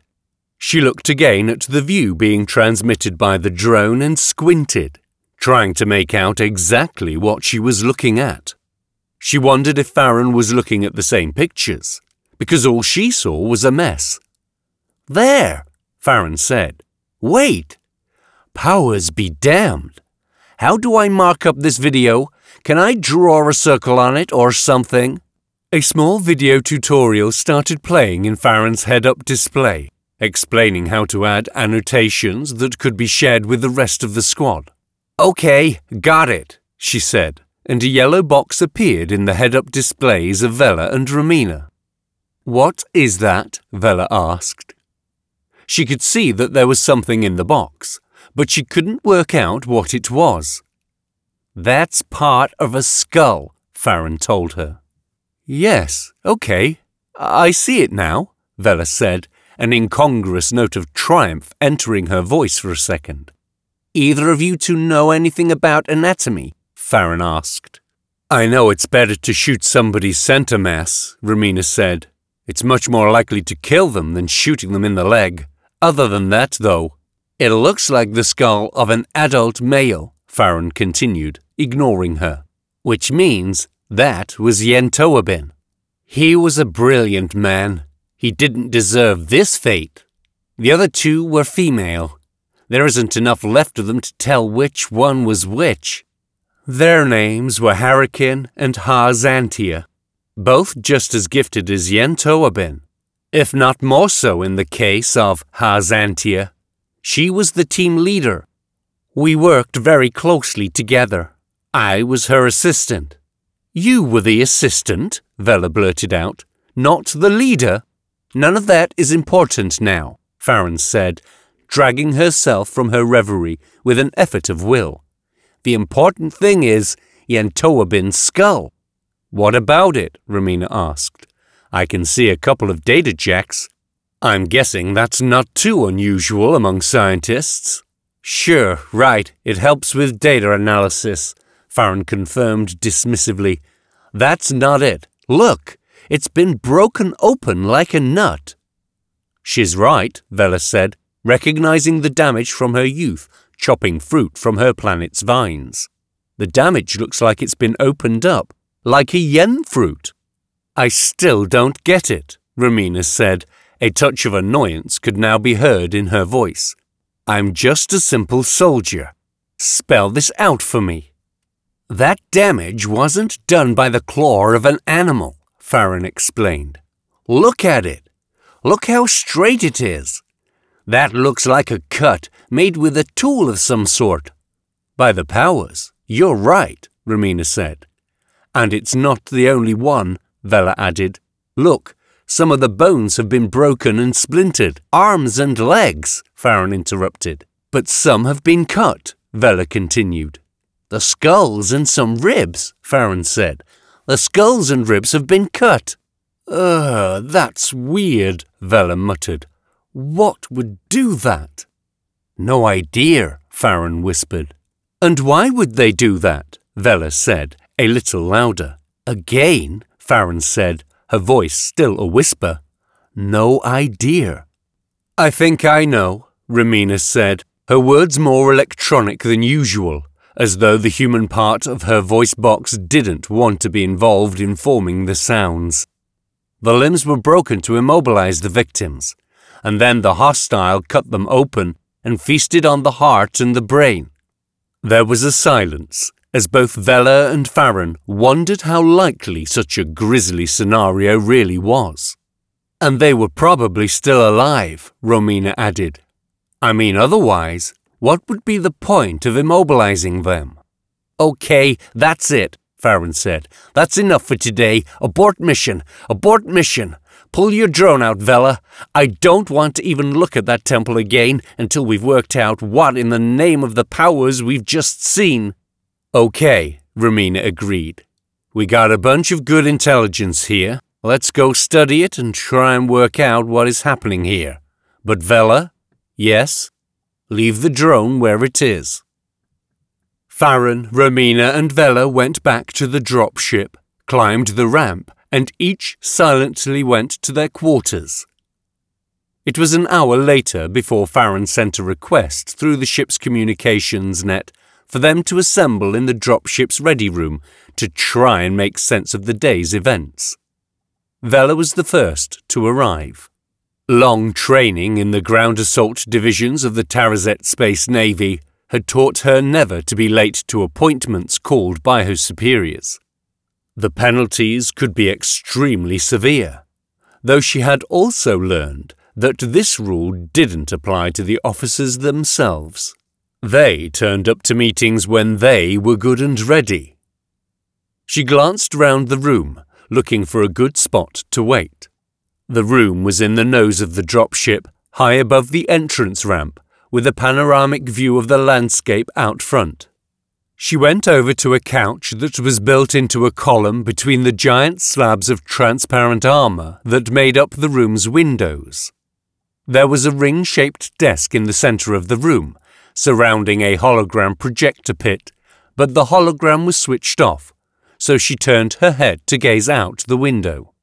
The world was beautiful, designed for a princess, with rolling hills of blue or green depending on the type of grass growing on it. Enchanted patches of forest with trees heavy with jewel like fruit in the valleys between, and some mountains in the distance. But the view was dominated by the lake and the temple. Vella had to admit the temple was beautiful, even though she knew what a charnel house mess lurked within, hinting at alien and unknown dangers. The land between the dropship and the lake was dotted with a handful of fancy robots, which Vella guessed belonged to their princess boss, and a cordon of drones, positioned in defensive pickets of groups of three. The hologram projector behind her flickered to life with a chime, attracting her attention away from the window in time to see Farron enter the room. Farron didn't acknowledge Vella, her eyes instead drawn to what was being displayed in the hologram. It was an abstract representation of what they had found in the corridor. The bones were clearly marked, with fractures and breaks highlighted in red, while cuts to the bone were highlighted in blue. Farron didn't stop staring at it, her eyes unreadable, until Romina entered a few minutes later. Okay, Romina said, without bothering with salutations. Let's get started. Vella went over to join the other two ladies at the circular table, all three of them staring at the hologram and the horrors it displayed. Is this from recordings? Farron asked, or is it coming in live from the drone you left in the complex? Vella, Romina prompted. The drone was hers, so answering questions about the data feed was her responsibility. This is live, Vella said. OK, Farron nodded, then glanced away from the hologram. She looked out the window at the temple beside the lake, sitting so serene among the sculpted and artificial beauty of the planet. Any sign of the alien life form? No, Vella said. The drone will sound the alarm if it sees any potential threat in there. Farron nodded, watching the planet's yellow sun gradually lower toward the horizon as shadows thickened between the trees of the forest and the shadows cast by the temple towers lengthened in the direction of the dropship, like skeletal fingers reaching for it. We have one drone positioned within the structure, Romina said.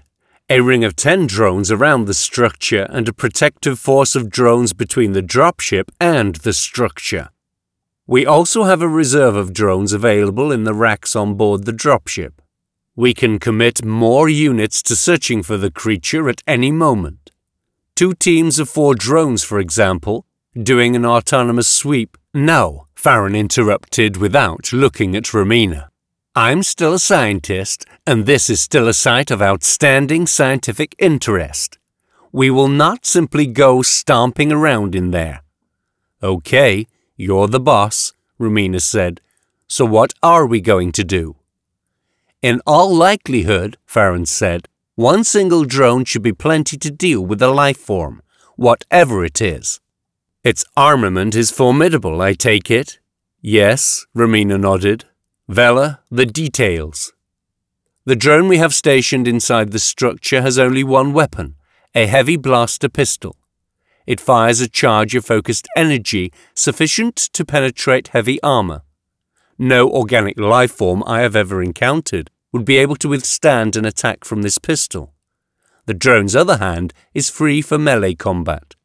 It is capable of swinging and impacting with something near the force of a wrecking ball. An organic creature with no armor would simply be splattered by a single punch. Let us try to keep our language dispassionate and scientific, Farron said. Though I agree, an organic creature robust enough to pose a threat to your drone would be very rare. If only we had thought to bring such equipment to start with. Farron's words trailed off, her eyes drawn again to the holographic display showing what was left of the other scientists from that ill-fated expedition. There is another possibility, Romina suggested. Oh, Farron said, and what would that be? After seeing these clean cuts, Romina pointed at the hologram, where the damage to the bones was clear to see. We have to consider the possibility that the hostile isn't organic, that it is a drone a robot, or some other defense system. No, I don't buy it, Farron said. The most likely explanation is that some kind of hibernating life form was brought to this planet along with the temple. It was awoken by our investigation and attacked the first group of scientists it met, either for food or to defend its territory. The structure is inert. It doesn't have defense systems. Romina stared at Farron, unhappy that their boss was ignoring what seemed to her to be a very possible threat. When you say it doesn't have defenses, Romina said, do you mean it never had defenses, or that its defenses are currently inactive? Well, of course, Farron said. There may have been defenses at some point. The temple dates from the third dynasty of a starfaring culture, the Da Yethan. They were at least as advanced in their technology as we are, perhaps more so. So, there might be some rogue system in there, Romina pressed, that has been triggered and is now defending the structure. There might, Farron said with a sigh of resignation. Would that alter our strategy in any particular way? Without knowing the capabilities of whatever defense system it is, Romina said. No. Then we proceed as I see fit, Farron said. I will continue to analyze the information we have, and you two do what you're told. Romina nodded, while Farron's attention went back to the hologram. She touched an input field projected above the desk in front of her, turning the mess this way and that. Then she switched view entirely, making the hologram display the walls of the structure. She panned left and right, studying the detail of the architecture and its markings. Oh, she suddenly said. Oh, what? Romina asked. This wall, Farron said. It isn't the work of Diethan architects. It's older, more complex. The technology here is drifter technology. How long were you working here before the attack? Romina asked. How did you not see that? It seems this environment is changing, Farron said. It's in flux. All of this drifter technology was hidden before, under a layer of later additions. If I had known this was built by the drifters, Farron's words trailed off. What? What if you'd known? Vela demanded. It doesn't matter, Farron said, with a shake of the head. It's too late now. How does that affect my guess about the defense systems? Romina asked. It doesn't, Farron assured her. All drifter technology is inert, dead, defunct. It can't hurt us. What about the drifter ship? Vela asked. The rebellion has a drifter ship, and it works, and it can do things that no other ship can do. Rumors, Romina growled. Propaganda and disinformation. Exactly. Farron backed her up. One of the first things you'll learn when you're training to be a xenoarchaeologist is that drifter technology is dead. Nobody has ever found a working artifact, no matter what the rebellion would have you believe, Farron said. No. We're dealing with some kind of robust life form that can remain dormant for extended periods of time. Our next move is to. Farron's words trailed off in shock. The image being provided to them had suddenly cut out, and there had been a sound. It wasn't the usual sound of static or feedback that might accompany a malfunction of the equipment. It had been a screech. Where did the picture go, Vela? Romina demanded. Vela pulled out a drone control helmet and slipped it on her head, feeling the electrodes searching for the locations they were supposed to be, squirming into position and attaching. It's gone, Vela said. I can't contact it. Great, Romina said, her voice a grunt of displeasure. Should I send a couple of other drones to see what happened? What is its programming if contact is lost? To stay put and wait for it to re-establish. Okay, Romina nodded. Send a couple of drones to see what has happened.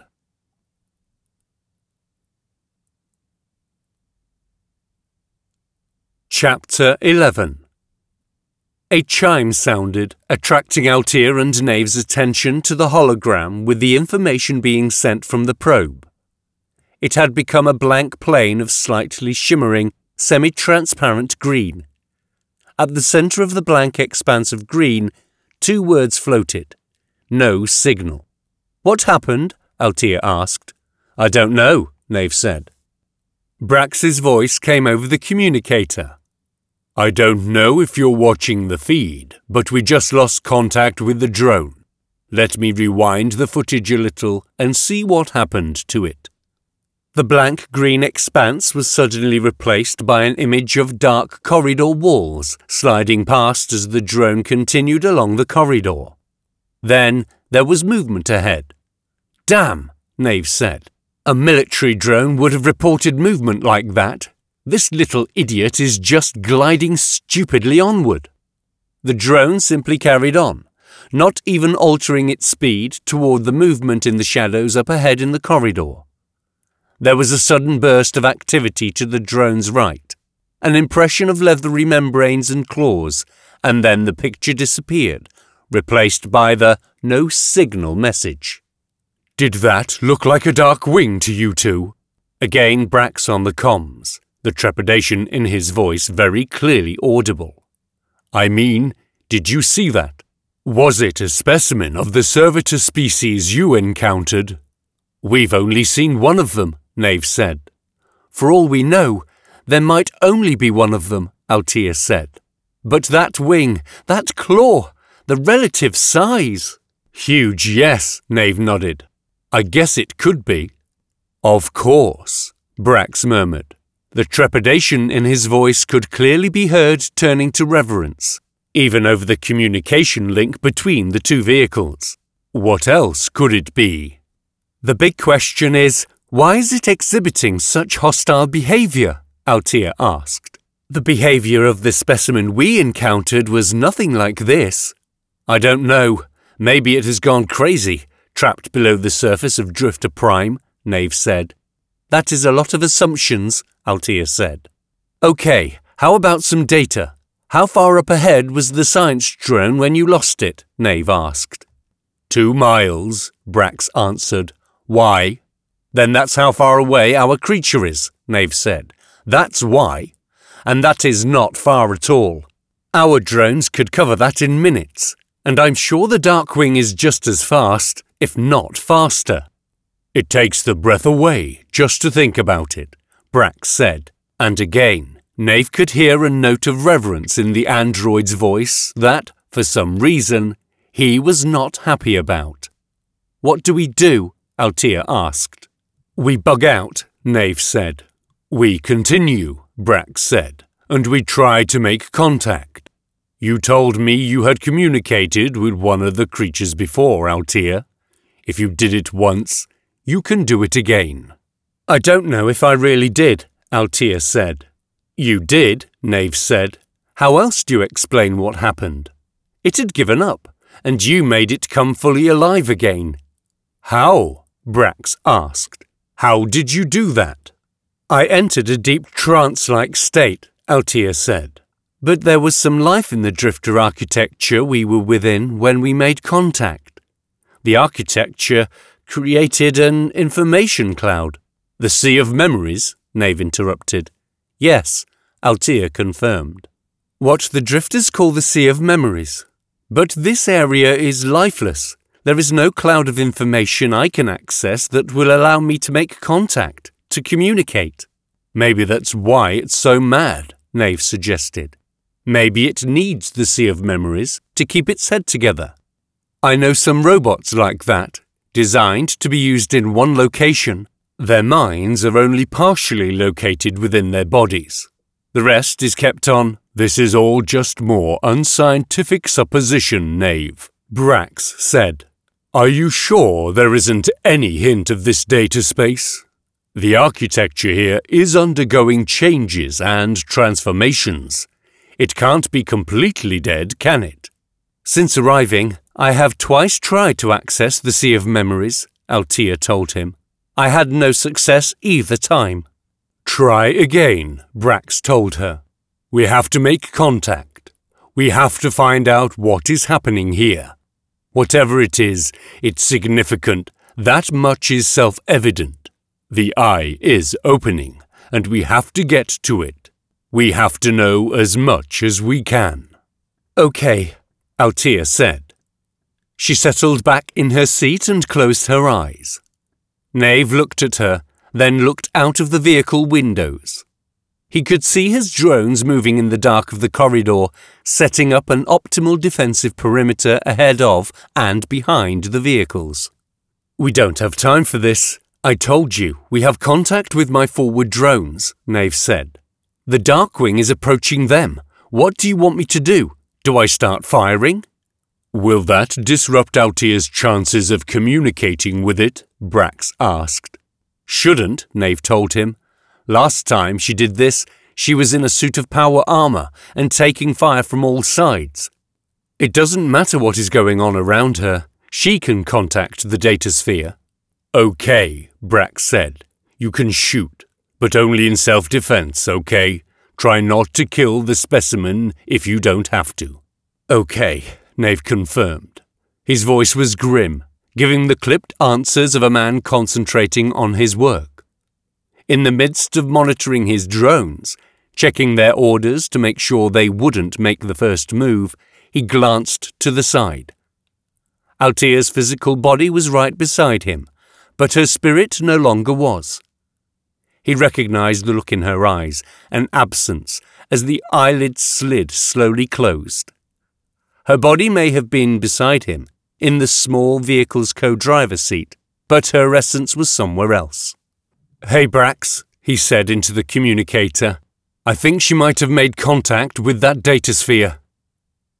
Altea was descending towards an endless sea, floating down through low cloud that was punctured here and there by towers. The towers rose from the sea itself, completely unmoored from any hint of solid land, before reaching up for the clouds and continuing on upward, up to some unseen place above. She knew the place well. It was the interface of the sea of memories, filling her mind and fooling her senses. For her now, it was completely real, even though she knew her body wasn't really here, only her mind. She jackknifed in the air so that she was diving head first instead of feet first and positioned her body for a deep dive. She was hundreds of feet above the water, she guessed, and fear suddenly gripped her heart. She wasn't sure if a dive from such an enormous height was survivable. It was one thing to be pretty sure she wasn't in any real physical danger, but it was entirely another to be in freefall. It felt like she was falling more slowly than would be expected under standard gravity, which reassured her a little, but she was still pretty sure that hitting the water was going to be punishing. She just had time to do some rather less than comforting mental calculations about terminal velocity before she hit the surface, her fingertips, shoulders, and head stinging as they felt the impact. Her momentum took her deep beneath the waves, on and on into the dark depths of the inky ocean, cloudy with swirls of dark sediment suspended in the water, and right at the bottom of her dive, when her downward momentum was finally exhausted, she saw shapes below her. They were huge marine creatures with various numbers of diamond-shaped limbs and long serpentine tails. One glanced up at her, and she saw six eyes burning amber in the dark before the beast lost interest and its gaze moved away. She started to swim for the surface, terrified that she wouldn't make it back before the air in her lungs was exhausted. She forced herself to be calm to keep her lips clamped shut, and swam upward with powerful strokes. At last she could see the surface above her, a faint oval of bubbles still there to show where she had hit, but she couldn't work out how far above her the surface was. She was out of oxygen, of that she was sure, and it still seemed so far above her. Her eyelids felt heavy, her arms screamed at her, refusing to move but she still had some strength in her legs, so she kept kicking, striving for the surface, and at last she emerged, gasping into the air. By the powers, she grunted minutes later, when she could at last catch her breath without gasping and retching. Her insertions into the sea of memories had always been more gentle than this in the past. She still hadn't decided on the most fitting way to describe this place, an information sphere, a simulated space, a hallucination, a dream, or some combination of these mixed in just the right proportions to create something entirely terrifying and new. But whatever it was, she had never wondered before if it had the ability to pose some kind of physical threat to her. After the dive, she was suddenly not so sure that she wasn't mistaken that she could perhaps suffer physical injury caused by this place. What was that? she yelled into the fog around her. Was that a warning? Am I supposed to be frightened? Do I need to be more careful here than I have been before? No answer came. Instead, her words just echoed strangely from the towers she could make out, rising from the sea around her. The sea was rougher than usual this time, too. The waves were high, raising her up as they approached and lowering her down again as they rolled by. She could see them crashing into the towers, breaking apart against whatever alien material the towers were built from and sending showers of spume and spray through the air as they collapsed, exhaustedly back to rejoin the mass of water. Except it wasn't water. It was natural to think of it as water, but it wasn't that. It was some complex mix of chemicals, organics, and nanotechnology that tasted like brine when she inadvertently swallowed a mouthful. But it had an aftertaste, a tang of iron, like the metallic tang of blood. Then she saw it, the dark wing, crouched on a balcony built into the side of one of the towers a few hundred yards above the waves. It wasn't looking at her. It was busy doing something at the junction where the balcony abutted the side of the tower. Altea squinted, trying to work out what she was seeing. With the distance, the fog, the fact that the creature had its back to her, the difficult angle she was looking at the creature from, so far down below, and not least the fact that the waves kept breaking over her head, making her eyes sting, it was difficult to be sure what the creature was up to. Then it stood back, like a sculptor assessing the day's work, and Altea saw that the dark wing had torn a jagged hole in the material of the tower, exposing systems and conduits beneath. What are you doing? she screamed suddenly, incensed that any being would vandalize something as unique as the Sea of Memories. The creature heard her. It slowly turned its head to look in the direction her scream had come from, eyes scanning the waves for her. Through the windows of the dropship, Vela watched as a huge cloud of small birds wheeled, dove, and climbed in the sky above the temple, away in the distance their wings changing colour and scintillating in the sun as the feathers were caught by its light at different angles. They sang as they flew, a tune designed to bring joy to the heart. Whoever had designed the Pleasure Planet's biosphere, they were certainly detail-orientated. This is all too pretty, Romina said, almost spitting the words out.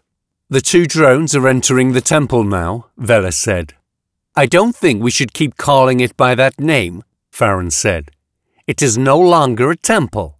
The purpose of this structure is hard to guess at, but I doubt it is worship of anything we might consider holy. Sure, boss, Romina said.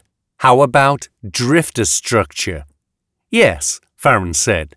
That is a much more fitting description. They all three watched images of the drones moving through the corridors of the structure, transmitted to them by the drone's cameras and sensors. Farron had found such images disorientating at first because they showed a 360 degree view around each drone. The area to the drone's front was slightly larger, slightly more in focus, but she could see the small hexagonal patch of light the drone was moving away from just as easily as the shadows it was fearlessly marching into. Vela saw it all even more vividly thanks to the neural cowl she was wearing in order to control the drones. To her, it felt very much like she was actually inhabiting the body of the drone on the right, the drone alongside her on her left, slaved to follow her lead. She also felt the other two watching the images the drones were transmitting, a feeling like the awareness that somebody was reading over her shoulder on a crowded grav transport. She wasn't sure if it was her imagination or some haptic feedback provided by the designer of the drone interface, but it was such a distinct feeling she suspected it was the second. And then she saw the drone they had sent in previously or what was left of it. Visual contact with Wend-01, she said, using the drone's mission identifier. It looks totaled. I can see that, Romina said. Can you tell what kind of attack it was? Mass drivers? Blasters? I don't see cratering or burns to the armor, Vela said. It looks like physical blows. Some of the bigger buzzers, the ones the size of tanks, can bang a drone up like this. I see blunt impacts and slashes. If I didn't know better, I would say buzzers did this. Nope, Romina contradicted her. Buzzers only use physical force if they lose their ranged weapons for some reason. Buzzers would have blasted it. They wouldn't have beat it up. It looks like Wend 01 put up a fight, Vela said pensively. She was examining the remains closely now, and she could see the charge monitor on the drone's blaster pistol. It was down a few percentage points. So there was a fight, Romina said. Definitely, Vela confirmed. I can see impact craters in the walls round us. Wend 01 did some shooting. I don't know if it hit anything, but it definitely did some shooting. We didn't see that on the feed, Farron said. The way the feed cut out, I assume the drone had been destroyed instantly. I guess the communications were blocked, Romina said, which is difficult to do, but not impossible. Vela, see if you can get any recordings of what happened after the link went down from Wend 01's onboard memory cores. Sure, Vela said, and the drone her attention was inhabiting stooped down to its fallen comrade. The data port on the back of its head was too badly damaged to jack into, which left two more on either side of the torso, round about where a kidney punch would be delivered. The one on the left was slashed, and the one on the right was mashed. Romina could see the mess just as well as Vela could. Forget jacking in, Romina said. Just remove the head and bring it back. We'll see if we can get any data out of that. OK, Vela said. One look at the drone's neck told her it would be a waste of time trying to release the coupling and remove the head cleanly. Instead, she reached for a laser-sharp combat knife that was in a sheath attached to the thigh of the drone her consciousness was riding within. The thing was a monstrous weapon, ridiculously oversized for human use, but perfect for the towering Wender-class drones with their powerful combat fists. Using the drone's arm and wrist actuators, she started delicately removing the head with the tip of the dagger. It was unsettling seeing the way the knife slid through heavy plastic, metal, and even armour, as if it was some soft organic structure. As she was working, her gaze wandered to the decaying human remains that still hadn't been recovered from the site. As before, there was a small cloud of bejeweled insects fluttering and feeding, and then she saw the drone to her left tense up and draw its blaster pistol. Like the knife, it was hugely oversized for human use. It was designated as a pistol only because the drone could use it accurately in one hand. It was at least as powerful as the biggest gun a human could use without the aid of power armor, if not more so. Theoretically, it could easily vaporize whatever kind of wildlife was plaguing the site. Theoretically. But she'd never encountered wildlife that could get the better of a combat drone. Her slaved companion drone wasn't firing, but it was looking down the corridor, eyes shining as it engaged active sensors, its pistol twitching right and left. What's that? Vela asked. What can Wend 03 see? There's nothing on the monitor, Romina said. Just dark corridor. I'm putting on a neural cowl and taking direct control of Wend 03. I'll be with you in a second. Vela's practiced eye easily detected the transition from the sharp mechanical movements of the drone's own intelligence to the smooth movements of direct human control as Romina's conscious started to control it. Do you see anything? Vela asked as she straightened up, laser knife in one hand, severed drone head in the other, and stared in the same direction her companion was looking. No, Romina said. Nothing suspicious.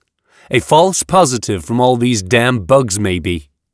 Then it came, a huge shape emerging from a small patch of darkness that shouldn't have been big enough to hide it.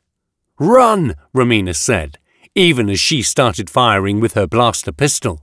Get that head out of here while I deal with this hostile. Vela was impressed at Romina's composure, and for a fleeting second even wondered if she had had her fear removed at the same time as her voice box. But then the thought was gone, and she was running for the exit as per her orders. She heard titanic blows being struck behind her and the sharp, searing noise of blaster bolts, mingled with impacts as the bolts scorched and cratered the corridor walls.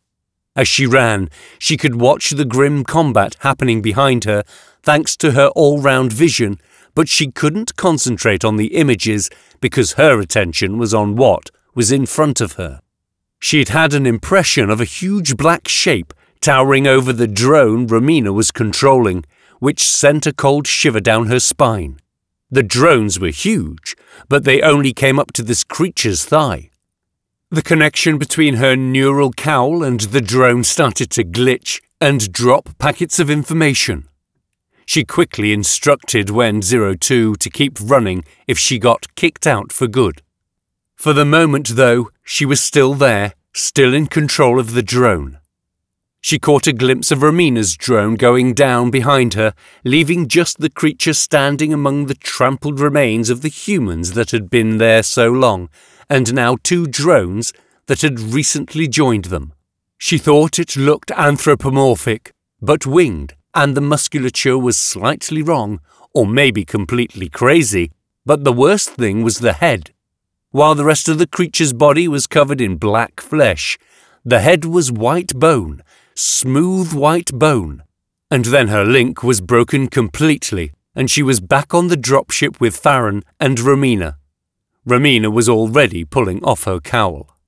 I lost contact with Wen 03, Romina said, and I don't think it's going to survive. It didn't, Vela said, pulling off her cowl.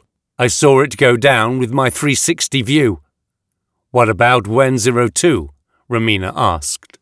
Vela shrugged and went over to the big floor to ceiling windows to gaze at the view of the temple. I don't know, she said. It was fine when the connection dropped, but the monster had its eye on me. Farron and Romina came over to join her at the window, and they all saw when Zero Two come sprinting out at the same moment. Yes, Vela grunted, moving her arm halfway toward punching the air in a gesture of triumph but then thinking better of it. The drone came thumping down the ramp that had been erected at the entrance and headed for the dropship. As it came, their control systems managed to reconnect with it, and the darkened hologram screens came to life again, showing the view through Wen 03's eyes. Vela went back to the drone control console, closely followed by Romina, but Farron stayed at the window, staring at the temple. The creature isn't chasing the drone. It can't leave, she whispered. It's trapped in there.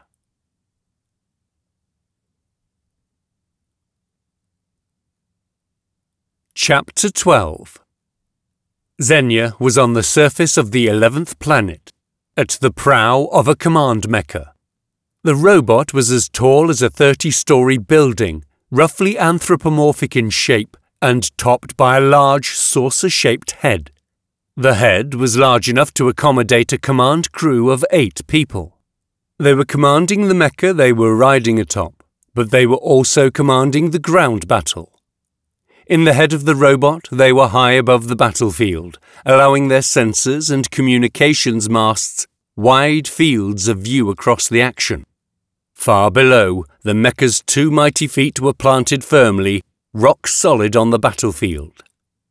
The giant robot did not have to depend on gravitics to carry it forward, which was important when fighting a highly advanced and well-equipped enemy such as the Tarazet Star Empire infantry, who could deploy gravitic dampers, potentially knocking out entire battalions of grav tanks, if deployed well. The command mecha's anthropomorphic layout meant it had a tall torso that was able to house a powerful shield generator, although it had to be augmented by two shield generator vehicles that were deployed alongside it on either side.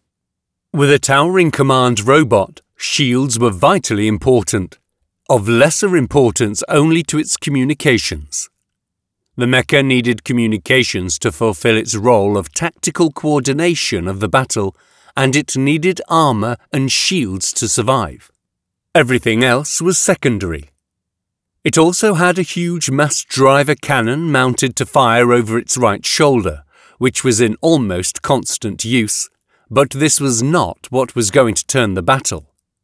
What was going to turn the battle was the decisions made within the Mecha's saucer head, based on plans formed up in orbit on the flagship. The enemy were aware of this too, of course, and a hail of fire was directed at the command Mecha. Rockets and missiles came weaving towards it, lasers sought it out, trying to damage it, or trying to paint it as a target for yet other, more powerful attacks.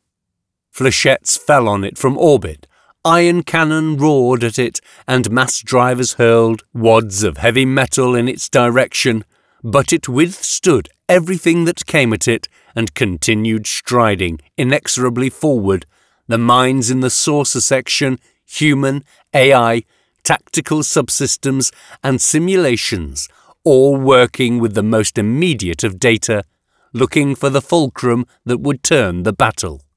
All the members of the battle command were strapped into their chairs, their brains jacked into the Mecha's local information space, those that had interfaces, the others depending on holograms to call up information. Xenia was watching them, learning a tremendous amount about running a planetary assault, but she was also watching the progress of the battle via the most old school of interfaces. She was staring out through the sheet of transparent armour mounted along the front of the mecha's apex saucer section, the head in other words. What she saw was a landscape transformed by the machines of war that were fighting across it. The ground was churned up, and there were the ruins of both architecture and vehicles strewn across the mess. Both sides were using similar equipment, the same types of drones, the same types of power armor, the same mecha, the same types of atmospheric fighters, dropships, and even the shadows cast by larger units nearer to orbit were the same, and the ships beyond up beyond the furthest orbit were the same too. And she could also see their objective, the latest in a series of them, each one seeming to be a battle winner, before more Tarazet infantry units came dropping from orbit, more reinforcements, more hostiles to be chewed up under their guns and to fire in return, thinning the numbers of the invaders even further. Xenia had given up thinking this time that taking the objective really would mean a definitive end to the fighting, but without taking this objective, there would never be any end. This time it was a communications hub used, their strategic analysis said, by the Tarazet infantry for coordinating a hemisphere of units, a surprising number of them automated units. Knocking out the communications hub was predicted to bring victory inside a couple of years. Xenia gritted her teeth at the thought.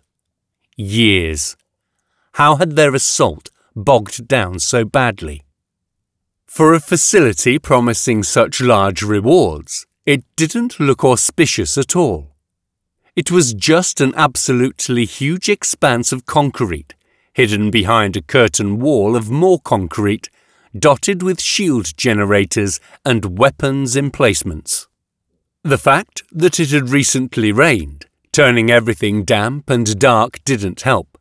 The gloomy cloud cover almost as depressing as her thoughts about how long their victory might take, if it ever came at all.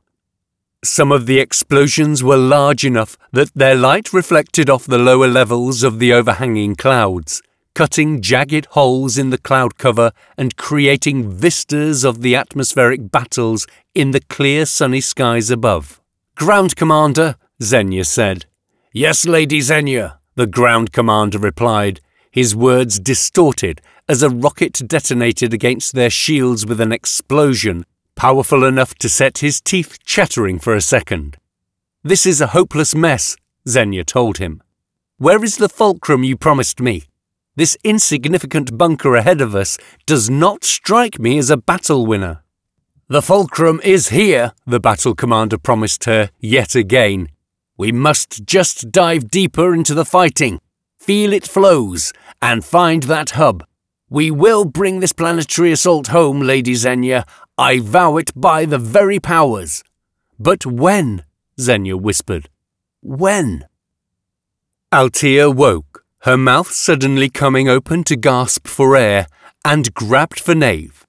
Instinctively, her fingers found him, digging into the flesh of his arm and making him yelp. She could see his expression was serious and that he had a neural cap on his head, half covering his face, of the type used to control drones. His attention wasn't here in the car, it was elsewhere, she glanced at the holographic display built into the dash of their vehicle and saw the view through the eyes of one of their Wolfhound drones. It was in combat, and Nave was controlling it. She reached up, dug her fingers into his drone control cowl, and started to yank it away. Nave reacted quickly and slapped his hands over hers to stop her. Take it off, she said. You don't need it. I do, Nave said. We have contact with the Darkwing, and it is currently ripping apart our drones. I mean your armor. Your armor has a much better drone interface. It's time to activate it. Trust me, Nave, Altea said, as she reached out and touched the badge on his chest. I designed this armor. I know what it can do. I trust you, Altea, Nave told her, with my life. Great, she smiled. Now get out of this vehicle and activate your armour. Nave climbed out of the small grav transport, activating his armour as he went. He felt the strange but familiar sensation of time slowing, as what felt like cold liquid metal flowed over him, spreading from the badge, rapidly spreading to cover all of him. He could now see why Altea had pushed him out. The power armour that he was now wearing was much too big to fit in the driving seat of a small grav car. By the powers, he heard Brax's voice coming over the comms. What the hell is that? That is Nave. He is wearing his armour. It is a combination of material and force field projected by the badge we wear on our chests, Altea explained. Nave didn't envy Brax. He had had the technology behind the armour badges explained to him a hundred times, and he still didn't understand it. Luckily, like most technology, you didn't need to understand it to be able to use it. His senses were now filled with a sensorium that included all his drones, each one a shining little star of intelligence. When he focused on one of the stars, it expanded to show him what the drone was seeing and what its level of ammo, shields, and structural integrity were. There should have been 20 of the stars, one for each drone, but the Darkwing had already started to take a toll on them. Only 17 were left. Then, with a terrible screech and the swing of an arm, another drone fell, leaving him 16. Only five of them had an unobstructed field of fire that intersected the dark wing, and they were all firing their heavy weapons, the big mass drivers mounted in their noses, smoking and glowing after firing shot after shot. It was an impressive barrage, and they were firing accurately and unhurriedly, giving their servos and gyroscopes ample time to bring their guns back on target after each hit. Yeah, Nave growled, eat lead, creature. Shot after shot thudded home into the flesh of the creature, some of the shots seemed to splinter against its surface, as if instead of a rod of heavy metal impacting flesh, what they were actually seeing was something as fragile as an icicle hurled at a stone wall. But some shots did hit home, and when they did, gouts of alien flesh were blasted free, black and firm as the blubber of some deep sea creature. That's gross, Nave gagged. You've halted the creature's advance, Altea said encouragingly. Well done, Nave. The creature lunged forward, one massive claw gathering up a wolfhound drone, while it grabbed another in its other hand. Nave saw through the drone's gun cameras how the creature's muscles tightened and flexed as it smashed the two drones into each other, causing one to lose a leg and the other's main body to be crushed almost flat. The strength needed to do that, Brax breathed. Only three drones now stood between the monster and where Nave was standing defiantly in front of the two grav cars. All three were firing, some rounds being shrugged off, some cratering the beast's flesh, when one shot burrowed deep into the monster's shoulder, making the beast stagger back. Its smooth white bone face was incapable of projecting emotion in any way a human might understand, but Nave had the feeling the monster was feeling pain and dismay. Yeah, he growled, that hurts right. And the monster was gone. One moment standing there, blood so dark it looked black flowing and splattering from its wounds, the remains of the two incapacitated drones in its claws, and the next, it was gone. The two drones it had been holding fell to the ground with a series of clangs and crashes that echoed in the suddenly quiet corridor. The remaining three drones twitched to the left and right in confusion, trying to reacquire their target. We fended it off, Brax said, shock and awe clearly audible in his voice. I almost assumed it would be invulnerable, that it would destroy us. But we fought it off. Yes, we did, Altea said, but at significant cost. We only have half the number of drones now that we did a few moments ago. More than half, Nave said, and maybe they're not all damaged so badly. Let me see if I can coax one or two of them back into life again. Okay, Brax said, but what does this mean? Do we carry on, or do we go back? I think we just conclusively proved that this is not a safe mission. We could all die down here, but we have to continue if we are to reach the eye. Let's wait a moment at least, Altea said. Who knows? If we don't continue into its domain, perhaps the creature will leave us alone. Sure, maybe, Nave said. In the meantime, Altea continued, I will examine the wall we found and Nave can try to regroup his army of drones. And I, Brax said, am getting a call from Shavir. By the powers, Altea said. Yes, indeed, Brax replied. While that creature was around, the long-range communicator was down. The signal virtually non-existent, just a whisper of random noise. But now, I have a hologram communication coming through, loud and clear. Accept it, Altea said impulsively.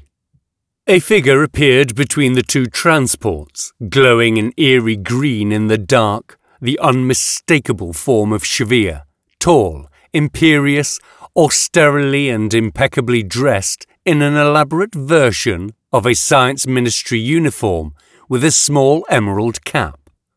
Brax got out of his car, followed by Altea. Nave deactivated his armour, which flowed away to nothingness across his body, only the hexagonal badge left as evidence it had ever been there. The three of them gathered opposite Shavir in a small semicircle. Lady Shavir, Brax said. Brax, she said sharply. Consorting with the enemy rebels, I see. Altea isn't just some rebel, milady, Brax contradicted her. She is also one of the foremost experts on drifter technology anywhere in the Tarazet Star Empire. Conceded, Shavir said, slightly nodding her head in a gesture of magnanimous agreement. I hope she has been of use to you. What in the powers has been happening here? I am told there is an increase in the activity within Drifter Prime. Yes, milady, Brax said. Not just activity. Wholesale alterations consistent with the event described as the opening of the eye. And we have encountered a creature, a creature that Altea has identified as a client species to the Drifters. She calls them dark wings. I see, Shavir said, glancing furtively at Altea, who studiously avoided meeting her gaze, then returning her attention to Brax. I understand there have been casualties. Not that this is necessarily a bad thing. Brax simply nodded. It was pointless denying it. Have you worked out what is going on? What any of this chaos actually means? And is any of it any benefit to Tarazet? Shavir asked. Why didn't you get lost, Shavir, you treacherous old bag? Nave snapped, his self-control deserting him. The eye is opening, bringing the power we need to take as many planets away from you as we want. We will be able to take a planet in a single day, and we're going to make sure it helps the rebellion. This is for new Tarazet, not the corrupt. Still haven't learnt any manners, knave, Shavir's hologram roared, interrupting, boasting, and bravado. Ah, you've learned my name, Nave said, a little note of triumph in his voice. None of this, Shavir said, ignoring him, is going to be of the slightest use to you or your ridiculous little rebellion. Look. Her hologram theatrically waved an arm, and a tactical representation of local space appeared. At its centre was a simple circle labelled Drifter Prime, and arrayed around it was a constellation of dots, each marked with a ship name and role. Nave didn't have time to take in any detail, but he did see that a good number of them were labelled as dreadnoughts and carriers. This place is completely surrounded by the biggest concentration of military might ever seen, ever. The hologram was so detailed that Nave noticed a particle of spit fly from Shavir's mouth as she yelled these triumphant words. His eyes followed it along its parabolic arc only to see it fade into nothingness as it went outside her hologram camera's view. You may have been able to get close enough to teleport down here, but you will never teleport out. Drifter Prime will be your last resting place. Shavir, milady, Brax said. They're helping me. They are traitors and mutineers, Shavir barked. Her hologram turned away from them, but she didn't kill the connection. They heard muffled words as she talked to somebody off camera. Admiral Hagon, they heard her say, there are rebels down on Drifter Prime. Take a force down there and hunt them out. You may bring them back dead or alive. Position a force to take advantage of the opening of the eye and make sure to deny the rebels any access to it. It looks like Brax is glitching too, so feel free to reboot the plastic fool. Shavir turned back to them, a cruel smile on her face. The tactical hologram beside her was still visible, and Nave saw a carrier near Drifter Prime being highlighted. Four dropships were launched from it, each represented by a small dot, about half the size of the dot representing their mothership. Another two dropships were launched by one of the dreadnoughts, the courses of the dropships were all directly for Drifter Prime. It was too soon for Hagon himself to have boarded one of them, but it was an undeniable signal of intent. Goodbye, Shavir said, and only then did her hologram fade away. I bet you wish you hadn't answered, Nave said to Brax. I think that means your command here, in the name of the Tarazet Star Empire, has been revoked. Altea said, answered by a grim nod from Brax. My security clearance just got deleted, he said. But there will always be a place for you in New Tarazet, Altea added gently. Or I can let them reboot me to an earlier instance of my personality, Brax said, casually, though what he was talking about was absolutely barbaric. His reduced selection of facial muscles then did an excellent job of making his scowl move from grim surprise to grim determination. Why don't I help you take a look at that wall? he said. Nave went back to trying to salvage some of their incapacitated drones, while Brax and Altea went over to the wall.